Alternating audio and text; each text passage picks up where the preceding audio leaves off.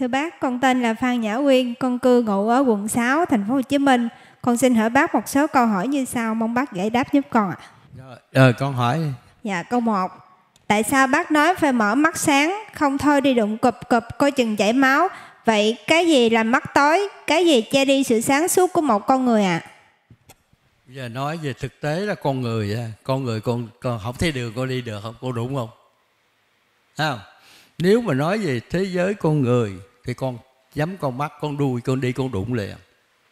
Còn nói về đạo con không hiểu. Tại sao? Giống như con nhắm mắt. Đụng đâu đụng đâu, đụng, tin đâu đụng đó. Bởi vậy có nhiều người họ tu đã đời họ, họ bỏ. Tại vì họ không hiểu họ, nếu mà tu mà con hiểu về cái có giáo lý rồi giống như con mở mắt sáng con không làm cái gì hết còn con tu mà không giáo lý kể như con tu mù thì đụng đầu đến đó ngày mai tu đậu thánh hay quá. Mốt cái ông kia kêu đậu thần hay quá đầu tiên cái chạy vòng vòng rồi thấy không? Mất công không? Làm cái chuyện cái bằng kêu bằng là đổ nước trong cái lu mà không có đáy. Đổ hoài biết chừng nào nó lại thấy không? Đó là là, là vậy. Thí dụ là vậy. Cho con hỏi tiếp đi. Dạ, câu hỏi số 2. Tại sao tưởng tham và kiến chấp nó lừa mình? Vậy trình tự lừa như thế nào? Bác cho ví dụ ạ. bây giờ cái tưởng này, con sống cái tưởng, nếu mà ban đầu vào đây mượn thân từ người, cái tưởng rất đúng nhưng mà khi vô đây rồi đó, con lệ thuộc về con tưởng mà con tham tham vui về với là hiển linh thì chắc chắn, thì mấy ông thánh nhập con liền rồi, khúc đó nó vẫn còn á khi mà con đã nhập thánh, nhập rồi, con tưởng thì hoàn toàn con phải theo ổng hết. Đó, con phải hiểu không? Đó, vì thế mà con người bảo cho con đừng đừng có tưởng. Nếu con tu thì tao con dẹp cái tưởng đi, không có ai nhập con nữa đó. Còn nếu con tưởng con tưởng con tưởng tốt thì nó nhập tốt, những xấu nó nhập xấu, có vậy thôi. Vì thế mà muốn tu thiền tông thì làm sao? Tạo cũng đức về thôi. Mười ngàn năm có lần, bây giờ ông Phật dạy cái này để tôi biết con đường tôi về. Con dẹp cái tưởng đi thì hoàn toàn không có gì xảy ra đến với con. Mà con tưởng bởi vì con muốn nói ra cái gì thì con phải tưởng con mới nói được. Thí dụ con muốn góp ý kiến người này người kia thì con phải tưởng con mới góp ý được phải không? Con không góp con không tưởng sao con góp? Vì thế tu thiền tông biết chỉ cho tạo công đức về tưởng dẹp là không có gì xảy đến với con hết. Sống yên vui. Rồi con hỏi tiếp đi. Dạ, con hỏi câu 3. Tại sao bác nói tu thiền tông đừng nhiệt tình quá? Có phải việc gì cũng cần tính cẩn thận, đắn đo để không bị nhân quả xấu thưa bác? bây giờ con chạy xe gắn máy á. Con nhiệt tình, con chạy nhanh quá, con sao? Con có an toàn được không? Vô thiền tông cũng vậy, nhiệt tình quá thì chắc chắn. Có ngày thì con bị, con cũng bị cũng bị cũng bị người ta. Giống như con đi, bất cứ cái làm cái gì thì bình tĩnh mà đi. Đi đường cũng vậy, bình tĩnh mà đi đừng có nhiệt tình đi ảo ảo. Nhiều khi cái mình không ẩu nhưng mà thằng kia nó chạy ẩu nó chạy ra nó đụng mình. Thấy không? Tất cả chi thì cũng vậy, tu thiền tông cũng đừng nhiệt tình. Nhiệt tình quá rồi. Nhiệt tình, cái nhiệt tình là cái gì? Do cái phát cái tưởng ra để mà nhiệt tình. Mà phát tưởng ra thì chắc chắn nó sẽ bị sai.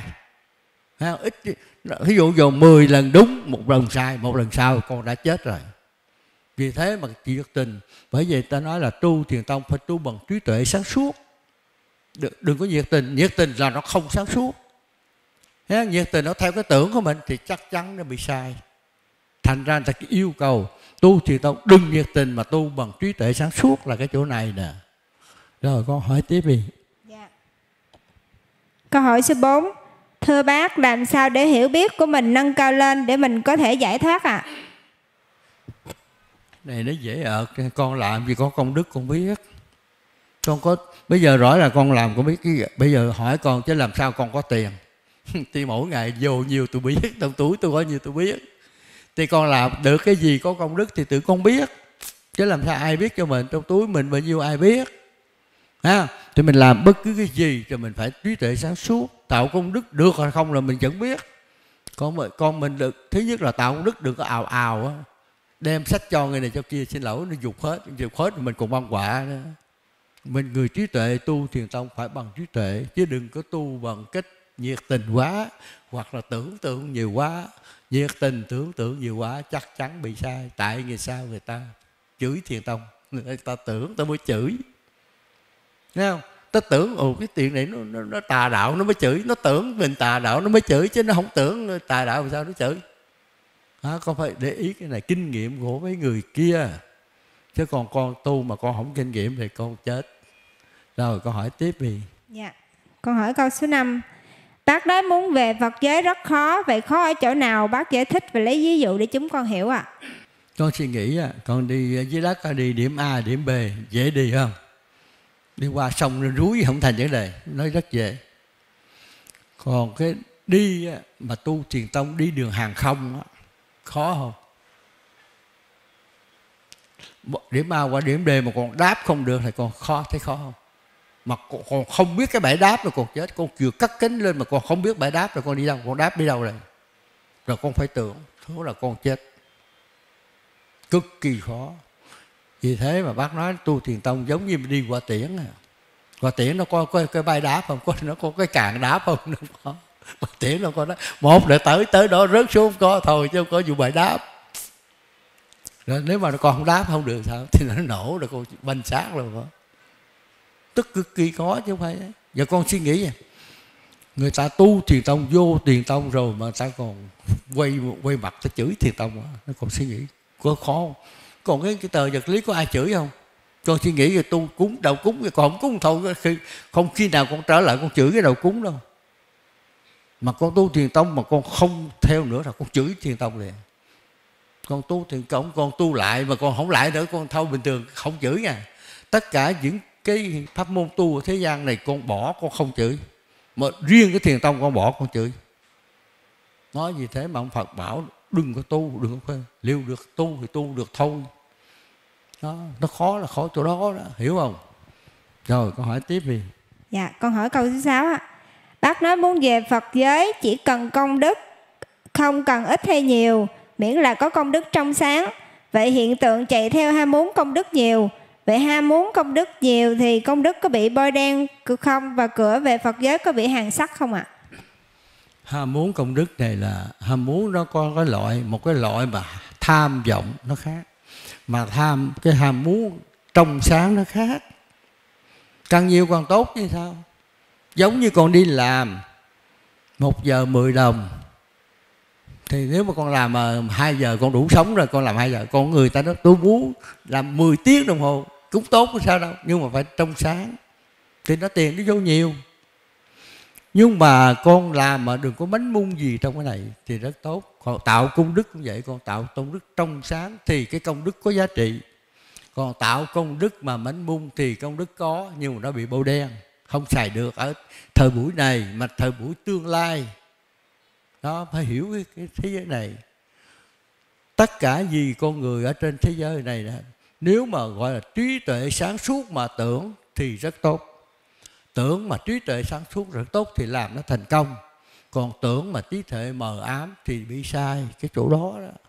Thấy không?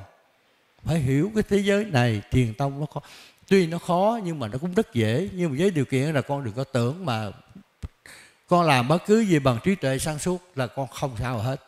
Còn con làm mà trí tuệ con không sáng suốt thì chắc chắn con bị nhân quả xấu nếu trí tuệ xong không không sáng suốt mà con làm thì chắc chắn con bị phá cái nhân quả xấu, có vậy thôi.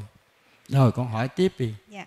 con hỏi câu số 7 dạ trên cõi trời có chim cá và muôn thú không ạ? À? những loài đó là chung ấm thân từ trái đất lên hay là gì ạ à, thưa bác?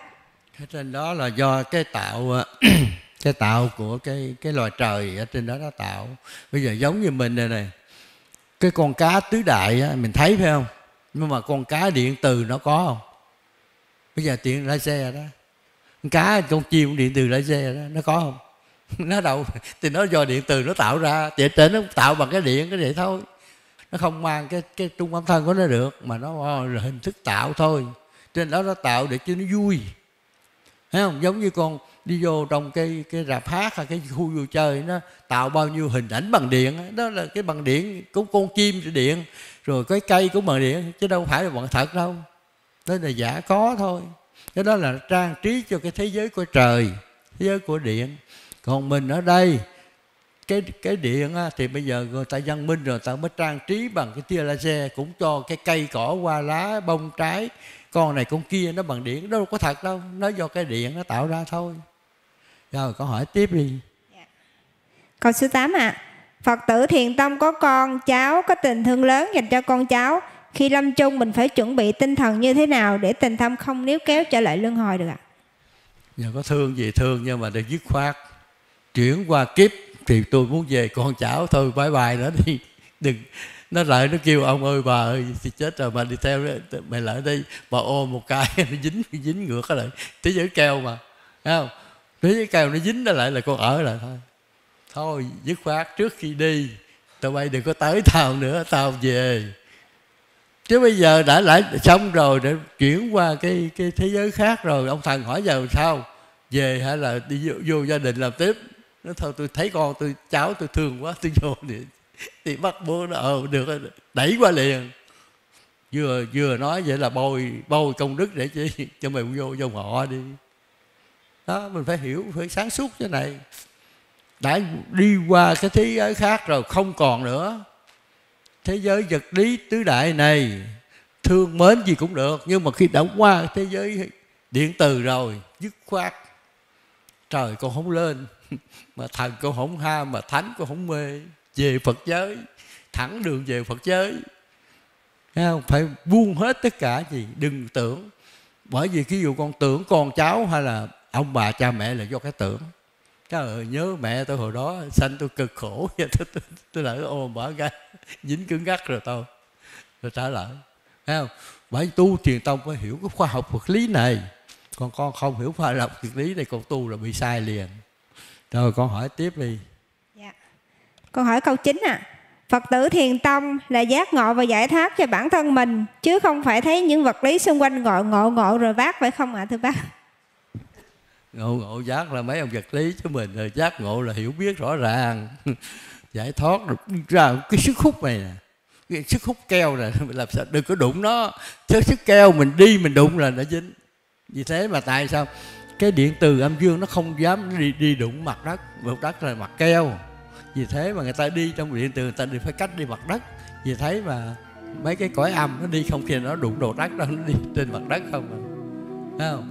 Bây giờ nó mặt, mặt, đất là mặt đất keo đụng nó dính liền. Đó người ta cũng hiểu cái nguyên lý này. Chứ mình thấy mình thấy tại sao mấy cái bóng ờ, cái bóng ờ, uh, dông hồ nó đi sao phải hở, hở mặt đất. Tại vì nó nó sợ cái mặt đất nó hút à, nó thôi đi trên cái mặt đất là cái chỗ này lý do đó đó Thấy không rồi con hỏi tiếp đi dạ. con hỏi câu số 10 ạ à. người tu thiền tông mà kiến chấp thì công đức bị bôi đen vậy bác phân tích từng chữ cụm từ kiến chấp cho con hiểu ạ à. à, tầm quan trọng của kiến chấp đối với người tu thiền tông ạ à. kiến là chữ thấy chấp và cho ta thấy đúng là chữ kiến chấp cho ta thấy đúng suy nghĩ, đúng hành động, đúng là kiến chấp. Thấy mà kiến chấp là sai. Nên nhớ là trên đời này không có cái gì mà đúng hết. Trên nào đời này cái gì nó cũng theo quy luật nhân quả thôi, chứ không có cái nào đúng, tuyệt đối hết. Trong cái gì nó có đúng thì nó còn có cái sai trong, chứ không có cách nào đúng hết. Thế giới vật lý mà có âm thì phải có dương. Nó còn phải hiểu cái nguyên tắc này. Về thế mà ai mà kiến chấp, tại sao đó tại sao cái người, thí dụ người ta mấy ông thầy, ông tu đi, ông tu giải thoát mà ông nghe giải thoát ông chửi? Là chị ông cây ông kiến chấp, ông nói, tao tao tao tu mấy dùng năm, tao còn chưa biết mày đâu không, mày mày không tu ngày nào, tại sao mày biết? Đó ông kiến chấp, ông chửi vậy thôi. Có khác nào hồi đó lục tổ hồi năng không? Mấy ông thầy ở trong đó, nó thường ông, cái ông, cái cái cái ông bắn ờ, bắn củi, ông giả gạo này, biết mẹ gì, bắt vô sai là mà tới khi mà ông nhận được thì ông ông mới lấy cái, cái y bác ông chạy đi. Sách vở ông chạy đi. Thì về sau mới biết. Vậy mà còn phải dí theo lấy lợi đó. Con suy kiến chấp. Mấy người kia đó trời ông này biết gì? Cái ông ờ, cái ông thần tú này mới giỏi nè. Thấy không? Tôi cũng là kiến chấp thấy chấp là cái, cái ông ông ông thần tú này giỏi cái ông này dở nè. Chỉ kiến chấp là cho mình thấy biết đúng. Gọi là kiến chấp.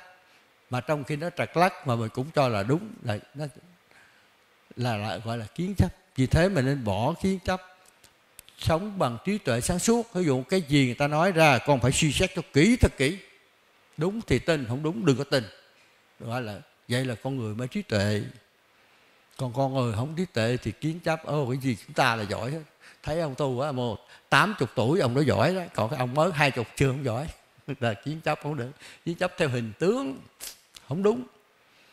Ông nào hiểu giác ngộ và thứ ông đó giỏi đó. Còn ông nào mà ông một bởi vì thế mà một trăm tuổi mà không hiểu cái này cũng dở nữa. Còn ông ta mới có 10 tuổi mà ta biết ta cũng giỏi nữa. Vì trong kinh Đức Phật thường nói thành nói là cái cái ta khen ta, khen những người nào có trí tuệ. Còn người mà nó xin lỗi kêu bằng à, kêu bằng khôn á ba tuổi cũng khôn dạy già đầu cũng dạy. Phải không? Phải hiểu cái câu này thì con mới sống thế gian này được rồi con hỏi tiếp đi dạ con hỏi câu số 11 ạ à. thưa bác khi con người chết mà vào trung tâm vận hành luân hồi thì khối nghiệp phước đức và ác đức trở về với bản chất điện từ âm dương của nó chỉ mang khối công đức về Phật giới vậy Phật A Di Đà trở thành một vị Phật ở Phật giới thì ông tạo cõi trời tịnh độ bằng phước của ông khi ông còn ở trong tam giới hay trở về Phật về giới rồi ạ? Một vị Phật mà muốn là tạo nước tịnh độ thì ở trong này phải tu như là công đức, phước đức song tu. Công đức về Phật giới, cái phước đức ông để cái tam giới này nè, để mà ông đi đến chu du ở đâu thấy cái hành tinh nào thì ông lấy phước đức để ông mua cái hành tinh đó. Bởi vì còn nên nhớ là trong càng khôn vũ trụ này, biết bao nhiêu mà tam giới chưa người sống. Thấy không? Tiền tạo thiếu dương nó tạo thiếu gì giống như mấy ông mấy ông nhà giàu người ta có tiền ta tạo ra thành phố ta bán vậy đó giờ thiếu gì? Nhiều cái khu đất gọi là khu này các nhà chưa ở. Thì con có tiền của nhào đâu con mua cái đó. Thì ông ấy di đà cũng vậy. Lấy phước đức người ta mua chứ công đức không có mua được. Lấy phước đức ta mua cái hành tinh này tạo ra tạo ra cái hành tinh nước cực lạc. Cực lạc để ông làm gì? Ông dụ người ta tới đó chơi cho nó vui ăn vui rồi ông nói ta, đây tao đây tao có cái trường dạy giải thoát này mới vô ta dạy cho vô nước cực lạc ông dụ để đưa đến cái trường giải thoát, ông dạy, vô đây thì qua khai kiến phật ngộ vô sanh thì ông mới dẫn về. Rồi tôi dẫn mày về xứ về xứ mày về, mày trở về phật giới. Thấy không? mình phải hiểu cái nguyên tắc này. Chứ không phải là nước cực lạc mà vô hưởng vui thì có. Nhưng mà để dụ mấy người là tham vô đó để học cái công thức giải thoát. Có hiểu không? Rồi, con hỏi tiếp đi. Dạ con hỏi câu số 12 ạ. à thưa bác, khi về phật giới, thì những vị phật muốn gặp nhau và giao tiếp có dễ không à khi mà phật giới bao la rộng lớn. Bây giờ con suy nghĩ là trái đất này con thấy rộng không? Nếu mà con biết tần số với nhau á, bây giờ cái con có một bạn đó bên à, bên tây, bên mỹ đi. Con biết số điện thoại đó, con gặp nó dễ không? Bấm nút. Này hiện ra trước mặt con liền. Ông phật cũng vậy thôi ông, hồi đó bên này quen biết không biết, kể cái vợ chồng rồi đó. Tôi với ông ở bên ờ, thế giới này là vợ chồng bây giờ tôi bấm nút gặp nhau. Tôi bắt đầu cười gì? Cười thôi thôi. Bởi vì ở trên này có vật lý, bên này không có vật lý. Có nghĩa là tôi biết, nhưng mà biết ở đâu? Ở trên cái đất này còn số biết số điện thoại của người nào còn bấm. Ở đâu, con cũng thấy trước mặt thôi. Mà cái thế giới nó vật lý nó còn dễ còn cái thế giới phi vật lý nó còn gấp nó nhanh gấp một tỷ lần của lại này. Giờ ở đâu không biết nhưng mà hỏi chứ giờ ông à, hồi đó ông thích ca với ông à, ông gì đó bấm bấm nhau giờ nhớ rồi chỉ chỉ nhớ rồi nó hiện ra liền. À, rồi hai người nói chuyện nhưng mà nói chuyện xong rồi thôi nó không có bên hình bên Phật giới nó không có hình tướng với mình. Nhưng mà khi hiện thì là hiện hình tướng của một vị Phật mà khi đã xuống rồi nó đi vào trong cái cái cái, cái thế giới điện từ quang nó chìm trong đó. Khi đi thì nó hiện theo cái hình tướng đi đứng thì hiện theo hình tướng đứng ngồi thì hiện hình tướng ngồi. Kêu là tùy bởi vì trong à, Phật thường nói là câu là tùy duyên. Biến hiện là cái chỗ này, này không? còn nếu không ấy, chứ đâu phải, chứ không phải như mình đây là cái góc đầu đầm quá, sao được? Bên đó, có hiện, có cần hiện thì không có thôi. Đó hiểu không? Thành ra bây giờ còn muốn gặp nhau thì nhớ là ta có cái tần số riêng. Tới đó, vô vô tới đó, giống như mình người Việt Nam, mới đẻ ra nó cho con cái số chứng minh nhân dân, nó cho số. Thì mỗi người nhớ thôi. Giống như mình là cho cái số điện thoại, rồi ai vô đây cũng có số điện thoại riêng rồi muốn liên lạc nhau thì biết số bấm bấm thấy biết nhau rồi con hiểu không rồi con hỏi tiếp đi Thì thưa bác con hỏi câu số 13 Thưa bác khi Thái tử Tất Đạt Đa qua nước Văn Lang gặp công chúa Hùng Thí Loan để nhờ công chúa à, Thái tử Tất Đạt Đa có giúp công chúa nhớ lại thời thời quá khứ đã từng giúp Phật ca diếp hay không ạ? À? Công chúa Hùng Thí Loan có kiến tánh không ạ? À? Khi mà ông Thích Ca ông đi rồi ờ, công chúa tỷ lo không biết gì hết. Nhưng mà Thích Ca hiện là sao tự nhiều đâu bây giờ nhớ hết. Ông nói gì không biết hết. Là sao? thế giờ cái công đức của ông Thích Ca này nè mới mã quá được cái cái sự hiểu biết còn không, công chúa tỷ Thị khi mà Đức Thích Ca đi rồi hoàn toàn không biết giống như con người bình thường nhưng mà khi ta đến ở đây thì cái làng điện từ quang nó nó, nó roi lại thì tất cả những cái đời trước của Hồng phi lộc bao nhiêu nó hiện ra hết. Thì ông nói gì nó biết hết. Ông chúa biết hết. Có hiểu không? Đó thành ra đâu có cần nói gì đâu. Giống như khi mà cái ánh sáng điện từ quang nó tới thì những cái, cái vô minh nó phá hết. Nó phá hết thì những cái gì mà bao nhiêu tỷ đời trước nó cũng hiện ra hết. Con muốn hiểu cái đời nào thì hiểu đời đó đó nó nói vậy. Vì thế mà từ kêu bằng à, tại sao mà khi mà ông thích ca mà ông ông đưa cái hạt minh châu cho long nữ? Đầu tiên nó không biết. Nhưng mà khi long nữ cầm cái hạt minh châu rồi thì hiểu hết. Nó bao nhiêu cái, cái bí ẩn bí kíp gì trước? Ông nó hiểu hết. Thì ông thấy ca nói về long nữ biết hết đâu biết rồi. Đó con hiểu cái chỗ đó. Rồi từ lúc đó mới nhớ lại. Vì thế mà nó có cái sứ mạng phải đến tới cái thời buổi nào thì mới tiếp nối cái dòng thiền tông này để công bố ra là cái chỗ đó đó. Rồi con hỏi tiếp đi dạ, con hỏi câu 14 ạ. Thưa bác bác thường nói phải sáng suốt mà một người đang ở trong tối thì làm sao để sự sáng suốt của họ tăng lên ạ? Người trong tối muốn sáng suốt ra thì chỉ dễ thôi. Thì con làm sao tạo có ánh sáng? Ánh sáng là cái gì? Là công đức á.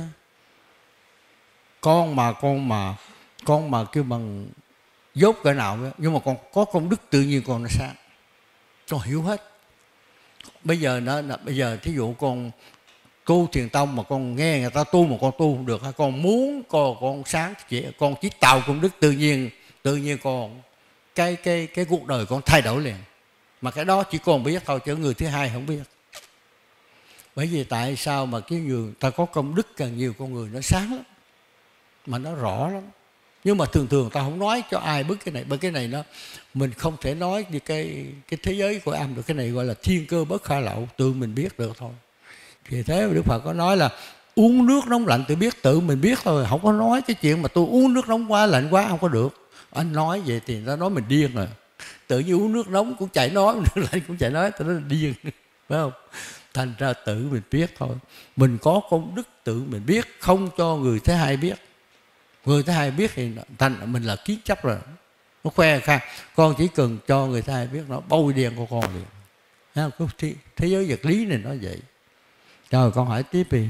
Dạ, con hỏi câu số 15 ạ. À. trong cuộc sống không cúng cầu lại sinh vậy mình có thể khuyên nhủ người khác không ạ? À? một người có thói quen xấu hay dính những vật chất xung quanh vậy mình có thể dùng lời khuyên giúp họ ngộ hay sáng lên được không thưa bác? Nếu không ai khuyên được ai? Vậy bác nói lý do tại sao không ai khuyên được ai ạ? À? ông phật còn khuyên không được, mà chỉ mình làm sao khuyên? Nhưng mà có thể này nè, con muốn con muốn khuyên người đó không mê tín gì đâu á. Con đừng khi nào nói trực diện người đó. Con đưa hình ảnh vu vơ con nói. Con đừng có đề cập đó. tự nhiên nó nhột nó nhột, nó thay đổi. Được. Cái đó mình dùng kỹ thuật á, kỹ thuật ba chiều á nói đông mà cái à, bên tay nó hiểu. Nói đông hiểu tay là cho nên cứ con nói trực diện với nó nó nó phản ứng liền thấy không? Thì con đưa hình ảnh con nói chuyện này đó kia thì tự nhiên người ta biết. Con độ người ta đó đó. Con, con gọi là chịu thực độ là cái chỗ này nè nói đông hiểu tây đừng có khi nào ấy. Chứ bây giờ nói người ta đang cúng ô chị nói chị cúng thì ai ăn rồi nước mê tín nó đập con cái rầm. Thì con chỉ đem cái câu chuyện chuyện có nói đằng kia là nói chuyện nói chuyện bô quơ bên kia rồi tự nhiên nó hiểu. Nó, nếu mà nó hiểu được thì nó cảm ơn con. Mà có nhiều khi nó không cảm ơn nhưng mà nó biết nó nhớ con. Mà con có công đức rồi đó. con độ cái câu mà diêu thực độ là cái chỗ này nè. Thấy không? mình phải độ người thì phải biết cách chứ không phải là đụng đâu nói đó đụng đâu nói đó thì con, nó thuộc vị chấp ngã rồi rồi con hỏi tiếp đi Dạ, con hỏi câu số 16 ạ. À. Thưa bác, khi một người tạo công đức trong sáng mà mình tác ý ủng hộ họ, vậy người âm thầm ủng hộ như vậy thì người ủng hộ này có công đức không ạ? À? Có. Trên thế gian này mình thấy à, cái cái mà cái người với con người à, thì nó giao cảm nhưng mà cái cái mà cái công đức á, nó không cần cái giao cảm này. Tự động. Thí dụ bây giờ con cho cái ông A mượn cuốn sách. Ông A rất hay rồi. À, không nói gì còn hết. Nhưng mà ông ông chỉ ông chỉ ngộ được thì cái, cái âm thầm công đức nó chuyển về con liền. Rồi ông cho người thứ hai thứ ba thứ tư thì cái đó cái hệ thống nó sẽ chuyển hết về cho con. Thấy không? Nó chuyển khoản về hết cho con. Mà con con không biết đâu nhưng mà khi có nhiệm gì con mở tủ ra thì con mới biết đây khi mà ông thần ông nhìn thấy, ủa sao công đức dữ vậy? Vì thế mà hồi xưa ông thấy lợi phát ông đâu có biết đâu, nhưng mà ông thích ca nhìn thấy nhìn thấy ông có công đức quá lớn đi. Thì ông nói, tôi có làm gì đâu có công đức. Thì ông thích ca đó hồi xưa đó ông giàu lắm, phải không? Mấy đời chứ bây giờ ông cũng giàu ông xác nhận ông giàu. Nhưng mà những cái lúc mà ông đi làm từ thiện người ta vô tình ta lấy cái số tiền ổng ta làm tạo được cái công đức. Đệ tử ổng có thôi làm sao biết? Đó thầy cái này nó vô tình nhưng mà cái tài khoản biết. Nhưng mà chỉ cái người cái người mà có, có cái phật nhãn ta mới thấy được thôi. Còn cái người thiên nhãn thấy không được. Còn mình phàm phu thì còn trai còn còn tối đuôi nữa còn không thấy được. Thì mình làm cái này cái gì cũng vậy. Thì con phải tạo bằng cái công đức trong sáng đừng kiến chấp và đừng tưởng con tạo mà con con cho con cho người khác mượn cái cuốn sách mà con tưởng là bắt rồi con mất liền chỉ còn con tưởng là mất rồi thấy không dạ, rồi con hỏi tiếp đi dạ con hỏi câu số 17 ạ à. Thưa bác, tại sao các cơ quan nhà nước không lập ban kiểm soát việc thu chi của các chùa giống như quản lý một công ty hành chánh? Có một số trường hợp xảy ra như có Đại Đức Thích Thanh Toàn, trụ trì chùa Nga Hoàng ở tỉnh Vĩnh Phúc.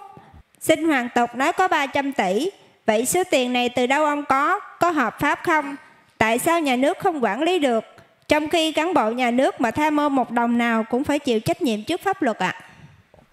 Bây giờ à, cái luật á, cái luật không có cái chuyện cái luật thu tiền của chùa thì nhà nước nào thâu? Nhà nước sống theo pháp luật chừng nào mà cái quốc hội nó cho cái lực thu tùa, thu tiền thu tiền à, lời của chùa đó thì nhà nước mới được quyền làm chính quyền mới được làm luật đâu có cái vụ thu tiền chùa thấy không? Thì làm sao? Làm sao? Còn cái chuyện mà ông được nhiều ít là chuyện ta cúng tiền đó ủa, cái chuyện kể ta thương tôi tôi cúng thôi. Đâu biết được. Chứ chứ ổng đâu có đi móc túi ai đâu. Thấy không? Còn bây giờ làm sao lấy cái cớ gì mà nếu mà cái luật thế mà nó đóng thế thu nhập cá nhân thì phải có cái lực đóng thế cá nhân của mấy thầy chùa à? Đâu có cái lực đây làm sao nhà nước làm cái việc này không được. Cái đó là tự nguyện. Ổng giàu quá thì ông bố thí ông đưa cho nhà nước được tự nguyện thì được. Chứ còn trên luật không có. Tất cả gì ở trên cái nước Việt Nam mình là làm sống theo luật pháp và hiến pháp. Luật pháp cho tôi mới chính quyền mới làm được. Luật pháp không cho chính quyền làm sao làm được này? Thì giờ tôi xin ở 300 tỷ chứ 3 ngàn tỷ ông còn không làm gì được ông thấy không? Ủa ta tin tư tôi thì ta, ta cho tôi tôi tôi đâu có xin nọ đâu. Người ta tới tôi người tu người ta đem tới tới cho tôi thì tôi như nhận thôi à, thì con hỏi này cũng đúng nhưng mà đều hỏi không đúng luật tính ra không đúng luật. Chừng nào có lực thì mới chính quyền mới thực hiện được còn không lực thì không thực hiện được. Hiểu không? Rồi con hỏi tiếp đi. Con hỏi câu 18 ạ. À. thưa bác tại sao trong cuộc sống mình gặp một số vấn đề nào đó mình không nghĩ ra hướng giải quyết? Một thời gian sau có khi mấy tiếng có khi mấy ngày thì mình chợt nghĩ ra hiện tượng đó là hiện tượng gì thưa bác? Cái chuyện đó là thực thi nhân quả do thần thực thi nhân quả có nghĩa là bây giờ con muốn làm cái chuyện đó, nhưng mà tới chưa có cái thời điểm. Khi tới thời điểm đó, tuy nó xảy ra một ngày trước, nhưng mà chưa tới thời điểm thì thần thực thi nhân quả không khai mở được. À bây giờ đó, con một ngày trước là con muốn rồi đó, nhưng mà cái nhân quả của mày phải đúng 24 tiếng rồi nó mới nở được. Thì tới đó thờ, nó mới dắt cho con, nó dẫn cho con khai cho con ra chỗ này, gọi là thần thực thi nhân quả. Nhưng mà cái ham muốn con đến sớm quá, chưa được. Chừng nào đúng tới chiên tới giới, thần tự nhiên nhắc con, không nhớ ra. Thì con làm mới đúng. Đó là thần thực thi nhân quả. Đúng đúng đúng đúng thời, đúng tiết là cái chỗ đó đó rồi, con hỏi tiếp đi. Dạ con xin hỏi con 19 à thưa bác, trái đất đang ở cuối thời kỳ trụ, sao sẽ chuyển sang hoại và diệt? Vậy bác có thể cho cháu biết thời gian bao lâu sẽ có thiên tai hay tai họa ập đến loài người? Bác cho ví dụ về thiên tai hay tai họa trong thời kỳ hoại của trái đất. Để cho một số người biết và ráo riết tu, giải thoát để có thể một đời này trở về Phật giới, tránh được tai họa vậy thưa bác. Giờ tất cả cái chu kỳ nào cũng vậy. Thí dụ mà trái đất này thành trụ hoài diệt là nó tới một triệu lần nữa. Mà nên nhớ rằng khi một vị Phật mà về Phật giới ba ngàn năm thì cái chu kỳ diệt nó sẽ đến. Nhưng mà nó cái hiện tượng này tại người ta không để ý chứ để ý nó được. Còn năm trong kinh uh, Kim Ca có nói câu 500 năm sau cùng con người đi đi vào cái chu kỳ diệt. Trong kinh Kim Ca nói rõ mà tại người ta không đọc thôi. 500 năm sau cùng của Đức Phật á, của của của ba ngàn năm của Đức Phật á, thì con người đến thời kỳ diệt. Là gì? Ông chứng minh là tới đó là tới cái 500 sau cùng này là bao nhiêu cái phát minh nó phát ra hết. Để phát minh ra để làm gì? Phát minh cái súng để làm gì? Để nó giết người làm gì? Thấy không? Phát minh để uh, làn sóng điện là gì? Thì nó cũng là tôi tiêu diệt đối phương. Một phần nó phục vụ dân sinh và một phần nó tiêu diệt đối phương nó cũng là tiêu diệt thì tại người ta không để ý. Giờ con suy nghĩ à tới đất này nước nào không sản xuất vũ khí? Nhưng mà sản xuất để làm cái gì? Để giết người gì?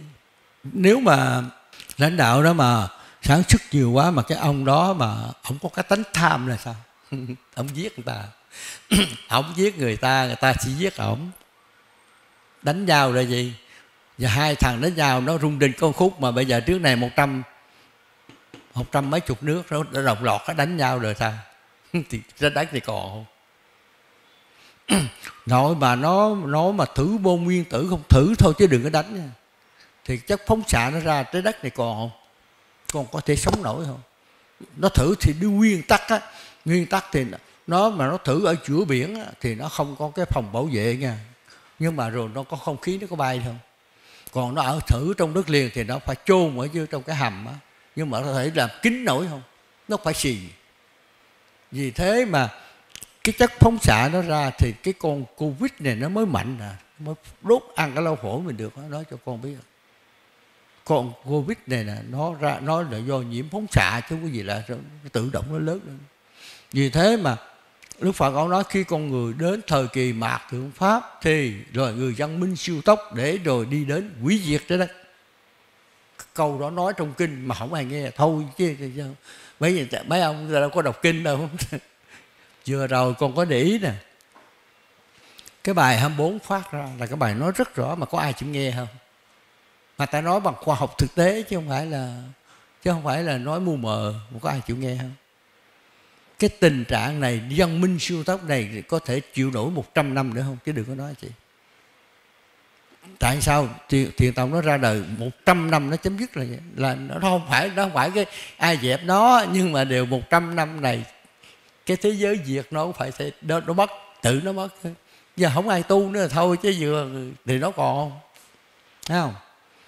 Nó thành ra bây giờ cái hiện tượng này bây giờ còn suy nghĩ nè ngày xưa nó con con muốn làm bất cứ cái gì vừa thì con có thể là con nghiên cứu tìm cách này con thế kia nó lâu lắm bây giờ không cần.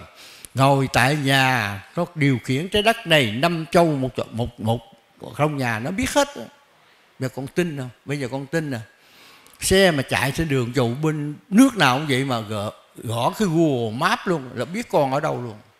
Mà chạy tới đâu bây giờ cái văn minh và dân sự nó còn vậy còn văn duyên quân sự nó như thế nào nữa? Con con đâu có hiểu nổi đâu. Nếu mà cái tà này nó cứ lên lên vậy khoảng trăm năm nữa thì văn minh con người khủng khiếp lắm. Thì thì khủng khiếp mà giết nhau thì, thì chết tự nhiên chết chết hết chứ. Giờ nó ô nhiễm không khí này mấy kỹ sư khỏi, khỏi sống nổi không? Anh cũng anh cũng kỹ sư về sản xuất ra chứ nhưng mà tôi chết anh cũng chết chứ. Anh anh sống ờ, cao đó anh sống ờ, thêm được vài ngày nữa thôi người nào cũng chết. Bây giờ chiều bệnh covid này có, có khi nào tổng thống không bệnh covid không? Dân bệnh covid tổng thống đó tôi tổng thống đó không bệnh. Còn lâu. Khi nó giết là nó giết hết. Thấy không? Mà mình nếu mình không khéo thì mình sẽ đi vào trong cái ngõ cụt của thế giới này. Vì thế mà tại sao cái bài 24 của Thiền Tông được cho phát ra để giúp trái đất và loài người sống dài chút nữa. Sống dài chứ không phải sống hoài sống dài nữa thôi rồi con hỏi tiếp đi dạ con hỏi câu 20 ạ à. thưa bác các công trình của thế giới đang xây dựng một cách phồn vinh và văn minh như vậy mà vài trăm năm nữa sẽ bị hủy diệt và chuyển sang thời kỳ đồ đá sao ạ? À? Giờ à, con suy nghĩ đây như mấy cái nước mà bây giờ nó, nó nước cổ ở, ở Nam Mỹ nó có những cái thành phố cổ không lẽ nó sinh diệt rồi trở thành ấy? Bây giờ nữa nếu mà nếu mà khi mà nó chiến tranh mà nó hủy diệt á thì trái đất này nó bị trao đảo nó rụng. Thì xin lỗi nhà lầu mấy thân nó cũng nó cũng sàn bằng đó nó rung mà. Núi nó còn rung được chứ cái nhà lầu cũng làm gì. Thấy không? Thì tất cả gì bây giờ con người ta nó thì còn á, ngày mai chết bây giờ còn có nhiều mấy ông giàu ngày mai chết bây giờ giờ cũng là làm á. Chứ nào ngã gục xuống thôi thế bởi cái lòng tham con người, không dừng được đâu. Biết ngày mai chết, bây giờ cũng làm ngày trái đất này nó ấy, bây giờ không lo không lo cứu cái môi trường của trái đất mà để lo sản xuất những cái những cái mà ô nhiễm. Ô nhiễm nên bớt lại đi, thấy không? Thì sản xuất những cái gì không ô nhiễm đi. Bây giờ sản xuất là, sản xuất ra những cái chất này kia đều là phải ô nhiễm hết mà bây giờ không không lo cái này không lo cái lo môi trường mình đây mà lo cái quê lợi của mình thôi cho, cho mình. Ai chết mặt ai bây giờ tôi thu tiền được của tôi. Chết là chết chỗ này. Mà khi ô nhiễm môi trường cái ông sản xuất có, có sống không? Ông cũng chết như ta. Nhưng mà ông không hiểu cái này. Rồi con hỏi tiếp đi. Dạ, con hỏi câu 21 ạ. À. thưa bác thời kỳ đức phật còn sống ngài có viết giáo lý cho năm pháp môn tu của đạo phật tiểu thừa, trung thừa, đại thừa, niệm phật, niệm chú.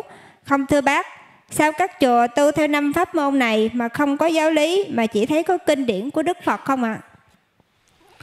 bây giờ tất cả cái à, cái pháp môn nào ra đều có cái giáo kinh, giáo lý, giáo luật, giáo lễ trong đó hết, có hết. Nhưng mà người ta không xài, nó kẹt ở chỗ người ta không xài. Tu ban, bởi vì cái ban đầu tu thời đức phật rất đúng, tu thời thượng pháp rất đúng nhưng mà khi bắt đầu vô trung pháp cũng còn đúng dần dần dần cái thời trung pháp và thời thời mạt pháp của cái trung đó, nó bị nó tu nó chuyển qua tu tiền thành nó sai. Giáo lý dẹp nó cắt cái, cái quyển giáo lý nó cắt nó không thèm đưa nữa. Nếu đưa cái giáo lý đưa cái quyển giáo lý ra thì đâu ai chịu cúng. Trong cái đó đâu có chuyện cúng dường. Mà cúng dường ngày xưa cái tiểu thừa ta giờ rất đúng là cúng dường là không cúng thức ăn thôi nha không cúng tiền tuyệt đối không tiền. Ông thầy không được quyền giữ tiền. 250 giới không được quyền giữ tiền. Tiền đi phải không? Giờ trong ra hai trăm tới có ông nào giữ tiền không? Mà giờ ông nào cái ông nào nãy con mới nói gì? ba trăm tỷ đã không thử tiền mà tại sao quá trời tiền? Nếu đem giáo lý qua ra, ra thực hiện thì làm sao tu được? Trong giáo lý là cái hai trăm đồng giới thì anh không được quy dưới tiền. Anh chỉ được ăn đủ ăn thôi. Rồi sao? Chùa cắt ra nguyên tắc. Người phật tử cất chùa mời ông thầy vô tu. Không phải là ông thầy cất chùa. Nó đi bây giờ nó đảo là ông thầy cất chùa chứ không phải phật tử cất chùa. Nhưng mà ngày xưa thời vua võ tắc thiên á cái vùng nào mà có người tu á, thì bả mới sai dân, dân làng ở đó thì cất ra một cái chùa mời ông thầy vô tu. Cấp đất cho mấy ông thầy ở ăn ở tu chứ không có lấy tiền. Giờ giờ nó tu tu trật lắc nó tu tiền. Nó giờ làm làm ruộng cực quá không được. Giờ tôi tôi lấy tiền tôi mua gạo sướng hơn chứ không làm ruộng. Thành ra phải suối để gì có cúng dường ở chỗ này nó sai. Vì thế mà cái quyển giáo lý phải dẹp liền. Quyển giáo lý nó nó dạy trong cái này mà con nữa giáo lý rồi, rồi, rồi, rồi ai cúng cho con vì thế mà viện giáo lý nó biến mất từ lúc đó. Thấy không? Giờ thành là không có cái nào không có cái pháp môn nào có giáo lý hết. Mà chỉ mấy cái như đạo à, mấy đạo khác thì ta có giáo lý. Ha, cái đạo Phật nó tới sáu pháp môn đó có sáu pháp sáu pháp môn nhưng mà nó tám quyển giáo lý. Mà giờ nó biến mất hết giờ có nó còn còn chùa Tân Diệu còn giữ một cái quyển gọi là giáo lý đạo Phật Thiền Tông và đạo Phật khoa học vật lý Thiền Tông. Nó còn với cái đặc biệt còn mà cái quyển giáo lời giáo lý Thiền Tông là xuất bản ở trong cái quyển số 10 rồi đó bị tan cấp rồi kể gì không có. Không? rồi còn cái quyển uh, giáo lý uh, khoa học vật lý này chưa xuất bản được. Có mà chưa xuất bản được. Hiểu không? Rồi con hỏi tiếp đi. Dạ con cũng mong là quyển uh, giáo lý của uh, của uh, chú đang giữ là sau này sẽ được công bố ra để mọi người được uh, nhiều cái uh, lợi ích hơn ạ à. bây giờ cái giáo lý khoa học vật lý thiền tông đặc biệt xuất bản ra công bố ra người nào đọc cái này thì người đó sẽ là toàn giác rồi câu hỏi tiếp đi dạ con hỏi câu 22 ạ à. xin bác cho biết những hội thần nào đang hiện hữu ở trái đất này và ở đâu nội dung nhiệm vụ hoạt động của họ thế nào thưa bác ạ à? hội thần dạ, hội thần bây giờ đó thì cái hội thần này nó không có, nhưng mà có cái hội thánh. Thấy không? Cái hội thánh này thì chú không nói ai. Tất cả những người mà trên thế gian này nè, mà ta tu theo cái pháp môn nguyên thủy á, con chúng được cái thánh gọi là, cái thánh a la hán đó, thì sẽ được cấp một cái bằng tiến sĩ thánh học. Thấy không? Còn có cái bằng tiến sĩ thần học có nhưng mà chú không dám nói ai. Cái, cái thì cái này thì đợi người nào mà có cái bằng đó đưa ra tự nhiên con biết có cái người cấp đàng hoàng. Nếu mà con nói về con con ngộ được theo theo kiểu mà tứ quả thanh văn á, thì con được cái hậu thánh. Con con có bằng thánh học tiến sĩ thánh học. Còn mà ngộ bên thần á, thì có bằng tiến sĩ thần học. Mà bằng tiến sĩ thần học chú có một ông bác ông có cái bằng này mà giờ ông chết rồi. Thấy không? cái bằng ông vẫn còn. Gọi là tiến sĩ thần học. Không phải nhỏ đâu. Mà cái này nó nó bí mật nằm ở trong các đạo á, chứ nó không nằm nó nó không có đưa ra phô trương bên ngoài. Thành ít người hiểu lắm. Cái trên thế gian này nó có hai cái bằng tiến sĩ thần học và cái bằng tiến sĩ thánh học nó có. Nhưng mà ba không dám nói. Chừng nào mà công bố giáo lý ra chưa nói, tôi chỉ ra, tôi chỉ cái bằng để nằm ở đâu rồi câu hỏi tiếp đi dạ Dạ, con à, đã hết câu hỏi. Con xin à, cảm ơn bác đã à, giải đáp cho con những câu hỏi vừa qua. Con xin chúc bác có nhiều sức khỏe ạ. Rồi, cảm ơn con hỏi nhiều. con cố gắng làm sao mà tạo công đức trong sáng để về đời để lo về chứ. Tuyệt đối nha, con đừng có tưởng à. Thế giới này đừng có tưởng nữa. Còn bao nhiêu sống bao nhiêu năm nữa cứ tạo công đức trong sáng. Tuyệt đối đừng tưởng là tốt nhất. Nếu mà con tưởng một cái thì bốn ông Phật trước ra đời con chưa gặp được. Nói tôi còn biết thấy không? Rồi cảm ơn câu hỏi. Dạ cảm ơn bác ạ. Dạ con chính kia xin kính chào bác ạ. Dạ thưa bác hôm nay à, con được đại diện à, của cái thiền tông thích à, mê ninh ngoài hà nội. Đến đây để hỏi bác một số câu hỏi. Kính mong bác giải đáp cho chúng con được rõ ạ. Rồi câu hỏi. Dạ con xin hỏi câu thứ nhất. Thưa bác hơn 60 năm âm thầm thực hiện cái sứ mệnh phổ biến pháp môn đạo Phật khoa học thì vật lý thiền tông bác có được ai hoặc tổ chức nào để hỗ trợ cho bác và bác có dựa trên cơ sở nào để phổ biến pháp môn này không ạ? Nếu mà tổ chức thì không có tổ chức. Mà đây là cái cái chùa thiền tông tân diệu có cái bổn phận phải bổ, bổ biến pháp môn thiền tông này ra thôi. Còn cơ sở là dựa trên luật pháp nhà nước cho tự do tín ngưỡng, tự do tôn giáo. Dựa lên cơ sở này mới phổ biến được. Nếu không có luật số 2 tự do tín ngưỡng, quốc hội thì hoàn toàn không phổ biến cái pháp môn này được. Có nghĩa là bác dựa trên luật pháp và hiến pháp của nhà nước, cộng hòa xã hội chủ nghĩa việt nam phổ biến pháp môn thứ sáu của đạo phật này ra. Rồi con hỏi tiếp đi dạ con xin hỏi câu tiếp theo ạ thưa bác um, bác dạy người nào có trong tay quyển giáo lý đạo Phật khoa học thiền tâm Việt Nam thì là đã người toàn giác nhưng mà chưa toàn năng. Vậy con xin hỏi bác có phương pháp nào để trở thành người toàn năng toàn giác trong cái đời này, trong cuộc đời này không ạ? chứ toàn năng toàn giác là chỉ cho một vị phật chừng nào mà con thành phật thì con toàn năng toàn giác còn nếu mà con là con người học được giáo lý thì con người toàn giác. Giáo lý đạo phật khoa học vật lý thiền tông việt nam.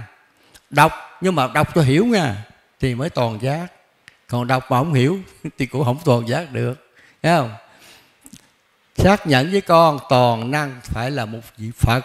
Chỉ tốt nghiệp ở trên trường uh, cao cấp Phật học gì ở trên đâu trời trời xuất á con lên trển con học rồi con xuống đây rồi có kèm theo quyển giáo lý thì con mới toàn năng toàn giác được.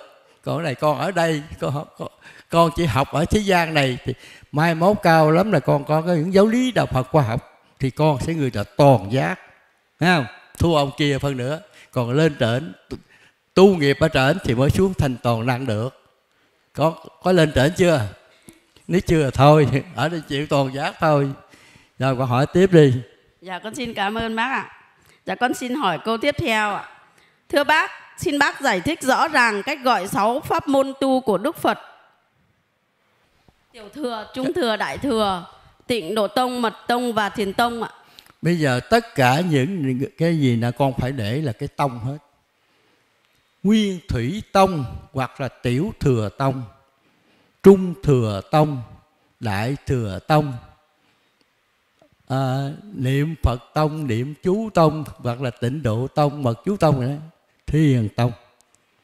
Nếu mà gửi đủ đâu thì bắt buộc có chữ tông là cái dòng của nó đó. Chữ tông là cái dòng. Tiểu thừa tông là cái tông của tiểu thừa. Thấy không? Trung thừa đại thừa niệm phật niệm chú. Cái nào nó cũng phải có cái tông riêng. Chữ tông này nó muốn xác nhận được cái tông này thì phải kèm theo quyển giáo lý mới gọi là cái tông được. Còn nếu không có quyển giáo lý thì cái tông không thể hình thành được. À, phải hiểu cho rõ như vậy. Rồi con hỏi tiếp đi. Dạ còn cái ý nữa là xin bác giải thích cho cái chữ thừa của trong ba pháp môn đầu và cái chữ tông của ba pháp môn cuối ạ. chữ thừa là pháp môn. Chữ thừa nó thế là pháp môn. Chữ thừa là nói cái, cái bây giờ người ta truyền thừa là gì? Truyền cái pháp môn. Thấy không? Chữ thừa là chữ pháp môn. Thì vì thế mà người ta không biết là truyền thừa hỏi truyền thừa cái gì? Truyền thừa tiểu thừa tông. Và là truyền thừa thiền tông. Cái con phải hiểu hết cái chữ thừa là chữ chữ cái pháp môn thôi. Rồi con hỏi tiếp đi. Dạ với còn chữ tông ạ. thì cái tông là cái dòng. Tiểu cái, cái cái cái tông là chữ dòng còn chữ thừa là cái pháp môn. Thấy không? Bởi vậy đó là đại thừa tông. Rồi à, tiểu thừa tông trung thừa tông đại thừa tông nó chữ thừa chữ tạ- chữ thừa là pháp môn còn chữ tông là là cái dòng của nó rồi câu hỏi tiếp đi Dạ, con xin hỏi câu tiếp theo ạ. Dạ thưa bác, giáo lý của năm pháp môn vật lý của Đức Phật đã xuất hiện đầy đủ trên thế gian chưa? Và có cách nào để lấy ra để giới thiệu giúp cho chính phủ, cho giáo hội, uh, giúp cho Phật tử biết để có cơ sở quản lý tu tập cho đúng không ạ? Cái thời buổi này lấy ờ, mấy pháp môn dễ nhận cồn mà. Tại ta không lấy. Bây giờ nói cho con nghe ngày xưa ông Phật đâu có đâu có bằng tiến sĩ đâu phải không? Mà ông ông viết là được. Ông Phật hồi đó cao đâu đại học thôi. Bây giờ tiến sĩ hằng hà thì tại sao không viết được? Dễ ợt như cô còn muốn bác viết á hợp đồng với bác đi bác, bác viết cho. Thấy không? Một quyển á thì một quyển là tính bằng ờ, đô Mỹ chừng khoảng ờ, 10 triệu thôi tính rẻ thôi.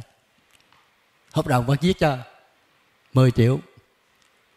Mà tính tiền Mỹ à chứ không có tính tiền Việt Nam. Ai, ai bỏ đi hợp đồng rồi tôi viết rồi ba tháng tôi sẽ cung cấp cho một quyển. Rồi hỏi tiếp đi. Dạ con xin hỏi câu tiếp theo ạ. Dạ thưa bác trong bốn câu cốt tủy của Thiền Tông bất lập văn tự, giáo ngoại biệt truyền, trực chỉ chân tánh, kiến tánh thành Phật. Bác đã dạy người nào tu Thiền Tông phải thực hiện thành công ba điều kiện thì mới trở về được Phật giới đó là quyết tâm mãnh liệt muốn về Phật giới, phải tạo được nhiều công đức trong sáng, phải hiểu và thuộc lòng công thức đường về Phật giới. Vậy con xin hỏi, hỏi bác, ngoài ba điều kiện trên thì người tu thiền tông có cần phải tu tập để đạt được kiến tánh thành Phật không ạ? Kiến tánh phần Phật ở, ở đây á, không ai kiến tánh đâu. Kiến tánh thành Phật là nói cái danh từ cho biết thì thôi. Là cái danh từ này á, là để phó chúc một vị Phật phó chúc cho một người Phật, người đầu tiên để dẫn cái ngạch nguồn thiền thông này. Cái câu từ này chỉ sử dụng cho có một người thôi. Còn mình bây giờ thôi chịu khó. Làm đủ công thức về chứ không có cần kiến tánh gì trời đó. Kiến tánh gì? Hồi xưa thí dụ mình à, mình nhắm con mắt mình thấy không thấy cái đường đi. Đó giờ bây giờ thiền tông nó ra là nó chỉ con đường đi rồi mà cần gì mở mắt nữa rồi tôi đi tôi, tôi mò theo ông á. Không? Tôi mò theo ông á. Tôi có cây gậy rồi tôi mò theo ông rồi chắc chắn không cần. Kiến tánh là chữ kiến tánh này thì duy nhất chỉ để cho cái mấy ông tổ thôi. Mà cái ông tổ thứ nhất thì phải hoàn toàn phải nhận được cái này. Dưới sự chứng kiến của ông Phật thì ông mới được là trưởng cái gò lộ thứ nhất. Thì tổ thứ nhất nó theo cái công thức này mà nó truyền cho tới tổ 36 đời tổ sau. Duy nhất còn của mình ở đây thì giờ học công thức về. Biết tạo công đức, học công thức về nhiều vậy thôi, đừng có tham vọng nhiều. Tham vọng nhiều mình không muốn tham vọng nhiều, phải ở lại ở lại đợi Phật sau để mà để mà lãnh đạo cho cái dòng tiền sau. Thôi giờ lo chạy về đi trở lại sau rồi mai mốt ham mê cái đi luân hồi nữa, chết rồi. Hỡi hỡi biết được ra để trở lại nữa là rồi, câu hỏi tiếp đi. Dạ con xin hỏi câu tiếp theo ạ. Dạ thưa bác, sự xuất hiện của thiền tông Việt Nam gắn liền lịch sử tên rồng của Việt Nam như là nước rồng gắn liền với Việt Nam, đất rồng thì gắn liền với Long An, còn long nữ thì gắn liền với Hùng Thúy Loan, thiền sư Ni Đức Thảo con hỏi bác đây là cơ duyên của đất Việt hay là do sự sắp đặt của chư Phật? Bây giờ con đã nhớ một cái điều ấy. Khi mà trái đất này nó hủy diệt rồi Thì các nước rất biết mất hết Thấy không? Rồi sau đó lần lần lần lần á, Thì nó cũng thành lập y mấy nước y vậy hả Giống như cái bong bóng 100 bóng này Nó xẹp hết không biết cái bong bóng nào của nó nhưng mà khi nó thổi ra thì bong bóng nào nó trở về bong bóng đấy. Có nghĩa là khi mà bất cứ trên thế giới này, nước nào nó xẹp đi rồi, nó mất nhưng mà sau đùng nó cũng trở lại cái nước đó. Thấy không? Cái gốc rễ nó cũng vậy thôi. Dòng thiền tông nó cũng đi theo công thức này. Có nghĩa là đời nào cũng vậy. Cái trái đất này còn một triệu ông phật ra đời phải công bố tại đất rồng, công bố tại nước vô cấu chứ không có đi đường nước khác nữa. Tổ chức của nó là đông tây nam bắc nó y vậy thôi nó không có khác. Thấy không? Chừng nào đổi trái đất khác sẽ tin. Bây giờ trái đất này một triệu lần nó cũng đến nước rồng đó, nó phổ biến ra có vậy thôi. Rồi câu hỏi tiếp đi. Dạ con xin hỏi bác cái ý thêm của cái câu này là ờ, đức phật có nhờ các vị thần đặt tên nước là như vậy không ạ? Cái này là không phải chỉ thần đạt. Nhưng mà cái này là thí dụ chẳng như ngày xưa của mình là ông à, ông kinh dương dương phải không? Đặt nước xích quỷ. Sau là lạc long quân đặt nước là nước văn la. Thì nhưng mà không biết ông ông suy nghĩ sao nhưng mà tới phiên đó thế ông thì ông đặt ông nói vậy thôi.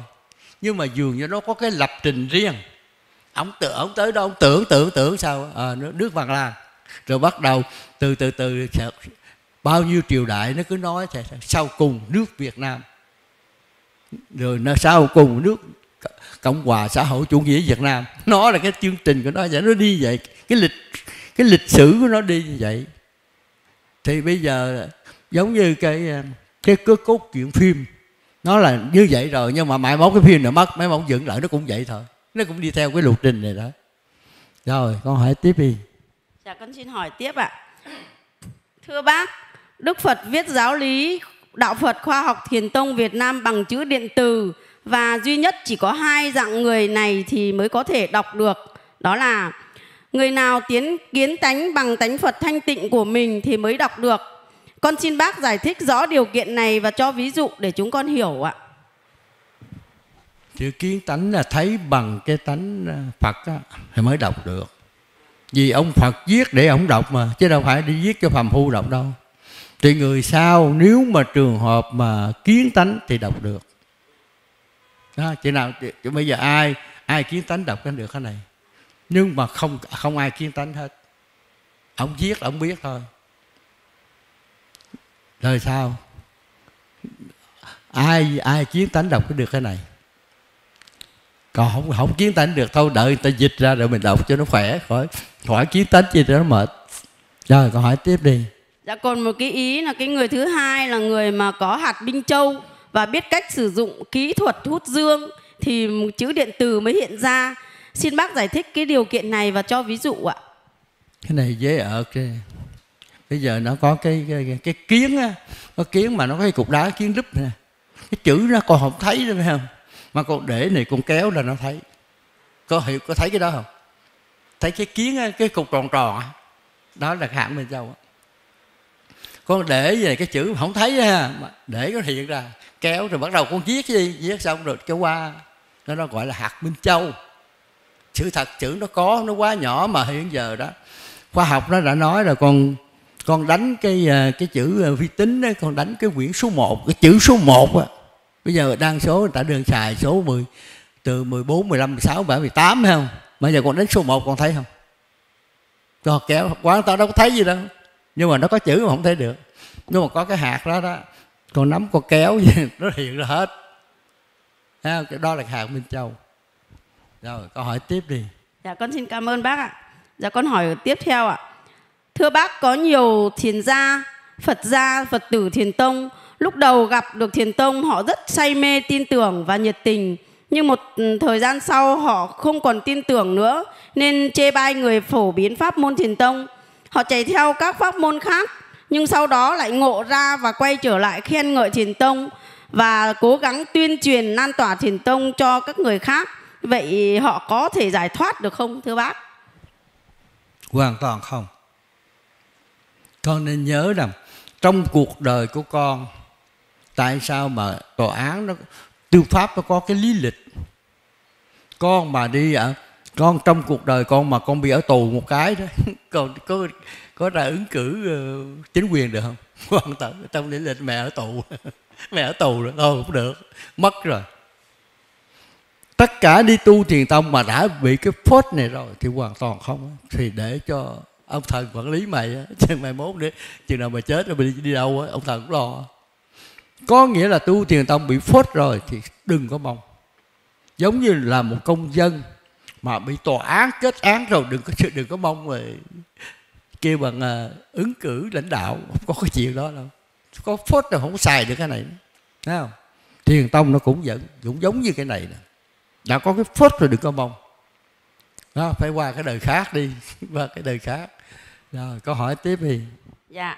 Dạ con xin hỏi tiếp theo ạ thưa bác, ban bệ trời tứ thiên vương dùng các loại hành tinh vật tư trong vũ trụ cho chui vào lỗ đen vũ trụ theo thứ lớp để trở thành trái đất. Trong các loại hành tinh vật tư đó, có hành tinh điện từ âm dương và hành tinh đất nhân quả. Con xin bác giải thích rõ về hai hành tinh này ạ. Ở trong không gian này nè, cái hành tinh điện từ âm dương thì cái nó nó cũng màu tròn, nó cũng đang cuốn hút điện từ âm dương thôi. Mà nó nó giống như trái đất mình ờ, nó quay cuốn hút được là nó nhờ tứ đại nó mới hút. Tứ đại rồi ờ, trong nó này đất nước gió lửa nó hút. Còn nếu mà nó không có đất nước gió lửa thì nó hút riêng mình đó thôi. Cũng như bây giờ ví dụ cái ờ, cái cái bão đi, nó đang bão ở ngoài ngoài biển phải không? Nó đâu có gì, nó chỉ chạm nước, nó hút nước thôi. Nó hút gió thôi. Nó vô đất liền, nó cây cỏ qua lá nó kéo hết nó là vậy. Thành ra cái cái điện từ âm dương nó đưa vô trong cái cái lỗ đen vũ trụ là cái nơi mà của người ta làm cái máy gọi là cái máy cuốn hút vật lý đó. cái máy vũ trụ lỗ đen vũ trụ là cuốn máy hút vật lý. Đưa cái điện vô từ vô nó cũng hút theo đó. Rồi mới đưa cái hành tinh lửa vô nó hút theo cái đó. Rồi nó lượt từng tự từng tự nó đưa tứ đại vô nữa thì nó hút nó thành một cái cái, cái quả đi cầu. Đó có. Đất nhân quả. Vì cái đi cái nhân quả này trong đó nó chưa có nó đi ra ngoài. Nó phải theo cái quy lực cái quy lực kêu bằng uh, nhân quả. Cái đất nhân quả này là cái đất này trồng cái gì lên cái đấy mình sống ở đây mình sống đây ăn cái này thì mới mới lớn được. Chứ nếu mà không không có cái đất nhân quả mình mình sống ở đây mình không có đất nhân quả mình không không sống được. Không có đất nhân quả là có gì đâu con ăn con ăn trái nó lên, ăn thịt con này kia nó lên, gọi là đất nhân quả nó đi theo cái chu kỳ của nó đất nhân quả là cái đất này nó sản sinh rồi nó kết quả, gọi là nhân quả rồi, câu hỏi tiếp đi Dạ. Con xin hỏi thêm là các vị thần thì bay cao và kiểm soát được trong vùng cách trái đất 10 km. Nhưng mà làm sao thần có thể ném các trung ấm thân đi rất xa lên các cõi trời vô sắc, cõi trời hữu sắc và cõi trời dục giới được? Có lực lượng nào để trợ giúp cho các vị thần thực hiện nhiệm vụ này không ạ? con thấy con người à, có một thước máy thôi. Tại sao ta phóng phi thuyền lên tới tới hành tinh khác? Vì sao nó phóng được? Thì cái cái cái cái cách người ta muốn điều khiển thì nắm ở trung ấm thân tao quan nhưng mà xin lỗi bây giờ con suy nghĩ nè. Con lấy cục đá đó mà con con quăng nó không được về xa thôi nhưng mà bây giờ mấy đứa nhỏ đó nó làm con diều giấy á nó quăng một cái đi bao xa. Nó lượn theo nó đi. Còn cái này nó bằng điện từ nó nắm bằng điện từ nó nó quay theo cái chiều vật lý chiều chiều chiều, chiều dương của học lý nó mới đẩy tới cái chỗ đó. Kêu bằng nói là nó nhẹ thôi chứ sự thật cái là nó thuộc về nó nó, nó sử dụng cái cái công thức hút dương của cái khúc dương của vật lý nó đẩy đi. Bởi vậy cũng như là tam giới này cuốn hút âm dương á nó đi vô thì nó có đường đường điện từ dương thôi đi từ đó kéo xuống này rồi điện từ âm nó phi theo cái đó. Người ta người ta kêu bằng thần á, thì nó có học cái công thức này. Giống như con làm kỹ sư con có học cái công thức con mới xây cái nhà được. Thấy không? Cái này mình con không so sánh được. Ta chuyên nghiệp rồi mấy ông thần mà thực thi nhân quả là thần chuyên nghiệp đâu có với uh, bao nhiêu cây số nhầm gì nó, đâu phải nó quay bằng nó quăng bằng vật chất rồi nó quăng bằng điện từ mà. Bây giờ con suy nghĩ nè ở đây mình đánh một cái tống một cái bon mà cái bên, bên bên bên châu Âu bên châu Mỹ nó nghe được hay sao? Nó đi theo cái cái cái làn sóng âm của điện cái thế giới vật lý này nó không có điện á thí dụ nó đi bằng cái bình thường á ví dụ còn gõ cái trống á thì một giây cách cách khoảng 10 cây số nó nghe còn nếu mà đây còn gõ trống mà nó có lực đẩy của điện từ à, nó có cái máy gọi là cái máy phát đó nó trong vòng à, một phần trăm giây nó đi tới một, một triệu cây số rồi chứ không phải nhỏ đâu. Đó, con phải hiểu cái công thức này. Khoa học vật lý phát triển rồi con mới hiểu được còn nếu khoa học vật lý chưa phát triển con không hiểu được cái này đâu. Vì thế mà giữa à, con nói chuyện có điện thoại bây giờ thí dụ à, con có người quen ở bên pháp hai người nói chuyện nhau bằng điện thoại hình chứ. Kia kia mở miệng thì nói con nghe liền hai người dường như kế bên chứ sự thật mà nó xa, xa hàng mấy chục ngàn cái số chứ được đâu thấy không? Mà nó đi giống như hai người ngồi kế bên. Còn đối với ông thần thực thi nhân quả dễ ở. Cái nghề của người ta mà. Rồi con hỏi tiếp đi. Dạ. Thưa bác con xin hỏi câu tiếp theo.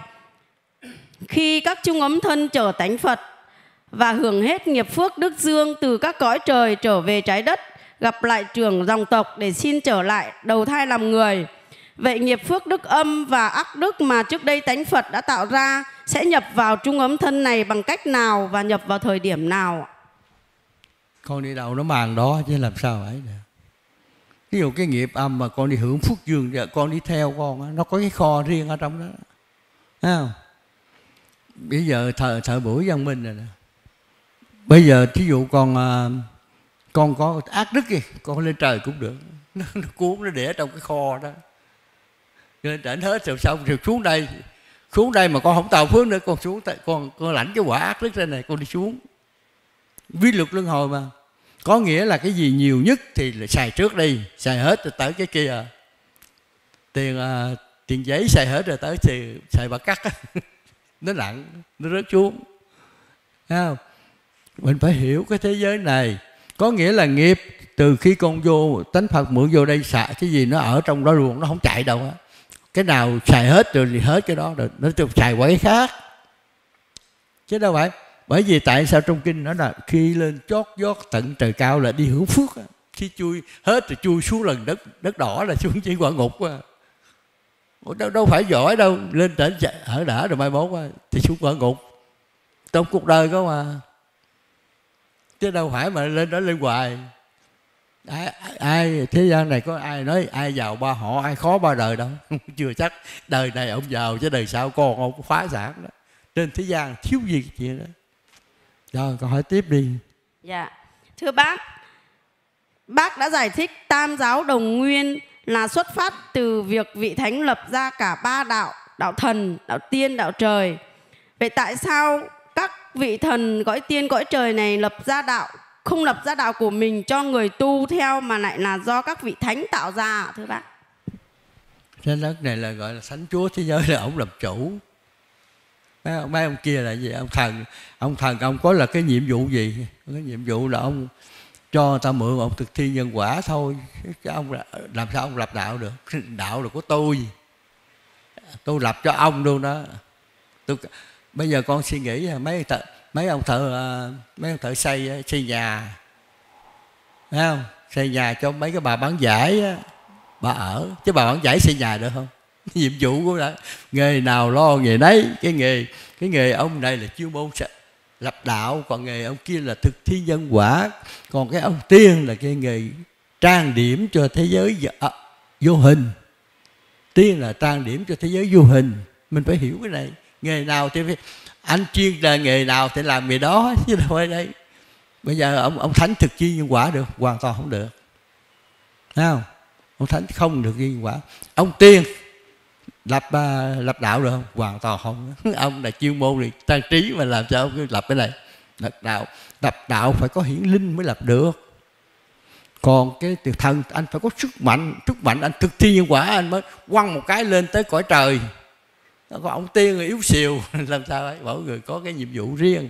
Người, mỗi người ta có cái cái kỹ thuật riêng. Học nghề nào theo người đấy trong ba nghề. Do một người làm thôi. Rồi câu hỏi tiếp đi. Dạ con xin hỏi tiếp ạ.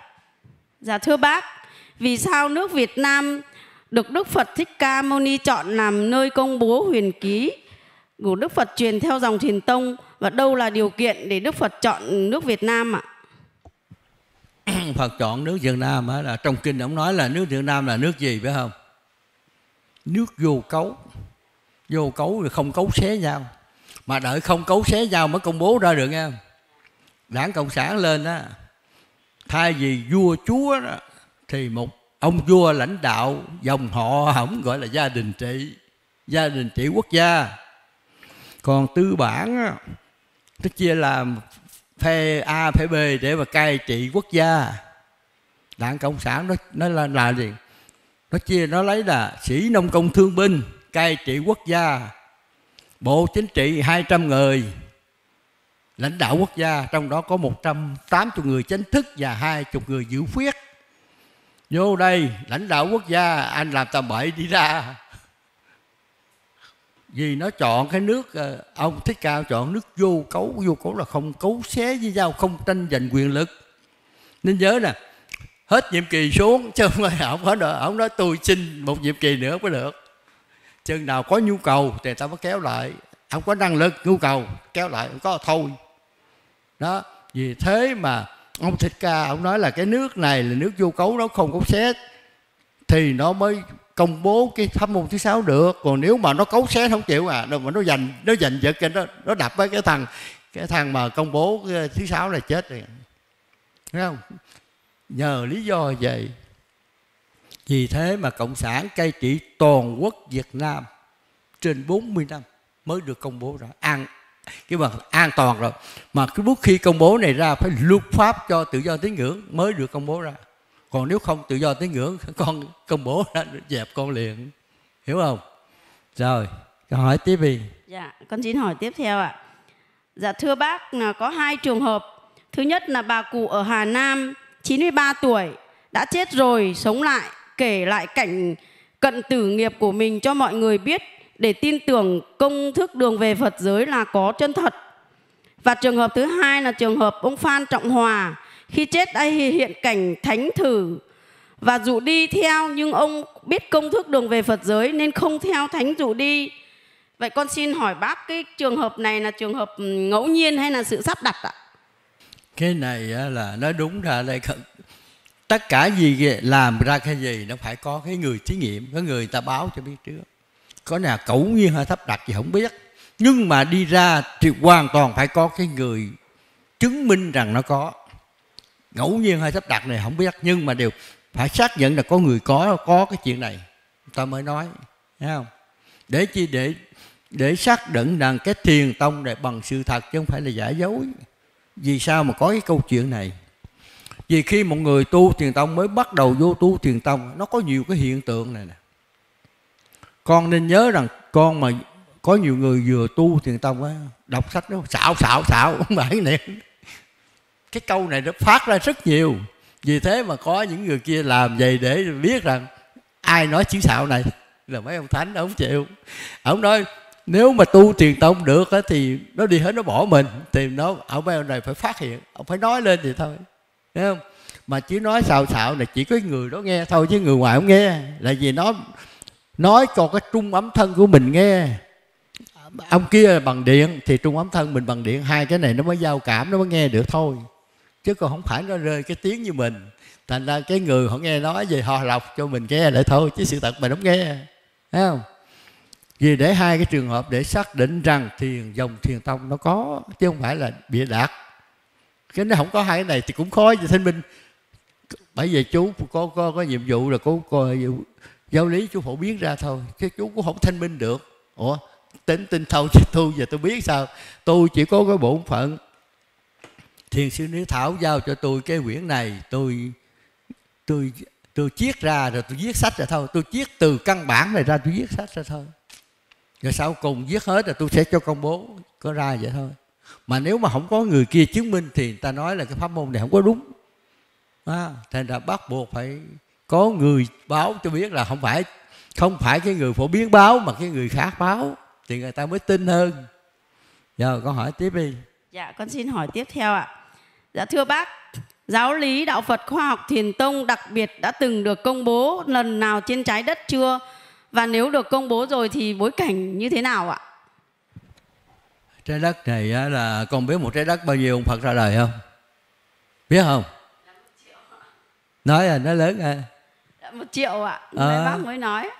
thì bây giờ bây giờ ông thích ca này là bao nhiêu người? Bảy ngàn bảy ngàn năm trăm người rồi. Ông là người thứ bảy ngàn năm trăm. Có nghĩa là công bố đã bảy ngàn mấy trăm lần rồi đó. Chứ đâu phải đây. Nó nguyên tắc nó nói vậy. Thì ông nào thì cũng tới cái trái đất này là ông nào cũng tới nước rồng. Còn tới đất sau thì tính. Trái đất sau sẽ tính lại là nước gì không biết. Nhưng mà thì đời này trái đất Nam Diêm Phù Đề cái thế hệ này thì phải là công bố tại nước vô cấu có vậy thôi rồi con hỏi con hỏi tiếp đi Con xin hỏi tiếp ạ. Thưa bác, nhiều người thầy khi quyết định xuất gia đi tu mong muốn được giác ngộ giải thoát nhưng do thiền tông chưa xuất hiện nên các thầy đi bị lạc tu theo cái tưởng, cái mê, cái tham của mình. Bây giờ thiền tông xuất hiện có một số thầy tỉnh ngộ. Nếu các thầy muốn được tu giải thoát thì các thầy này phải làm sao? Ờ, có phải là để lại tóc để tu theo ờ, công thức thiền tông như lai đã dạy rồi không ạ? Cái cái tu thiền tông này là không phải là để tóc mới giải thoát được. Cái là anh làm gì cũng được, nhưng mà làm cho đúng. Tạo công đức. Anh tu cũng được mà anh tạo công đức. Rồi anh ờ, học cái công thức. Anh biết đường về Phật giới là là xong, có vậy thôi còn cái chuyện mà để tóc hay này kia không không nên không nên quay lại. Cứ tu đi tu ờ, chính cái người tu mà thiền tông á, mà tu mà cạo đầu á, độ còn nhiều hơn cái cái ông để tóc nữa. Là sao người ta tin tưởng mấy ông này? Bây giờ ông đó là ví dụ ông tu mà giờ ông có một trăm phật tử thì ông tu thiền tông một trăm đi theo là sao? Xin lỗi bao nhiêu đó ông đủ về phật giới rồi đó. Chỉ chỉ cần 10 người trong 100 này thôi cũng về Phật giới được nữa. Tôi mới làm khi phải phải bỏ bỏ bỏ cái cái đệ tử mình. Mình giải cho nó nó hiểu được thì mình về nó nó về thua chính cái người mà để tóc tu truyền tông, dễ đạt đạo hơn cái người có tóc. Nói cho con biết. Nhưng mà sở dĩ cái người để tóc không chịu công bố được là sao? Là vì nếu công bố cái này thì cái người tu không chịu nổi vì thế mà để cho người có tóc công bố sau cùng cái người có tóc không có tóc tu nó dễ hơn. Rồi con hỏi tiếp đi. Dạ con xin hỏi tiếp ạ. Có trường hợp nào để mà tánh Phật bị vĩnh viễn không trở về Phật giới được không ạ? Có dễ ợt. Chui xuống hầm lửa lớn một cái kể là hết vĩnh viễn luôn một cái một thôi nên nhớ là chui xuống hầm lửa lớn một cái thôi. Một trăm trái đất cũng chưa chắc đã đã về được. Có thể là dính viễn luôn đó. Chứ không phải đơn giản đâu. Bởi vì vì thế mà bây giờ cái thiền tông nó chuẩn bị, nó nó thông báo, nó khuyên người ta đừng có tu cái thiền tông này. Muốn tu phải đàng hoàng, không đàng hoàng đừng tu. Chỉ còn xuống hầm lửa lớn một cái thôi, đừng có đừng có mong về. Nên nhớ một cái câu đó rồi đây sẽ thấy. Có nghĩa là cái thiền tông này tu rất nguy hiểm đi đặc biệt nguy hiểm chứ không phải nguy hiểm thường đâu. Đừng có tu nếu tu được thì tu không được thì thôi. Vô đây mà phá mà cái xuống hầm lửa lớn ông phật chửi. Ông phật nói là chửi ổng xuống 10 hầm lửa cái địa ngục có có 18 năm 18 ngàn năm thôi. Còn lên còn bò còn bò lên 18 ngàn, ngàn cái cái nấc thang lên còn này ông xuống không có thang thang nào trời chừng nào bể mới chạy ra nữa. Chạy ra mà nếu mà xuống hầm lửa lớn rồi phải đi qua trái đất khác. Vừa xong rồi thần thực thi nhân quả nó ô mày ở mày ở hầm lửa lớn lên rồi ném mà trả lời tiếp. Lên rồi lên chộp mò mò mà gặp ông ông thần thực thi nhân quả. Ông thấy, thấy cái mặt này mẹ này cái mặt đỏ tươi nè cái mặt này ở hầm lửa lớn này đẩy để tiếp một cái nữa là 10 tỷ năm cái mẫu linh được gặp, thấy cái mặt đỏ rồi mày ở hầm lửa lớn lên, phải không?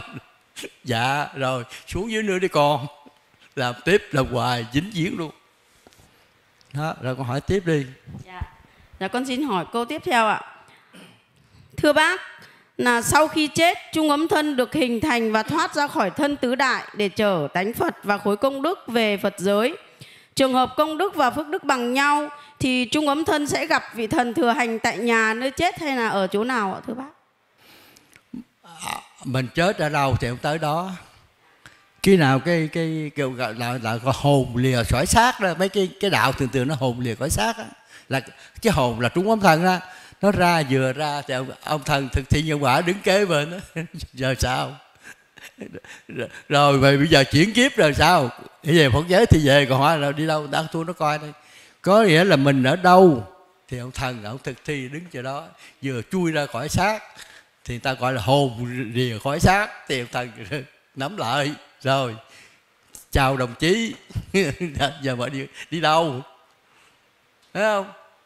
Thì mình ở đâu mình chết ở đâu? Chết ở dưới biển không? Còn xuống biển không? Kiếm mồi mòi lên.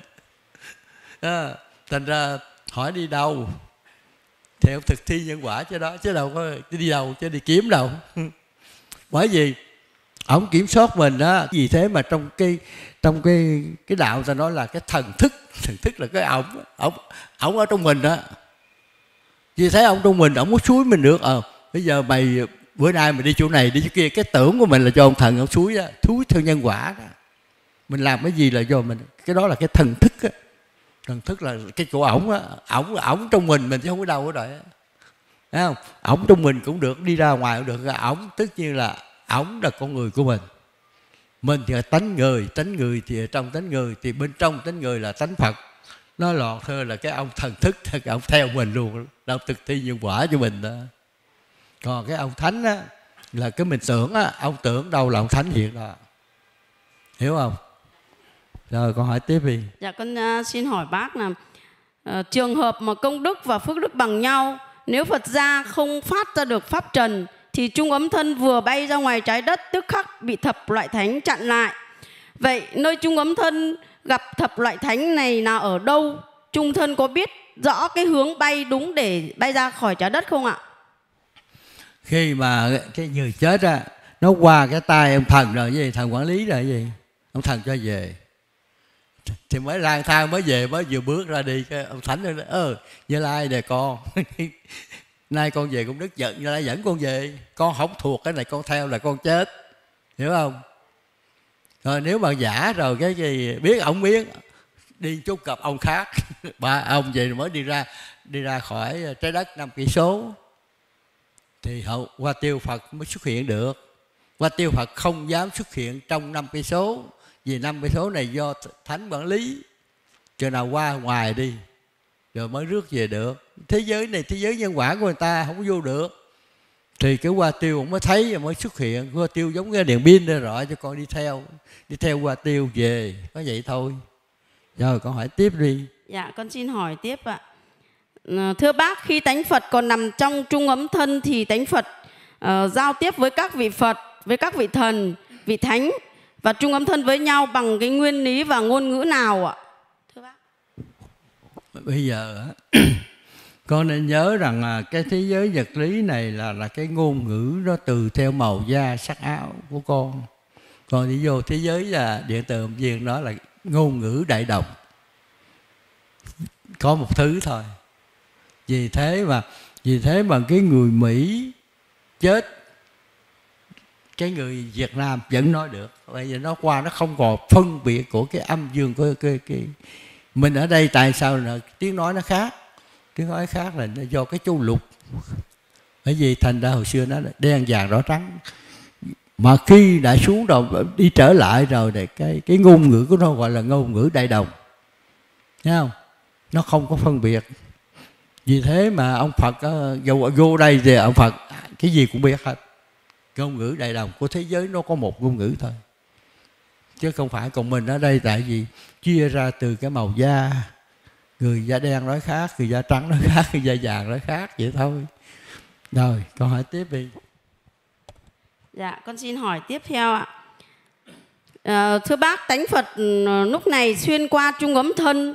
Vậy thì thấy nghe nói biết của tánh phật có bị sai không ạ? Bây giờ con suy nghĩ à bây giờ con đứng đây con nói đó ha thì nếu đừng có cái gì nó cản á, thì con nói cái tiếng nó đúng y như cái lúc mà con nói. Bây giờ nó phải xuyên qua 16 thứ lớp của cái cái âm thanh còn đi ra cái cái cái người nghe có còn đúng cái tiếng nói của con hoàn toàn không đúng. Nó phải xuyên qua 16 thứ. Mà khi mà cái mười, khi mà con mất rồi cái mười thứ thấu cái tánh người nó mất ra thì nó trở lại cái cái cái, cái gốc cái tiếng tiếng nói gốc. Đó. Thành ra cái nói tiếng nào được nhưng mà nói cái tiếng gốc. Vì thế mà vì thế mà kinh nó phải ví, ví dụ vậy nè.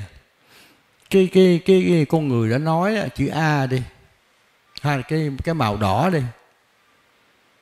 Thì ta đọc cái chữ a ở ngoài ở ờ, ở ở mỹ nó là chữ gì? Chữ e. À, nó đâu có nói chữ a còn cái màu đỏ đó mình là màu đỏ trung quốc nó màu hồng. Còn à, tây nó màu, màu ru rồi. Còn mỹ là red. Nó cũng là cái màu đỏ nó phát riêng nhưng mà khi nó bỏ cái thân này ra thì nó trở lại thì nó nó chỉ diễn tả cái màu đỏ thôi. Ai cũng có đỏ chứ không có nó ru red ru gì hồng gì hết trơn có hiểu không? Rồi con hỏi tiếp đi. Dạ. Thưa bác người tu theo pháp môn thiền tông không có đủ điều kiện để lập bàn thờ thiền tông hay là tránh điện thiền tông nhưng họ quyết tâm tu tập và học thuộc công thức thì họ có thể trở về được Phật giới không ạ? Không cần bàn thờ ra gốc cây, ra gốc cây cũng được. Vô nhà lá cũng được. Có nghĩa là con có công đức con đường về Phật giới là con về. Chứ bàn thờ là chỉ thế gian thôi, chứ thờ chi. Ông Phật đâu có đầy thờ nhưng mà đây mình thờ để cho mình nói là với người xung quanh mình giúp người xung quanh thôi cho nó nó có cái nghi lễ của người thế gian thôi. Thế về phật giới đâu có xài cái này thấy không? Bởi vì hồi tại sao hồi xưa ông phật đó là dưới gốc cây liều lá đơn sơ mà ông tu cũng ở đó có cây liều lá chứ có ở nhà lầu như mình đâu. Ha mình đừng có đừng có quan niệm đó. Có nghĩa là mình ở, ở ao tuôn biết mà tôi có công đức tôi biết đường về Phật giới là tôi về được có vậy thôi. Rồi con hỏi tiếp đi. Dạ con xin hỏi câu tiếp theo ạ. Thưa bác theo cách phân chia của các nhà khoa học hiện nay thì cấu trúc khí quyển của trái đất chia ra các tầng lớp đặc trưng như sau. Tầng đối lưu cách trái đất 10 km bình lưu cách trái đất 40 km, trung gian cách trái đất 50 km, điện ni cách trái đất 300 km, khí quyển cách trái đất 420 km. Vậy con xin hỏi bác một số ý như sau. Ý thứ nhất, các tầng khí quyển này có ý nghĩa gì trong đạo Phật khoa học thiền tông không thưa bác? Đạo Phật khoa học thiền tông thì nó giải thích như thế này, cái tầng mà đối lưu mạnh gọi là sức hút vật lý mạnh để thì từ trái đất nó lên à, nó lên à, tám cái số để chi? Để cho cái sức hút vật lý cho mạnh để nó sinh sản. Nó biến hóa. Từ con vi trùng mà nó phải biến hóa là ở trong cái thế gian này nè, nó biến hóa đơn bầu nó nó có biến hóa liên tục liên tục, nó phải nằm trong cái thứ sức đối lưu mạnh này vì thế mà tất cả những con vi trùng mà đem lên cái từng ngoại, đừng cái đối lưu nhẹ đó nó không sinh ra sanh sản được. Đó, người ta, các nhà khoa học nó thí nghiệm vậy đó rồi cái tầng mà đối lưu nhẹ thì nó từ uh, nó từ 10, 10, 10 11 cái số trở lên thì cái sức hút nó yếu hơn để chi để nó dùng cho những cái người gọi người ta đi du hành không gian đó. nó để nó sắp xếp cho mấy người không du hành không gian phải đi vô trong cái tầng đó, đó. chứ không phải là ở chỗ đúng mạnh du hành không gian không được nó, nó đi chậm lắm rồi ra ngoài đó thì ra tầng thứ ba nữa gọi là tầng bình lưu, là có không khí nhưng mà không khí giao, không dao động. Nó bình thường, giống như giống như cái biển không sống á à. để chi? Để những người mà các vị thánh ở đó đó, chứ thứ chư Phật mà vô đó ở, nó không có đói bụng, nó không có bị ma sát của vật lý, nó không có cảm thấy đói. Để chi? Ngồi đó để chi? Rước thánh Phật đi về Phật giới thì phải ngồi ở trong bình lưu mới đi về được. Nói đúng ra cái tầng bình lưu là để cho chư Phật ngữ rồi một cái ra một cái bài gọi là từng từng từng à, từng lạnh đó từng âm lạnh. Nó âm, nó lạnh tới bảy mươi mấy độ cái không khí còn chịu không nổi đâu. Rồi rồi nó ra một cái bài gọi là tầng khí nhiệt nữa à, sao nó sức nóng sức nóng để nó sức nóng bao nhiêu mà ánh sáng mặt trời nó vô nó bị giữ ở đó hết. Giữ đó rồi ở dưới đó thì nó có cái cái tầng ozone để nó cản cái sức nóng là cái tia cực tím của cái cái mặt trời xuống. Đây là cái tổ chức của cái trái đất. Mà thiền tông đã giải thích như vậy. Còn khoa học nó giải thích nó hơi khác chút. Nhưng mà nó không nó không ngoài cái quy luật này. Còn cây số á, thì cái cái tầng mà cái cái thiền tông nó giải thích khác một chút. Còn cái mà cây số mà của cái khoa học nó giải thích khác một chút. Nhưng mà không biết ngày xưa đó ông Phật ông tính bằng cái gì? Mà ông tính ông nói là cái trái đường cái bán kính của cái tam giới này là 5 tỷ cây, cây số. Bán kính thôi. Còn cái đường kính là một 10 tỷ 10 tỷ cây số. Rồi nó chia ra là 5 năm vòng. Một vòng là một tỷ cây số đó con nên nhớ được vì thế mà cái bầu hoàng đạo một là từ trái đất mỹ lên nó là một tỷ cái số. Nói con thế chi con có hình dung nổi không?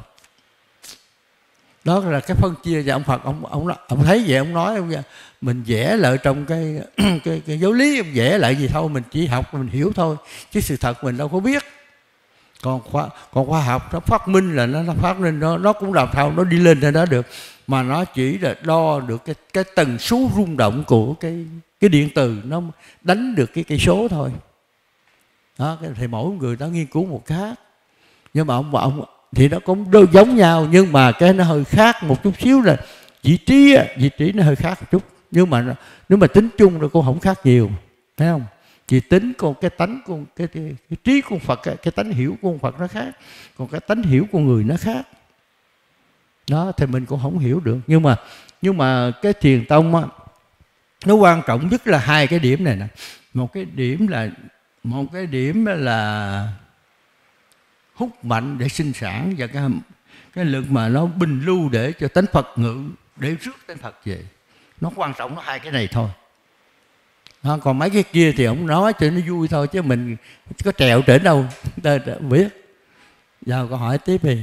Vậy thì các ý trước, các ý sau con cũng hỏi, định hỏi nhưng mà bác giải thích rồi. Còn cái ý này này là con xin hỏi, trung tâm vận hành luân hồi tam giới cách trái đất bao nhiêu km? Thưa bác. nó đã câu hỏi cái tầm vậy. Bây giờ cái trung tâm vận hành đó là đi đi chiều xuống vậy nè. Còn cái đất nó quay ở trong cái tam giới á, nó quay 365 ngày nó mới quay ngang cái trung tâm vận hành luân hồi chứ không phải cách. Thấy không? Cứ 365 ngày nó sẽ đi tới một 365 ngày nó đi tới bầu nam. 365 ngày nó đi tới đầu bắc. Đầu bắc để hút vô. Đầu nam đẩy ra. Cứ vậy ra cứ năm hút vô năm đẩy ra năm hút vô năm đẩy ra. À, thì đâu có vụ cách. Làm sao biết cách? Nó là ba trăm sáu ngày nó nó đi ngang cái cái cái đó để chi nó nó che. Nó che được cái à, nó che được cái ánh sáng của mặt trời á thì nó mới thì nó thì nó mới cho mấy cái mấy cái tánh Phật vô rồi nó che ánh sáng mặt trời để cho tánh Phật đi ra nó có cái nhiệm vụ vậy thôi rồi câu hỏi tiếp đi Dạ thưa bác câu hỏi của Thiền Tông Thích Mê Ninh thì hết rồi nhưng con có một câu hỏi riêng con xin hỏi bác. Vậy bác giải thích cho con bề chìm của Thiền Tông à, ạ. Cái, cái bể chìm hả? Bề chìm, bề chìm á. Bề nổi thì biết à, rồi. Bề, bề nổi chìm. rồi bề chìm hả? Nó nằm ở trong cái à, cái giáo lý đó. Mai mốt con có giáo lý con đọc con biết cái chìm đó. Có nghĩa là nổi bác giải thích rồi Còn cái chìm bác không giải thích bác Không dám. Một nguyên tắc mình nói ra cái gì Thì nói có sách bách có chứng. Chừng nào sách giáo lý ra thì bác mới được quyền nói cái này.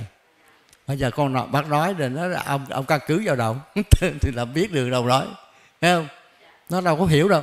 Mà nếu mà khi nào bác nói cái bề chim thì tôi đây là cái cái sách này xuất bản nè tôi nói được nói có sách mới có chứng không ai nói gì mình còn mình nói mình nói mình nói vậy đó ông nói xạo không được thấy không rồi cảm ơn con đã hỏi không Dạ con xin cảm ơn bác ạ. Con xin chúc bác sức khỏe nhiều để tiếp tục giải đáp để chúng con được hiểu rõ ạ. Con rồi, xin hết ạ. rồi cảm ơn con hỏi À, con là Nông Thị Nguyệt ngụ ở 42 bis Lý Tự Trọng, phường Bến Nghé, quận 1, thành phố Hồ Chí Minh.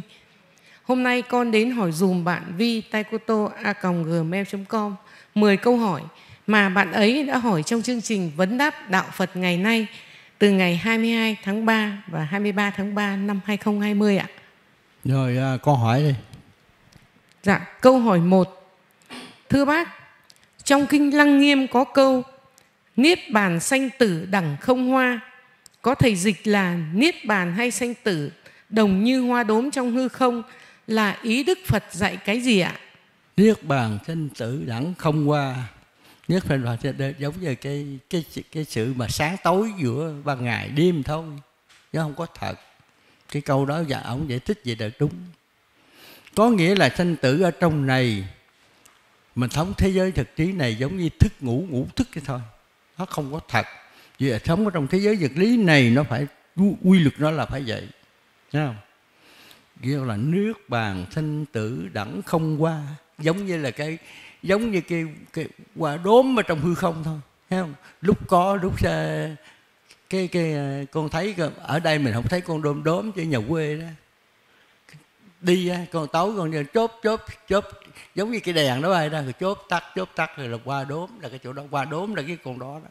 thành ra trong học trò nó coi nó nó coi là cái đòn gì? Đom đốm nó gọi là đom đốm đó ông Phật gọi là qua đốm, đó là đôm đốm. Của cái cái con đa- đôm đốm.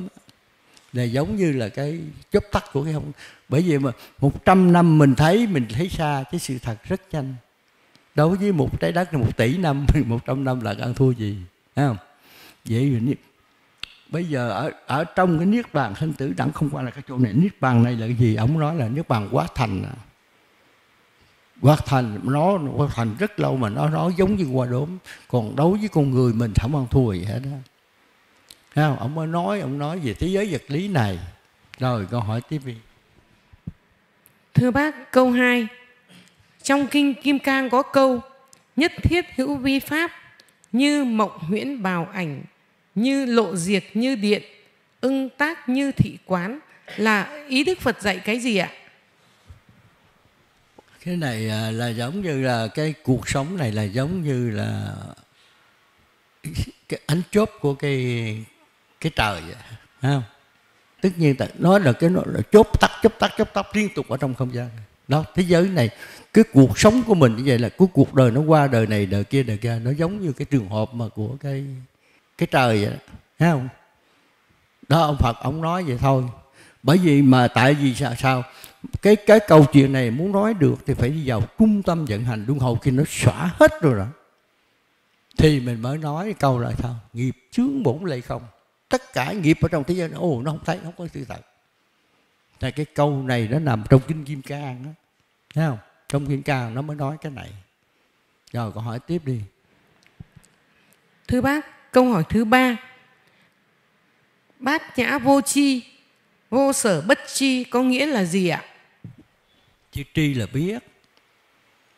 Chữ biết ở thế gian này á, nó nó không có chính xác được. Thấy không? Chữ sở là cái cái nơi mà vô sở là không có cái nơi rõ ràng ở do trong thế giới này đó. Nói về cái tri của cái cái thế giới này nó không có sự thật nó không đúng. Thấy không? gọi là vô sở bất tri. Cái thế giới này dù có biết cái gì cũng là không không đúng sự thật ý ông Phật muốn nói chỗ này nè. Bởi vì cái thế giới này là cái thế giới luân chuyển, có không không có.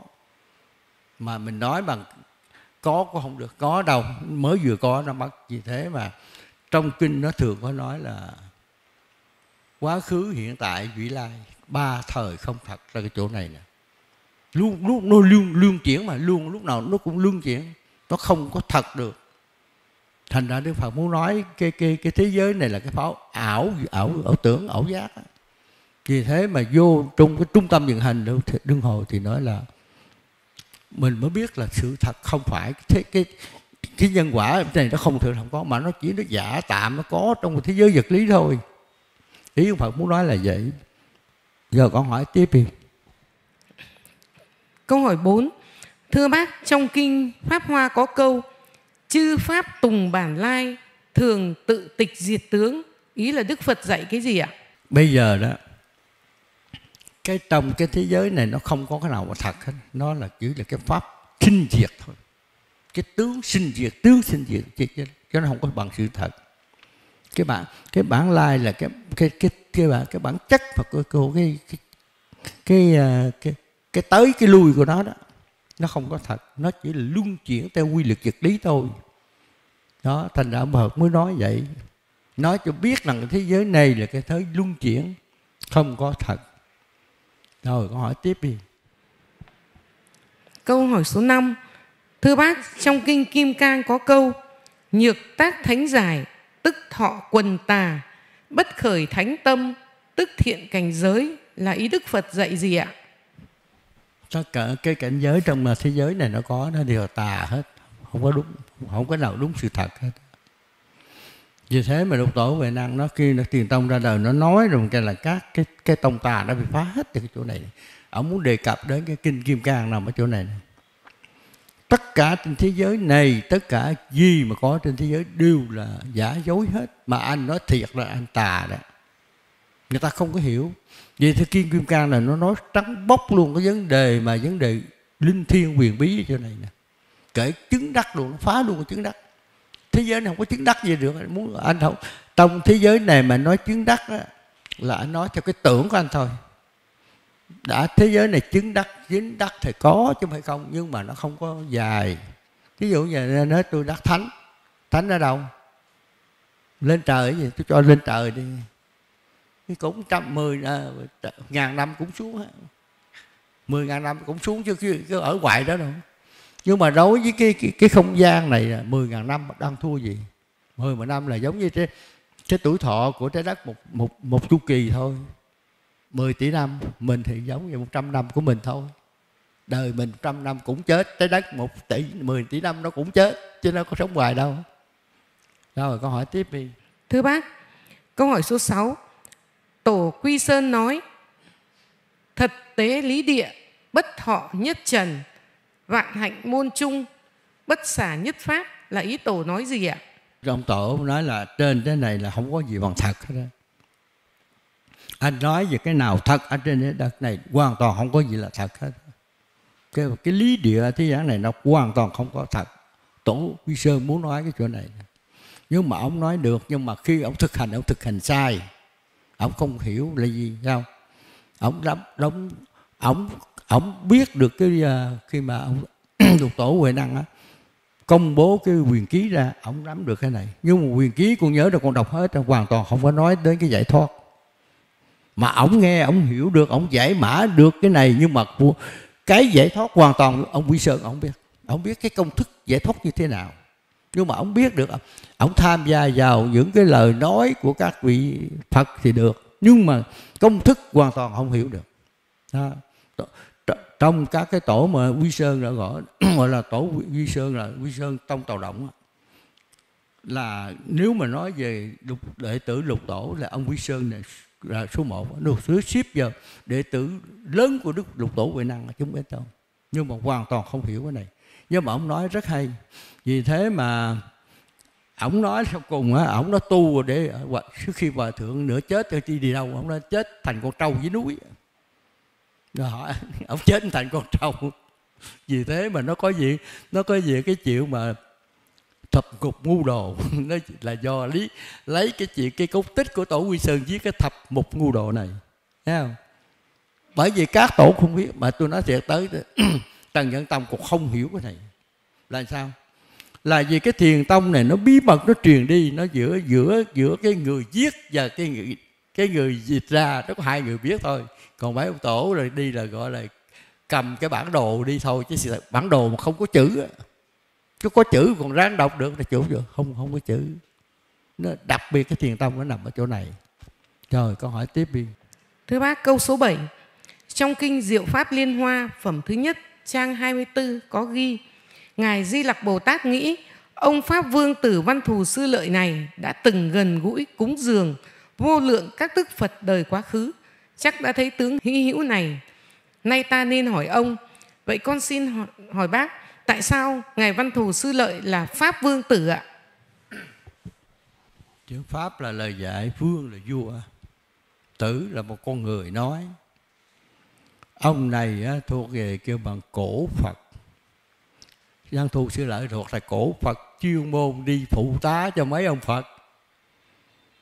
Mai mẫu này là ông ông ờ, này cũng đi phụ tá cho ông ờ, ông ông gì ờ, ông ai giật ra đó tất cả những người này là chuyên chuyên đi phụ tá phụ tá để mà dạy cái thiên tông này, dạy cái giải thoát này nè. Nó, thành ra hồi xưa nó đang có ông này được xếp về cổ phật phật xưa đó thế mà không biết từ nào mà nói là Phật chưa. Tất cả những gì Phật mà ra đời ở bất cứ một nơi nào thì phải có những cái Bồ Tát. Những ông này để mà giả dạng một Bồ Tát để chi? Để trợ giúp. Không có mấy ông này không giải thiên tông không giảng được. Không có ông dân, dân thù dương phổ hiền hoàn toàn đạo Phật thiên tông không phổ biến được. Hai ông này là hai cánh tay đắc lực của một vị toàn năng toàn giác. Bất cứ ai. À, phải hiểu cái nguyên tắc này vì thế mà ông kiều mới, mới khen vậy thôi không? chứ sự thật là những người này là hỗ trợ đắc lực cho một vị Phật.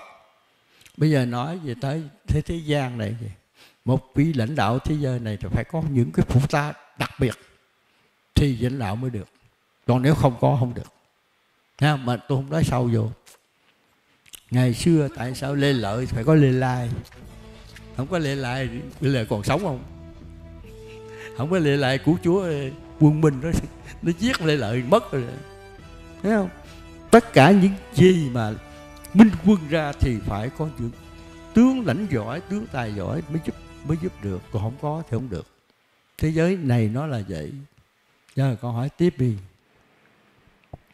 Dạ thưa bác, câu hỏi số 8 Như vậy đã có vô lượng các đức Phật đời quá khứ, Đã giảng kinh diệu pháp liên hoa Trước Đức Phật Thích Ca Mâu Ni có phải không ạ? Tôi nói rồi trái đất này là một, một triệu phật bao, bao nhiêu? Ông nào ra cũng phải giải bằng muốn dẫn về Phật giới bằng kinh diệu pháp liên hoa cũng mà bao nhiêu mấy chục quyển này mười mười hai quyển bộ kinh đại thừa ông nào cũng phải giảng này. Rồi uh, kinh trường ờ, bộ trường ở hàm cũng tiểu thừa cái này. Có nhiêu đây? Xào qua xào lỡ thôi. Bây giờ đời nào cũng vậy tiểu học thì phải học chương trình tiểu học trung học cũng vậy đại học cũng vậy.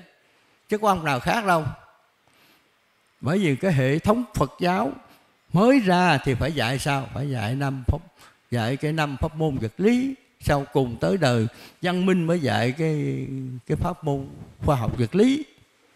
Ông nào ra cũng chương trình vậy thôi. Nhưng mà cái người khác nó đóng.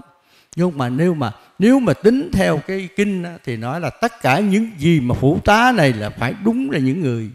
Những người có năng lực này ta mới làm phụ tá tả hữu một ông Phật được một ông Phật giờ có giỏi cái nào cũng không làm được hết. Một ông vua có giỏi cái nào mà không có văn võ song toàn á ha. Thì kể chứ kìa cái gì không ăn khua vậy? Vua thì phải có văn võ song toàn hai cái người này phải toàn diện giỏi toàn diện thì mới cơ đồ mới vững vàng được. Còn nếu không văn võ song toàn thì xin lỗi các nhà nó giờ nó vui thôi. Rồi con hỏi tiếp đi. Thưa bác, câu hỏi số 9. Các cõi nước trang nghiêm của các đức Phật là ở đâu trong vũ trụ này ạ? À? Và các cõi đó cấu tạo bằng vàng hay bằng gì ạ? Bây giờ thì à, trang nghiêm vương nó nằm ở đâu? nó nằm ở trong cái tất cả những bây giờ này sáu trên đất bây giờ ông thích ca có trang nghiêm không có chứ sao không có nhưng mà tại vì lệ tử làm sai bây giờ cái thời buổi cái thời buổi mà thượng pháp, rồi cái thời bảo trung pháp các trung pháp, các chùa rất nghiêm túc. Mạt pháp các chùa bắt đầu sai sai toàn bắt đầu. Bởi vì tu theo giáo kinh thì rất tốt, rất đúng. Mà qua giáo lý, không xài giáo lý nó sai liền. Đó. Thành ra bây giờ đó, cái thời buổi này, thời buổi mạt pháp là cái thời cái mà kêu cái đạo phật trang nghiêm đã mất mất từ nay bao nhiêu năm? Ba ba ngàn năm sau cùng mà bây giờ bây giờ còn có mấy trăm năm nữa bắt đầu tới đời mạt pháp là nó, nó hết rồi. Từ khi ông Phật mà nhập Niết Bàn thì bắt đầu người ta lấy cái kinh của người ta ta dạy. Vì thế mà trong cái hệ thống Phật giáo chỉ có pháp nguyên thủy là là chuẩn nhất. Tại sao 37 pháp quán? Tại sao cái pháp nguyên thủy là có quốc sư? Mà đại thừa chỉ có một hai nước có làm quốc sư thôi. Đại thừa Việt Nam mình có có quốc sư quốc sư khuôn Việt Campuchia bây giờ nó lập quốc từ bao nhiêu? Từ khi nước Phù Nam nó mất tới bây giờ, nước Campuchia vẫn còn. Luôn lúc nào cũng có quốc sư hết. Nước Phù Nam nó mất. Thì bây giờ nước Campuchia nó ra. Thì lúc nào cũng có. Mà ta bây giờ hiện giờ nó còn được hai nước. Hai nước có quốc sư gồm có nước Thái Lan với nước Campuchia. Nó nó còn vua mà. Còn vua là nó còn còn quốc sư nó lấy mấy cái ông thầy mà gọi là đạt được cái bậc tứ quả thinh văn làm quốc sư cho vua. Thời thời trung pháp thì còn, nhưng một qua thời mạt pháp thì hoàn toàn đạo phật biến mất biến mất không còn. Mà chỉ còn cái tiểu thừa còn giữ giữ đúng cái cái lời dạy ban đầu của đức phật thôi. Bây giờ con suy nghĩ, đại thừa là việt nam mà đó, có ông nào dạy còn đúng không? Giác ngộ hỏi còn không biết là sao, rồi sao? Đó. Mà bây giờ cái campuchia với thái lan nó ta còn chua người ta tu rất cũng còn đúng. Bên bên đó giờ nó hỏi qua ba mươi bảy pháp quán nói rất hay. Đó mình phải hiểu. Dạ, thì duy nhất chỉ có nguyên thủy mới còn thôi. Còn ba cái rau này niệm phật niệm chú rồi uh, trung thừa đại thừa làm tà bậy cho tên. Rồi con hỏi tiếp đi. Dạ, thưa bác, con có hai câu hỏi riêng của con ạ. Tại vì con có các bạn hỏi con mà con không nắm được vững, con xin bác giải thích dùm ạ. Thưa bác, Phật Huệ là gì ạ? Phật là ông ông toàn năng thế gì? Chưa con biết chữ Huệ nhãn là cái gì không? Thấy gì không? Thấy cõi vô hình. Tất nhiên cái cái thấy của cái ông Phật thấy cõi vô hình là gọi là Phật Huệ. Hiểu không? Ừ. Dạ thưa bác, vậy trí huệ là gì ạ? trí là cái hiểu biết cái huệ là chỉ sáng suốt. Nếu nói con người trí huệ là con người sáng suốt là trí huệ còn phật huệ là thấy cái tánh thấy của ông phật. Hiểu không? Dạ con hiểu. Thưa bác vậy trí tuệ là gì ạ? Trí là cái hiểu biết. Cái tuệ là cái hiểu biết kêu bằng minh bạch đó. trí tuệ là minh bạch cái trí hiểu biết minh bệnh còn cái huệ là cái hiểu nó sáng suốt, nó cũng giống vậy, nó đảo ngữ thôi. Cái minh bạch cũng như bạch này thanh thiên, bạch nhật là gì? Là trời trời trời xanh rồi ban ngày nó sáng, phải không? Thanh thiên, bạch nhật. Còn mà tiếng mình á, trời sáng trắng. Là sao? Thì nó cũng là cũng là ban ngày thôi, nói là nói gì đó, chỉ ban ngày thôi. Rồi hỏi tiếp đi. Thưa bác vậy tri thức là gì ạ? Tri là tri là biết thức là cái biết. Hai cái này nó nhập ra. Biết chồng thêm biết bị đi luân hồi. Cái câu này. Cái ông cái ông mà trí thức này coi chừng tri thức coi chừng. Người ta không hiểu. Hai danh từ ta dùng chung nhau. Kêu bằng à, người ta đã dùng là à, kêu bằng à, sáng bạch. Bạch đây cũng cũng sáng mà bạch thì cũng sáng mà sáng rồi cũng bạch ta dùng cái từ gọi là trùng gọi là điệp ngữ mà ta không hiểu. Rồi hỏi tiếp đi. Thưa bác vậy thiện tri thức là gì ạ? Thiện là người hiền lành. Tri là biết cái thức biết hiền lành. Bởi vậy nói là cái người là ví dụ con phổ biến cái gì mà gói đến cách hiền lành thì, thì nói con là thiện tri thức. Mà biết đúng mà nghe chứ không phải biết tầm bậy. Gọi là thiện tri thức. Rồi câu hỏi tiếp. Dạ, thưa bác trong kinh diệu pháp liên hoa có câu phật ra đời vì một đại sự nhân duyên là khai thị chúng sanh ngộ nhập phật chi kiến. Xin bác giải thích rõ cho con ạ. Đúng vậy. Đó là gì như lai chỉ vì một đại sự nhân duyên mà xuất hiện trên thế gian này. Chỉ vì một mục đích một sự việc mà phật mới xuất hiện trên thế gian này đại sự nhân duyên mà như lai xuất hiện trên thế gian này.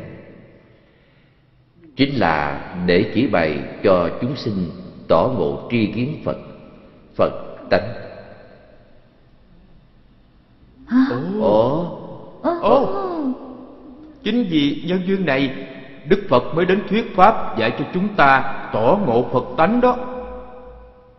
Như lai vì một đại sự nhân duyên xuất hiện ở trên thế gian này, đồng thời khai thị cho chúng sanh ngộ nhập tri kiến phật. Pháp mà ngài nói này đúng là phật thừa viên mãn duy nhất. Đức phật ra đời nói đúng ra đó, cái câu này nó dịch sai mấy chữ. Phật ra đời vì một đại sự nhân duyên khai thị chúng sanh ngộ nhập Phật chi kiến. Con thấy trật là Chúng sanh là cái gì? con bò có, có, có, có nhập chi kiến nổi không? Đức Phật ra đời vì một đại sự nhân duyên khai thị con người nhập Phật chi kiến. Thay vì chúng sanh là con người, loài người. Chứ không phải chúng sanh con thanh con gà con con chim cũng khai nó, đến nhập ra trở nổi. Chỉ con người mới nhập lại thôi. Mà con người nghĩa là thượng căn thượng trí mới nhập được. Có người mà kêu hạ căn hạ trí hạ căn hạ trí là nó âm á. Thượng thượng là dương đó mới nhập được. Thấy không? Bởi vì nó nó dịch sai trong cái này nó dịch sai. Thì thôi mình cũng phải dịch dịch theo nó thôi. Chứ nhưng mà khi phân tích thì mình mới dám nói chứ trong kinh người ta nói là chúng sanh ngộ nhập mà bây giờ mình nói con người nhậu rập thì nó tặc nó ông không hiểu. Không?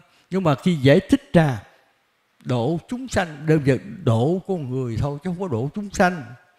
Chúng sanh là nói các loài các loài dọc động vật mà từ con vi trùng cũng là chúng sanh chứ đâu phải thấy không? Mà ông trời cũng cuộc thì chúng sanh đó nó cho, cho con biết mà ông trời có độ không được hoàn toàn không được. Ông trời ông chấp ngã lắm. Ông nói tu tao là trời tao chấp ngã rồi. Cái người mà bình thường nha họ mới tu được cái thiền tông. Còn người mà giàu quá họ không tu được.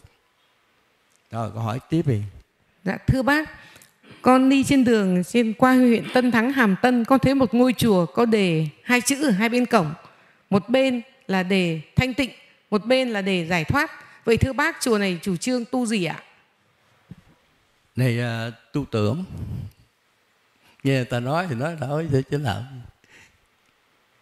thì thiếu gì mà ở đâu cũng nơi, người ta quay nơi chuyên môn giác ngộ giải thoát khổ tu tưởng đâu vô trong đâu có ai giác ngộ giải thoát đâu. Muốn khẳng định cái chùa nó tu gì đó tại sao cái chùa tân diệu chuyên dạy giải thoát? Thầy nói rõ ràng vậy chuyên môn mà thấy không? Tu cốt để thành phật chứ không phải thành ma. Phải khẳng định như vậy mới đúng. Còn ví dụ nghe người ta cái danh hiệu là uh, giác ngộ giải thoát cũng để giác ngộ thôi. Phải thêm chữ chuyên vô. Thí dụ con uh, ở, ở ngoài con mở cửa hàng chuyên bán cái gì? Còn nếu mà để bán thì là có nghĩa là con con không có chuyên môn. Con phải có chữ chuyên vô. Chuyên ngành vô thì mới khẳng định là tôi đã làm chuyện đó mà người nào dám để chữ chuyên thì người đó mới là khẳng định được. Còn không có chữ chuyên thì thôi hoàn toàn đấy về chùa tiếng diệu như là chuyên dạy giải thoát, dám công, dám gặp khẩu định. Tu để thành phật quả quyết rằng, chứ không phải là nó nó giỡn. Thấy không? Còn cái kia để xin lỗi, con đi thay thấy thấy này ta để mình cũng để cho vui thôi, chứ biết cái gì. Con vô con hỏi coi, biết không? Hoàn toàn không biết rồi hỏi tiếp đi dạ con cảm ơn bác câu hỏi của con đã hết ạ con chúc bác mạnh khỏe ạ rồi cảm ơn câu hỏi dạ con chào bác thưa bác à, con tên là trần hoài nam con hiện cư ngụ tại quận 9 thành phố Hồ Chí Minh, nay đổi thành thành phố Thủ Đức. Dạ, hôm nay con đến đây thì con có một số câu hỏi, kính xin bác uh, giải đáp giúp con ạ. À. Con xin cảm ơn bác. Rồi, con hỏi đi. Câu số 1 ạ. À. Thưa bác, khi huyền ký được công bố ra, tức pháp môn thứ sáu là thiền tông chính thức được phổ biến ra. Vậy năm pháp môn trước của đạo Phật còn giá trị nữa không, thưa bác? Vẫn còn giá trị cho con suy nghĩ bây giờ thí dụ à, con à, có cái nhà cũ con bỏ con cắt cái nhà mới còn giá trị không nhà của con vẫn còn của con làm sao không có giá trị được giá trị gì không? Là là để để làm cái gì? Đó là cái kỷ niệm của ngày xưa, vẫn còn giá trị. Đâu phải ai mà chuyển qua tiền tông hết đâu. Tiền tông là giải thoát, người ta không muốn tu giải thoát thì người ta tu tu chơi pháp môn vật lý thôi. Và tôi không muốn giải thoát, tôi muốn lên trời, muốn lên nước cực lạc. Vẫn còn giá trị chứ, ai phá đâu. Rồi giờ tôi muốn tu thành này thành kia thì ở đây, thành à, thành à, uh, 37 pháp quán của nguyên sĩ ai muốn tu. Chứ có nghĩa là cái này là pháp môn thứ sáu ra để bổ túc cho đạo Phật có đầy đủ sáu pháp môn tu. Năm pháp môn tu kia vẫn còn giá trị bình thường. Vì đáp ứng cho cái tưởng của con người ai muốn tưởng cái gì tưởng. Tôi muốn tưởng về phật giới tôi tu thiền tông. Tôi muốn tưởng lên cực lạc tôi tu Ờ, niệm phật tôi muốn tưởng làm thần tôi tu đậu thần ờ, niệm chú đâu có sao đâu không? vẫn có giá trị bình thường không có gì mất hết rồi con hỏi tiếp đi dạ con xin đọc câu số 2 ạ à. tại sao các đạo khác kể cả năm pháp môn của đức phật dạy trước thiền tông cho phép mời gọi hoặc khuyến dụ càng nhiều người tham gia tu càng tốt. Riêng pháp môn thiền tông tuyệt đối không khuyến khích, mời rủ mà để người ta tự nguyện và tự hiểu. Là gì ạ? Cái pháp môn thứ sáu này nè là cái pháp môn đi bằng quả tiễn, không phải đi máy bay. Bắn lên hành tinh nào, bắn về Phật giới mà không tới Phật giới đi đâu. Nó lạc vô hầm lửa lớn đó.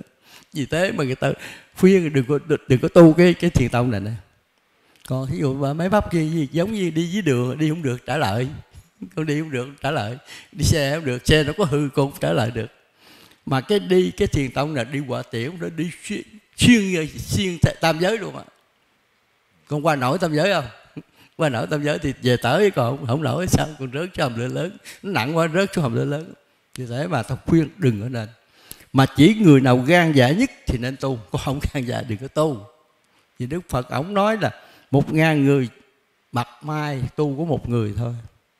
Vì thế nó cực kỳ khó cực kỳ nguy hiểm vì thế mà đức phật khuyên đừng tu thiền tông là lý do này rất nguy hiểm chỗ này rồi con hỏi tiếp đi dạ con xin đọc câu số 3 trong kinh diệu pháp liên hoa có phẩm Ông trưởng giả khuyến dụ các con đang mê chơi chạy ra khỏi nhà lửa sắp cháy và sập bằng các món quà. Khi các con ham quà chạy ra để nhận quà, tới ngã ba đường thì ông trương giả cho xe trâu và xe nai. Vậy cháu xin hỏi, một, nhà lửa là nhà nào, ở đâu, tại sao sắp cháy? nhà lửa là trong kinh nói sao? Tam giáo vô an du như quả trạch. Tam giới là nhà lửa không an giống như trong lò lửa. Đó là gọi là nhà lửa là tam giới. Là gì nữa? Dạ, con hỏi ý số 2 ạ. À. ngã ba đường là ngã ba này dẫn đi đâu thưa bác ngã ba này thì tự ngã ba này thì đi, đi vô gì? ở ra nơi đây ngã rẽ hai đường. Kẻ theo lục đạo người về vô sanh. Ở đâu? Một cái đường con đến rồi còn hai cái ngã đi. Một đưa về đi lục đạo luân hồi một đường về phật giới. Biết không? Đó thì con muốn đi đâu đi? Đó trong nhà lửa chạy ra đó là một ngã đó lại gọi cả ba. Con muốn về phật giới không?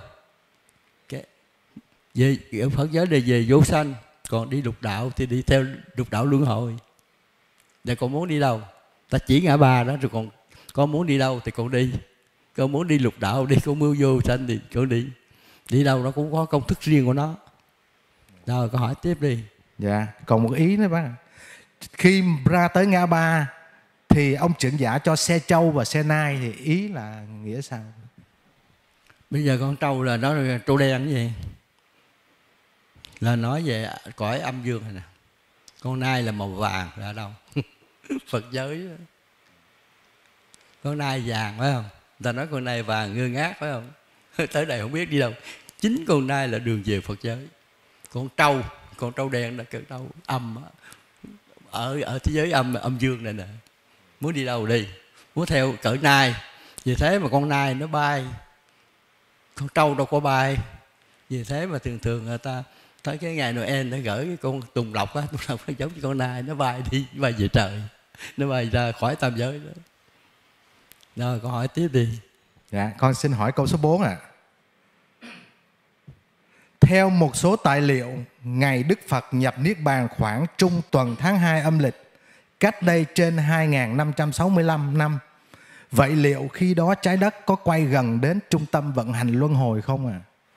Bây giờ nè, một vị Phật hay là một con người mình về Phật giáo thì nó có quay 300 mỗi thứ điều nam diêm phù đề của mình quay đúng 365 ngày nó đi quay ngang cái trung tâm vận hành luân hồi 24 tiếng hai tiếng bắt đầu vô nó mới bích được cái cái cái, cái ánh sáng mặt trời còn ở trong này nó là 20 tiếng. Ông muốn về thì phải chui vô cái này về nè. Từ từ trái đất mà về chúng ta, về Phật giới là một tiếng đồng hồ. Một giây đi là một triệu hai trăm ngàn cây số. Đó. Nếu mà mới vô thì đi à, không cần đi nhanh. Đi từ từ, đi hai ba tiếng về cũng được. Đi du lịch luôn. Còn nếu mà gần cuối thì phải đi cho nhanh còn không ghi vô được thì phải đợi 365 ngày sau nó mới trở lại đó. Thì con niên sĩ rồi vì thế mà con có người mà họ mất đi rồi mà mà còn có đã, đã trái đất đã, đã vô trung tâm vận hành luôn rồi thì sinh hoạt ông Phật sinh hoạt không không công kịp đó, thì phải đi cho nhanh. Ví dụ nó mới đi vô được 5 tiếng thì bây giờ ông Phật sinh hoạt xong rồi ông dẫn tới ông vô đó ông chỉ luôn cái dẫn vô đi. Rồi mới chỉ đường vì thế mà cái cái đi về cái về Phật giới này nè con phải hiểu được cái ông, nguyên tắc của nó mới về được mà do một vị Phật. Còn nếu mà nó trái đất mà nó gần xong mà con mới vừa tới mà trái đất nó gần còn tiếng nữa mãn ông không dám dẫn vô dẫn vô lạc quạt lạc quạt nó thiêu con luôn á. Rồi có hỏi tiếp đi. Dạ không con ờ, cái cái ý này con con muốn hỏi rồi nè. Là đức phật là người toàn năng tầng giác thì chắc chắn là đức phật sẽ biết là cái ngày đó là trái đất sẽ quay đến trung tâm vận hành luân hồi. Vậy đức phật phải chọn ngày chọn giờ đức phật mới gọi là nhập niết bàn đúng không bác? Cái này con hỏi về tầm bậy. Phật nhập niết bàn là, là ổng muốn nhập niết bàn ông phải tự về được đâu. Là cái ông phải nhiên đăng như ông thích ca nhiên đăng phải rước về. Ông ở đây ông dạy đạo giống như ông thầy giáo thôi chứ ông làm sao mà biết cái ngày giờ. Là ấy. Ông là con người còn phàm phu mà làm sao con người tứ đại làm sao mà biết ngày giờ thì khi mà ông ông về đó thì ông viên đăng phải rước ông đi. Thấy không? Bởi vì cái cái tuổi thọ bây giờ tại sao ông phải 80 tuổi ông ông tịch ông tịch là gì là ông đã hẹn với ông kia trước rồi, bây giờ tôi rồi đó, tôi mãn, tôi về đó. Nó à thì chừng nào ngày đó tịch đi rồi bắt đầu đi ta rước về tôi ra vô tầng bình lưu tôi mới rước. Chính ông viên đăng phải rước ông phật thích ca về chứ đâu vô đâu biết đường đâu chỉ trừ một người ở trong phật giới phân thân vô thì mới được quyền rước người ở trong này ra. Chứ người trong này đâu biết. Đâu biết được thấy cái cái cái đường trung tâm vận hành lúc nào đâu mà biết. Mà chỉ người ngoài, người ta biết ngoài hành tinh, giống như con đứng ngoài hành tinh. Con mới nhìn thấy hành tinh, chứ con đứng trong hành tinh thì con đâu có biết thấy hành tinh. Con đâu có biết được đâu. Còn người ngoài tam giới thì người ta mới sắp xếp được thấy cái cái guồng máy của cái tam giới này nó nó làm việc, rồi người ta mới phân thân vô. Đó vì phật từ ở ngoài kia nó dồn vô, giống như ở ngoài kia nó dồn vô, cái tam giới này giống vừa dồn vô cái trái banh thôi dồn vô cái nhà thôi, nó nhìn nó thấy hết. Rồi bắt đầu nó sắp xếp, nó có chương trình để đi vô để nó rước. Ở trong này thành phật cũng không về được, cũng phải đợi cái ông ở ngoài kia rước vô. Vì thế mà cái ông phật à, quay âm dương á, thành phật rồi thì phải chính mấy ông phật này phải dẫn về. Chứ không phải là ở trong này ra được đâu giống như mà giống như con à. Đi định cư nước nào á đầu tiên làm sao con biết đường đi. Chỉ có người nào ở đây rồi đi ra rồi, rồi trở lại rước con được. Thấy không? Chứ còn bây giờ cho con đi nước nào á biểu con đi con đi được không? Wow, phải có người rước mới được. Chừng nào con đi rồi một lần rồi kỳ sao ờ à, tôi biết tôi biết, biết đường rồi thì mới được. Rồi câu hỏi tiếp đi. Dạ. Con xin phép đọc câu số 5 à trong bài dặn dò đường về Phật giới, trường hợp công đức và phước đức bằng nhau, con xin hỏi cái ý ờ, số 1 à trường hợp không phát ra được pháp trần, khi trung ấm thân tạm thời bay theo hoa tiêu giả một đoạn. Nếu hoa tiêu giả này nó không dẫn mình bay lên mà nó dẫn mình bay ngang hoặc bay xuống thì sao, thưa bác? Bởi vậy vậy thì mình mới học cái cái đường về Phật giới cho rõ. Nó dẫn đi tận đó. Ví dụ ở giờ nói là bay nếu bay ngang đó, thì nó có thấy cỏ cây hoa lá hoài thấy không? Bay lên nó mất rồi từ từ nó xa nó mất. Còn bay xuống thì còn biết nữa đó không bay xuống là chết rồi. Bởi vì mình phải học cho hiểu đường về Phật giới cho rõ ràng. Nhưng mà thấy vậy mình nói ờ bậy rồi vậy mình đi theo tầm bậy dừng lại liền. Dừng lại là nó không biết nó đi luôn là là biết giả rồi. Mình phát hiện giả là tự động nó biết rồi thấy không? Phải gì bởi vì muốn về Phật giới phải học con đường về Phật giới cho thật rõ, cho thật hiểu còn không hiểu là bị lầm mấy ông thánh này nè rồi con hỏi tiếp đi con xin hỏi ý thứ hai, thưa bác thưa bác, khi vị Phật giả bị Phật gia phát hiện và vị Phật giả này biến mất, khi đó tại sao ta phải đứng tại chỗ chờ vị giả thứ hai xuất hiện nếu không chờ mà ta cứ điều khiển trung ống thâm tiếp tục bay ra ngoài trái đất, có được hay không ạ? À? Được với điều kiện con phải sáng suốt. Yeah. Bởi vì nguyên tắc á, người này người này vừa biến người khác phải sẽ hiện ra. Nguyên tắc đó nguyên tắc tử nó là vậy. Còn nếu mà con ở một thời gian mà không được thì con tự con đi thôi. Nhưng mà nhớ rằng đi thì bay thì bay ra. Nhớ nè bay ra giống như cái giống như con uh, bởi vì nguyên tắc cái này là nói thuộc mình điều khiển không được thí dụ à, trái bong bóng của con mà nó bắt đầu nó thả ra nó sẽ bay lên chứ đâu đâu bay ngang được. Nó bay ngang trừ nó bay ngang là trừ gió nó thổi thôi. Thì cái cái trong ấm thân đó con khi điều, điều khiển nó tới đó con đừng có ờ, hướng nó đi đâu tự động nó đi đâu kệ nó. Là nó phải rút đi ra ngoài sức hút. Để nó đi ra mà đi ra cái tầng bình lưu mà Thấy không? Mà để chú ý cái này còn mà mà nó đi mà mình thấy mình đi theo có cái hoa tiêu mà dẫn đi thì phải có chừng đó chừng nó coi coi là nó có đi ra khỏi đầu nối không? Hay là nó cái nó đi cái thấy đầu nối hoài là bị giả rồi? Thấy không? Khi đi ra bởi vì giống cái, cái bong bóng mà nó thả được cái là nó phải nó đi ra ngoài trái đất chứ không phải bay theo trái đất được. Nó bay ra ngoài sức hút vật lý của trái đất. Phải chú ý cái chỗ này. Rồi con hỏi tiếp đi. Dạ con xin phép hỏi câu số 6 ạ. À. thưa bác con không có điều kiện học và hiểu biết nhiều về các bộ kinh của Phật dạy. Vậy bác có phải dạy cháu nội dung chính một số bộ kinh mà Phật dạy để cháu được hiểu biết thêm không thưa bác? Cụ thể như một là Kinh Kim Cang.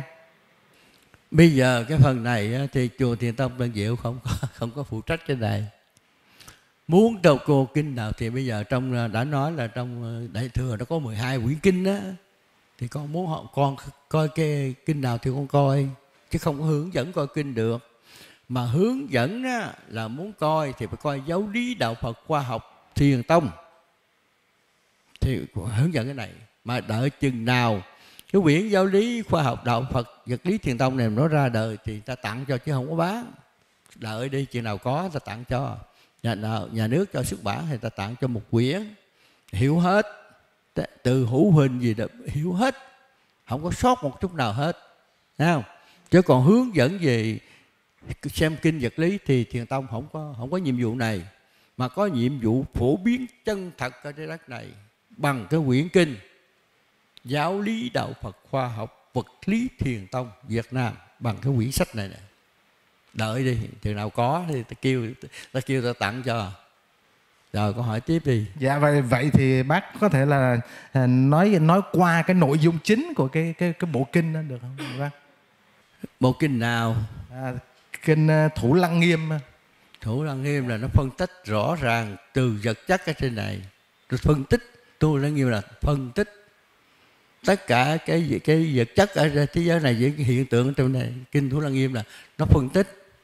Rồi còn cái gì kinh nào nữa? Dạ. Rồi kinh a di đà a di đà thì nó nói về vô lượng thọ vô lượng quan là cái tánh phật của mình đó cái tánh phật mình sống hoài sáng hoài. Là kinh a di đà nói cái này nè. Rồi kinh nào nữa? Dạ. Dạ kinh trường bộ. Kinh trường bộ là trường a hàm nói về vấn đề mà 37 pháp quán và cái nhân quả của cái loài người ở trái đất này. 37 pháp quán trợ đạo của trường bộ. Trường bộ và trường a hàm nó gọi là ni cái quán kinh nikaya đó là của phái nguyên thủy á. Là nói về 37 pháp quán mà trong đó có cái pháp quán tứ diệu đế là số một á. Cái đó là thành công nhất á. Thấy không? Rồi nó nói những cái nhân quả của trái đất này tính bộ, bộ kinh Nikaya nó rất nhiều nói về nhân quả trái đất này. Rồi câu hỏi tiếp đi. Dạ rồi kinh lăng già nữa bác. Kinh lăng già nó chỉ cho cái cái núi lăng già. Tại sao cái nơi, nơi kinh lăng già nó lấy cái núi lăng già? Ông một vị tất cả những vị bồ tát ngày xưa muốn thành muốn kiến tánh phải đến núi lăng già học thì mới kiến tánh được. Vì thế mà trong kinh đó là hạo hạo lăng già nguyệt đông phong độ hải chu. Đó. nghĩa là vượt qua biển vượt qua biển sanh tử thì phải đến núi lăng già học. Đó là bộ kinh lăng già. Ý là muốn là gọi là vượt sanh tử luân hồi đó rồi đến cái coi cái bộ kinh lăng già. Rồi kinh nào nữa? Dạ. Dạ kinh địa tạng bác. Kinh địa tạng là chỉ cho cái thân con người của mình cái thao cái kho của mình đó địa là đất cái tạng là cái kho kho đất là nó chỉ cái tánh con người mình á. Mình muốn độ mình không? Muốn độ địa, địa muốn độ người ở dưới địa ngục không? Là ba cái gì tham sân si trong này mà độ nó hết thì là mình mình thành mình thành phật liền. Dẹp độ hết mấy tham sân si thì nó, nó sẽ thành phật liền. Thấy không? muốn muốn thành trời cũng cũng là do cái kinh địa tạng này muốn thành trời cũng bằng kinh địa tạng muốn thành phật cũng kinh địa tạng. Là nói về cái nói về cái tánh con người của mình đó nó vô nằm ở trong cái thân tứ đại này tứ đại này gọi là địa tạng. Rồi câu hỏi tiếp đi. Dạ kinh uh, kinh đại bát niết bàn đó. Đại niết bàn thì trong cái câu kết thúc là ta đã thành phật thì các ông sẽ thành phật. Thấy không? Là khẳng định rằng trên đại bát niết bàn khẳng định là tu cái này là ai cũng có phật tánh. Ta thành phật rồi ông thích ca nói ta thành phật còn các ông sẽ thành phật là kinh này kinh này rồi câu hỏi tiếp đi. À, rồi cuối cùng con sẽ hỏi là cái kinh kim cang đó bác. Kinh kim cang sở phàm sở hữu tướng dài thị hư vọng. Thì kiến tướng phi tướng tức kiến như lai. Tất cả cái hình ảnh trên thế gian này là giả dối. Gặp phật giết phật gặp ma giết ma. Kinh kim cang chú ý chỗ này. Yeah. rồi. Yeah. còn uh, cuối cùng là con hỏi là kinh diệu pháp liên hoa. Diệu pháp liên hoa là chỉ tri kiến phật, khai thị ngộ nhập phật, tri kiến phật là kinh diệu pháp liên hoa. Chỉ cho con người mở được con phật nhãn là kinh diệu pháp liên hoa. Diệu là màu nhiệm, pháp là cái pháp môn, liên là cái bông, cái cái cái cái cành hoa là cành hoa sen. Đó, thì vì thế mà thiền tông nó lấy cái cành hoa sen làm cái biểu tượng của thiền tông, là lấy trong cái kinh diệu pháp liên hoa nhìn thấy cái cái hoa sen màu nhiệm mà mở được phật nhãn. Rồi hỏi tiếp đi dạ, con xin cảm ơn bác. Dạ con xin hỏi câu số 7 à thưa bác con nhìn thấy cái trống đồng đông sơn của việt nam nhìn na ná bản đồ tam giới. Mặt khác theo các nhà khảo cổ học trống đồng ra đời vào khoảng thời kỳ đồ đồng. Thời kỳ các vua hùng. Vậy liệu có liên quan gì về trống đồng và bản đồ tam giới? Khi thời kỳ đồ đồng, thái tử tất đạt đa đã từng đến nước văn lang, thưa bác. Cái cái trống đồng này nè, nó khai quật không phải là mới đây đâu, mà nó là là tiền thân của cái ông Phật trước. Có nghĩa là 10.000 năm về trước, trống đồng này nó mà khai Phật ở Đông Sơn. Nó phải nắm mà, nó không phải cái thời gian này đâu, mà thời gian của ông Phật trước. Ông Phật cái ông Phật cái diếp trước á, thấy không? Nó lấy nó vẽ trong cái bản đồ tam giới mà của cái quyền ký của thời trước á. Thời ông Phật trước công bố ra thì cái trống đồng Đông Sơn nó khám phá ra ở huyện Đông Sơn ở ngoài Hà Nội á. Ha, mình mới hiểu cái này. Chứ không phải là mới vẽ đây mới vẽ đây thì bây giờ rồi thì bây giờ trong này thời gian này thì sẽ có những người phải làm những cái này rất lớn. Rồi sau đó đó thì mấy trăm năm nữa nó tiêu diệt thì cái nó siêu lăn lộn lại 10.000 năm sau thì người ta sẽ khai quật lại. Mà không biết hồi trước thì nó ở Đông Sơn mà không biết kỳ, kỳ này nó chuyện nó làm ở đâu mình không biết. Nhưng mà mình lấy cái, cái đống đồng này của ông hồi ca diếp á bây giờ mai mốt lấy cái từ của ông thích ca này thấy không? Mười ngàn làm sao? Đó thì nó nó nó tương tự nhưng mà người ta có nhiều khi cái người mà tây làm cái này là nó không hiểu được cái tam giới. Chứ sự thật nó là cái tam giới của nó đó. Nhưng mà cái trống đồng đông sơn này nó là nó nó chủ yếu là nó nó nó cái người nguyên thủy á, cái người đầu tiên á, đầu tiên của trái đất á. Nó chứ chứ không phải là ấy đâu, nhưng mà nó nó hình dung, nhưng mà có nhiều khi cái cái trình độ người ta không có đó nếu mà trường hợp với trống đồng đông sơn mà nó lấy được cái bản đồ tam giới hiện giờ đó, nó thành lập một cái trống đồng thì rất hay. Nhưng mà chắc chắn là cái thời buổi này nó sẽ lấy cái này nó làm mặt trống đồng để rồi nó chôn, để cho tới 10.000 năm sau, nó sẽ xuất hiện lại rồi câu hỏi tiếp đi. Dạ thưa bác con nhìn thấy trong cái vòng một của trống đồng có hình tượng bốn ông ngồi đúc trống theo nhận định của các nhà nghiên cứu. Vậy liệu hình tượng này có phải nói về bốn ông trời tứ thiên vương đang điều khiển và vận hành tam giới không thưa bác? Cái này à, bốn ông này chính là bốn ông trời tứ thiên vương đó nhưng mà ông tạo cái đất thì giống như ông tạo đồ chơi cho mình không chứ không phải chứ không phải điều khiển mà đang thực hiện gọi là tạo thiên. Cái đám đồng này là, là bốn ông này làm gọi là tạo thiên lập địa là ông lập địa đó. Còn cái tạo thiên là khi nào ông vẽ ra một cái ban bệ có cuộc họp đàng hoàng gọi là tạo thiên. Còn bây giờ là à, bốn ông này gọi là lập địa. Khi thế mà trong văn học Việt Nam có, có, có nói thường nói câu là tạo thiên lập địa là cái chỗ này nè. Là nói ông trời thiên thiên dương và một cuộc họp tổng hợp của các vị các cái chúa các, các nơi trên tam giới và đồng thời mười vị Phật từ Phật giới vào gọi là tạo thiên lập địa. Rồi câu hỏi tiếp đi. Dạ con xin hỏi câu số 8 à thưa bác con nghe trong đạo Phật có nói đến từ điên đảo. Kính xin bác giải nghĩa giúp con rõ từ điên đảo mà trong đạo Phật dùng và người như thế nào gọi là điên đảo. Thưa bác. Chữ điên là nó không có đúng cái đảo rồi xuyên qua xuyên lại. Là sao? Thí dụ còn đi mà còn say rượu á, người ta nói con với thằng ở điên đảo. Phải không? Điên là nó đi không có vững gọi là điên đảo. Còn mình tin bất cứ cái gì ở thế giới này mình tin không đúng, thì nó thầy mày điên đảo. Đảo là đảo qua, đảo lại đó. Điên là đi không đúng đường. Là chữ điên đảo là nó áp dụng cho cái chuyện này rồi câu hỏi tiếp đi. Dạ con xin hỏi uh, tiếp một ý nữa. Vậy người học đạo phật như thế nào để thoát ra sự điên đảo này thưa bác? Này nếu mà học á, thì thật cháu không có học mà chỉ hành thôi. Chỉ cần chấm dứt cái tưởng thì mất điên đảo liền. Hiểu không? Chỉ cần chấm dứt cái tưởng điên đảo mất liền. Khỏi cần học khỏi cần hành gì hết anh điên đảo là do anh tưởng anh tiễn rượu ngon quá anh vô anh uống đã anh đi ra ngoài đi uống nổi là tiên đạo. À, anh tưởng tại anh tưởng cái rượu nó ngon. Anh tưởng cái đạo này nó giỏi anh vô anh học anh học rồi, rồi, rồi người chỉ đường này đường kia thì có làm tầm bậy thì nó này điên đảo. Thấy không? Muốn trị điên đảo đừng tưởng. Tức khắc điên đảo mất liền. Rồi hỏi tiếp đi.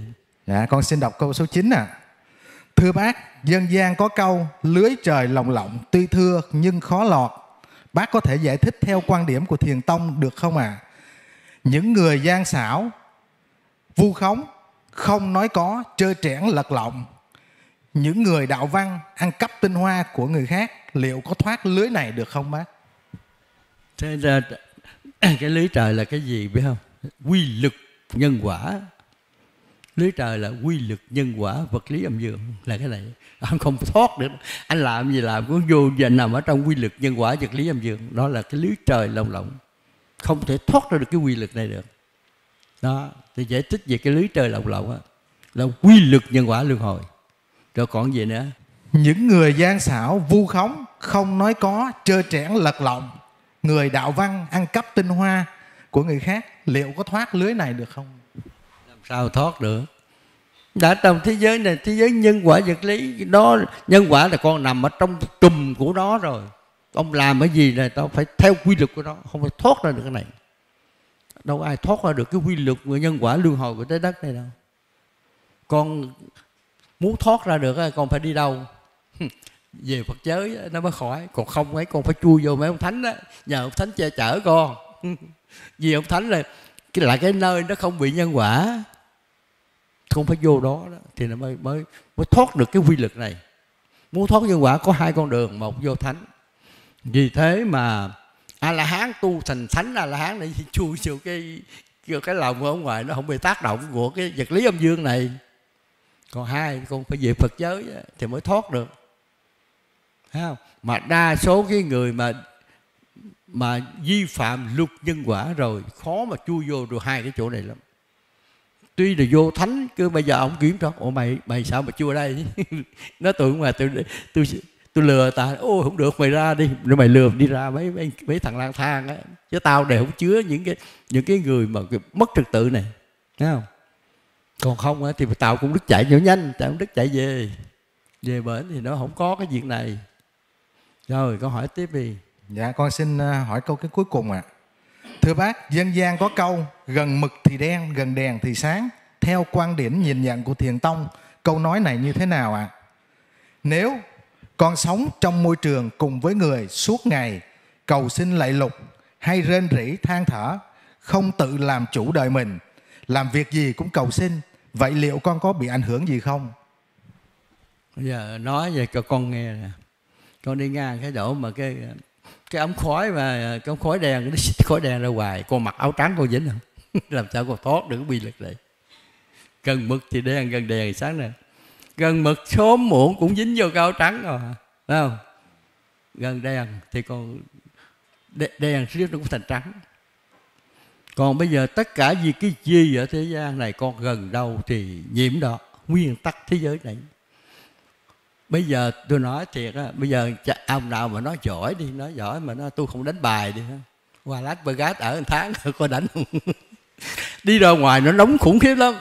Mà vô trong cái nhà nó mắc rượi máy nó chạy rồi cờ, cờ bạc bắt buộc phải đánh không thôi không cách nào đánh. Vậy tại sao thằng mỹ nó chơi kiểu này?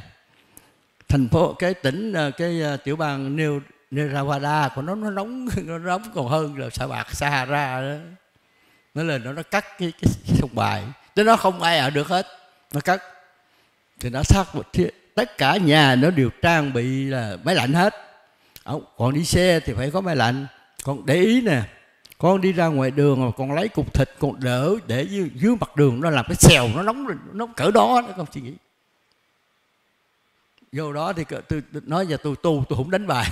Vô đó chắc chắn cũng phải đánh không có có ngoài không chịu nổi vì thế mà gần mực thì đen gần đèn sáng mà anh, anh ở gần mấy uống rượu?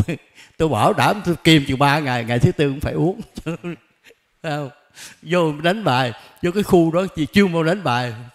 Còn con không ấy thì cũng dọn đi chứ không ở đó. Không cách nào còn thoát được cái quy lực này. Đó là cái tự nhiên của thế giới vật lý này. Thấy vô người ta ăn chơi con phải ăn chơi. Người ta uống rượu con phải uống rượu. Chứ được thầy tu không có vui thầy tu tí là cái chỗ nào chỗ nào mà thà không có chơi tứ đổ tường á thầy tư là nó nó đứng ở giữa tứ đổ tường bốn cái góc tường. Con phải nhập vô một cái chứ không có tài nữa thoát đâu mọi người. Đó phải hiểu được thì gần bực là đen gần đen là sáng này gần đầu dính đó. Rồi câu hỏi tiếp đi. Dạ con đã hết câu hỏi. Cuối cùng con uh, xin cảm ơn bác và con kính chúc bác sức khỏe rồi cảm ơn câu hỏi. À, thưa bác cháu là Nguyễn Hồng Phượng ở quận 3 thành phố Hồ Chí Minh. À, cháu xin thay mặt em Nguyễn Hoàng Trương ở San Jose tiểu bang Cali Hoa Kỳ. À, hôm nay sẽ hỏi bác dùm cho em 21 câu. Xin bác uh, trả lời cho em Nguyễn Hoàng Trương ở San Jose. Rồi có hỏi à, câu thứ nhất. Thưa bác bác có hiểu lá cờ Phật giáo không? À, nếu bác hiểu thì bác kể cho chúng cháu nghe được không ạ? à? Lá cờ Phật giáo này á nó có 1880 mà lá cờ này đó không phải là người tu theo đạo Phật vẽ ra mà do một vị đại tá người Mỹ hưu trí tên là Henry Sten Olcott vẽ ra tặng cho giáo hội Phật giáo Nguyên Thủy ở thành phố Colombo, nước Sri Lanka ngày 8 tháng 4 năm 1880. Đó, cái câu chuyện nó rất dài. Có thể chỉ kể cho con nghe một cái đoạn gì thôi nè. Ngày xưa đó khi mà Đức Phật về Phật giới 1760 năm các nước Đông Nam Á và Nam Á tu theo pháp môn nguyên thủy rất đông. Có nước họ tu là 40% dân số, có nước là tu 80% dân số, không phải nhỏ đâu. Nhưng mà hàng năm á, thì các nước tu tiểu nguyên thủy này nè tập hợp lại để mà trình cái vấn đề mà tu tập của các 37 37 pháp quán của pháp pháp môn uh, nguyên thủy á, thì nó mới có gọi là hội nghị của của đạo nguyên thủy đạo Phật nguyên thủy năm 1879 ở nước Sri Lanka có tổ chức một cái hội nghị này. Thì có cái ông có, có ông đại tá người Mỹ ấy, ông cũng tu theo pháp môn này. Ông đạt được hai cái quả thánh của cái tứ quả sinh văn. Thì ông mới viết cái bài tham luận ông đến cái hội nghị của Colombo á thì ông mới trình bày cái này. Người ta thấy ông rất hay người ta cho ông trình bày cái cái cái bài tham luận của ông về cái pháp môn tứ quả tứ quả sinh gian này. Khi mà ông trình bày xong đó thì người ta mới ông mới phát biểu như thế này nè. Đạo phật là cái đạo rất lớn mà không có cái lá cờ biểu tượng.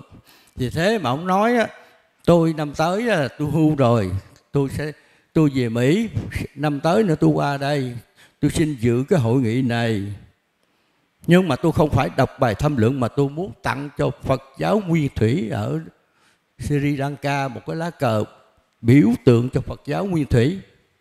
Thì cái hội nghị người ta đồng ý. Vì thế mà năm sau á ông mới qua ông mới qua từ mỹ ông qua ông chở ra qua một số cờ ông tặng cho mỗi một nước dự hội nghị và tất cả những người mà tham dự á, thì mỗi người một lá cờ. Riêng cái hội nghị ông tặng cái lá cờ rất lớn để mà trong để mà treo ngay chỗ cái hội nghị. Thì cái lá cờ đó gọi là ngũ sắc năm màu. Thì các ban tổ chức họ đề nghị ổng là bây giờ cái lá cờ này ông tặng thì rất hay rất đẹp bây giờ ông ông có thể là giải thích được không? Ông nói được. Ông cái lá cờ ngũ sắc ông nói câu nè ngũ sắc là tượng trưng cho năm châu.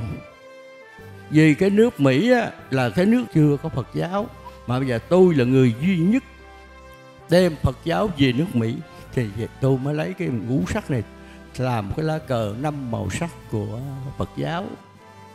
Thì ông giải thích á, cái lá cờ đầu là cái màu xanh dương. Vì đạo phật nó là trùm khắp như bốn biển đại dương. Vì thế mà ông lấy màu xanh dương ông làm cái cái đầu cái đầu của cái cờ. Rồi cái màu sắc thứ hai là cái màu vàng vàng nghệ. Thì ông nói là người tu Phật giáo thì mặc cái áo vàng rất đẹp là cái màu vàng nghệ. thì ông lấy cái thứ hai. Còn cái màu thứ ba đó là ông lấy cái màu đỏ. Ông giải thích đó cái màu đỏ là người tu Phật giáo rất gan ngồi thiền mấy tiếng không sợ, mà ngồi đạt được quả thánh luôn. Chính ông đã đạt được quả thánh. Thì ông lấy cái màu đỏ rồi cái màu thứ tư là cái màu trắng. Thì ông mới nói cái câu này nè. Người tu theo đạo Phật rất trong sáng, trong trắng, không xài tiền. Cái bằng danh lợi địa vị không xài. Thành ra ông ông lấy cái màu trắng để cho cái người tu theo đạo Phật. Rồi một cái màu thứ năm là cái màu cam. Ông nói à, người tu theo bậc đó là từ bi hỷ xã ai nói gì nói cam chịu hết thì ông lấy cái màu xanh thành ra đầu tiên là xanh vàng đỏ trắng cam. Đó là đạo phật có bao năm màu này. Ông mới lấy năm cái màu này ông kết ông kết thúc cho cái đuôi cờ. Vì thế mà ông nói là tôi muốn lấy cái năm màu này là để để tôi kết thúc năm năm châu này trở lại năm châu trở lại thành một khối gọi là chỉ có duy nhất cái đạo Phật á, thì mới làm được cái này thôi còn các đạo khác không làm được. Vì thế mà lá cờ Phật giáo, nó có từ ngày 8 tháng 4 năm 1880 ra mắt tại thành phố Colombo, nước Sri Lanka. Thấy không? mà hồi xưa đó tạo nguyên thủy này nè, nó có 12 nước căn bản tu cái này mà cô dân số mà tu cao nhất là từ 40 đến 80 phần trăm dân số tu trong ít đâu vì sao? Vì sao mà cái cái pháp môn nguyên thủy để tu đông? Là vì nó có chứng đắc rõ ràng mà tu có bài bản.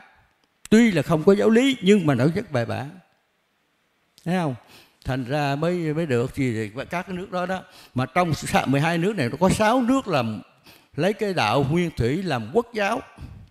Thì nó gồm có nước Campuchia nè nước Lào nè nước Thái Lan nè nước Sri Lanka nè nước uh, Miến Điện nè rồi nước Pakistan.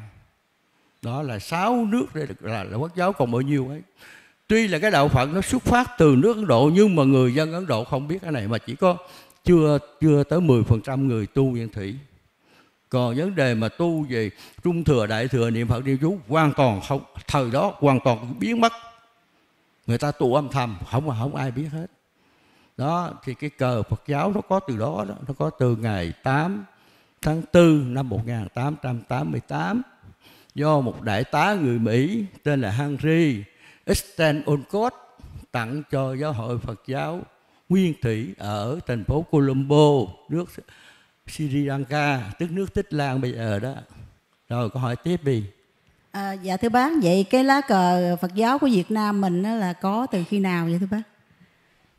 Lá cờ Phật giáo Việt Nam mình thì năm 1950 người Lào á, là tổ chức cái hội nghị Phật giáo Nguyên Thủy này này. Thì có mời cái Phật giáo Việt Nam qua, qua dự. Thì khi qua đó đó thì thì ờ, cái hội nghị mới tặng cho Phật giáo Việt Nam một lá cờ. Mà người đi đó là ai? Là thượng tọa thích tố liên trụ trì chùa quán sứ hà nội.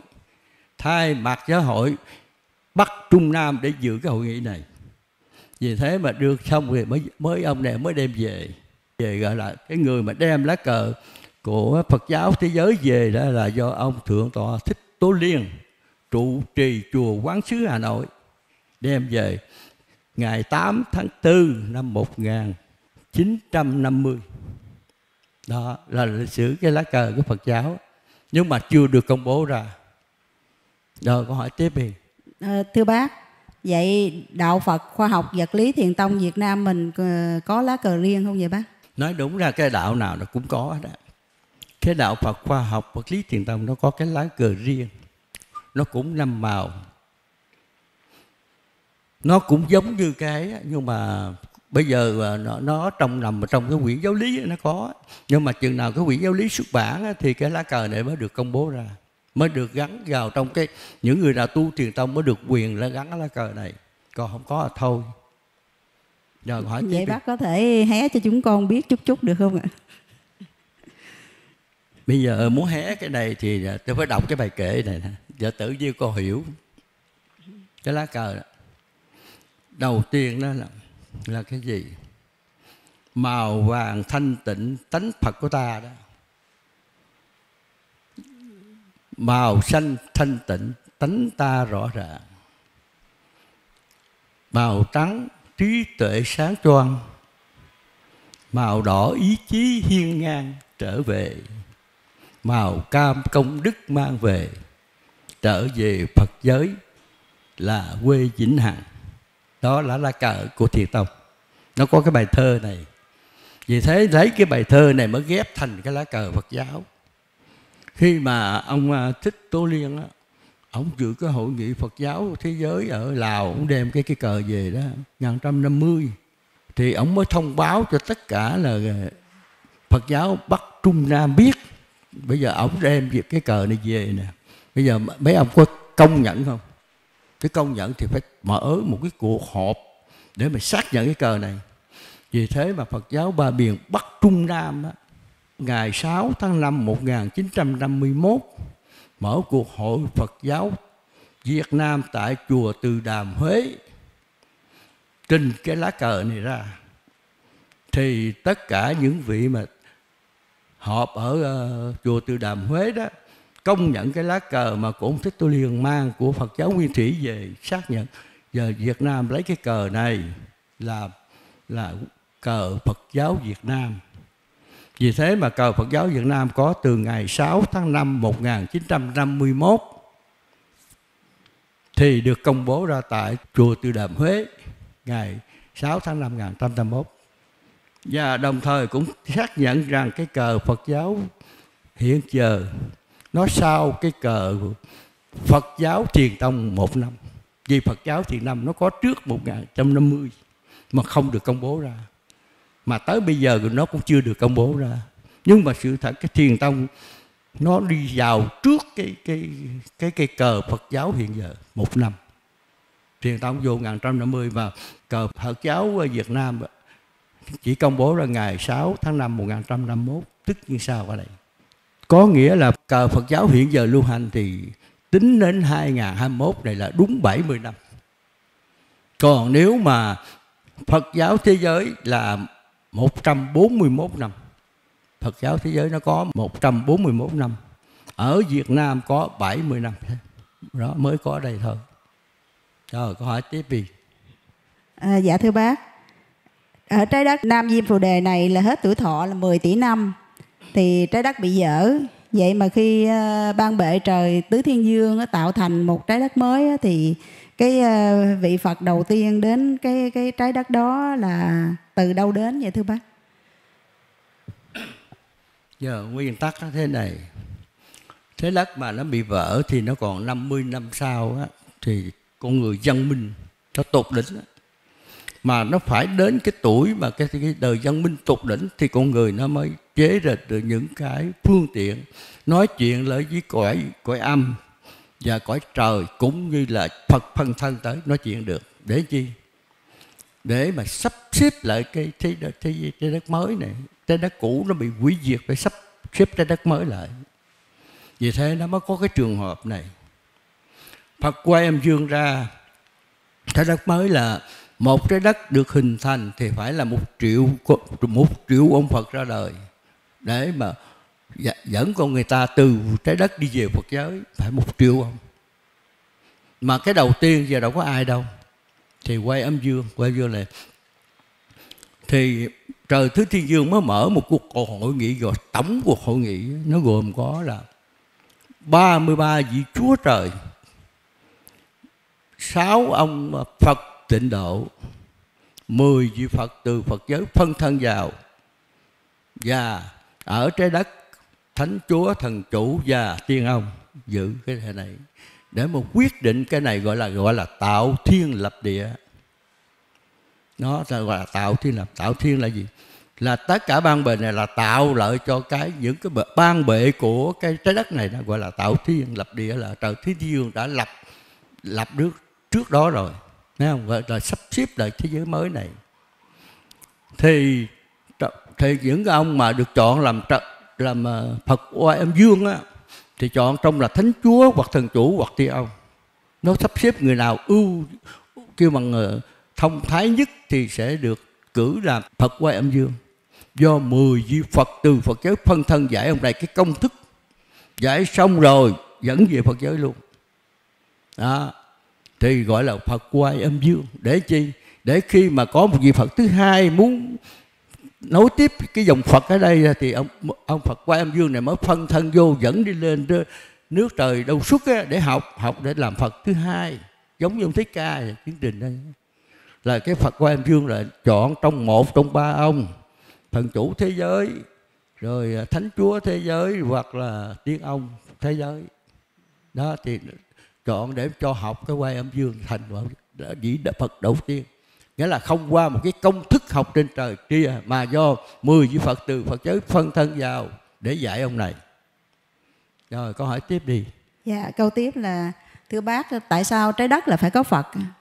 Trên đất này có Phật là gì? Để ông này mới dẫn mười ngàn năm mới có dẫn cái loại người đi về Phật giới. Không có Phật không ai không không biết giải thoát được về thế giới này là về thế thần thánh quản lý.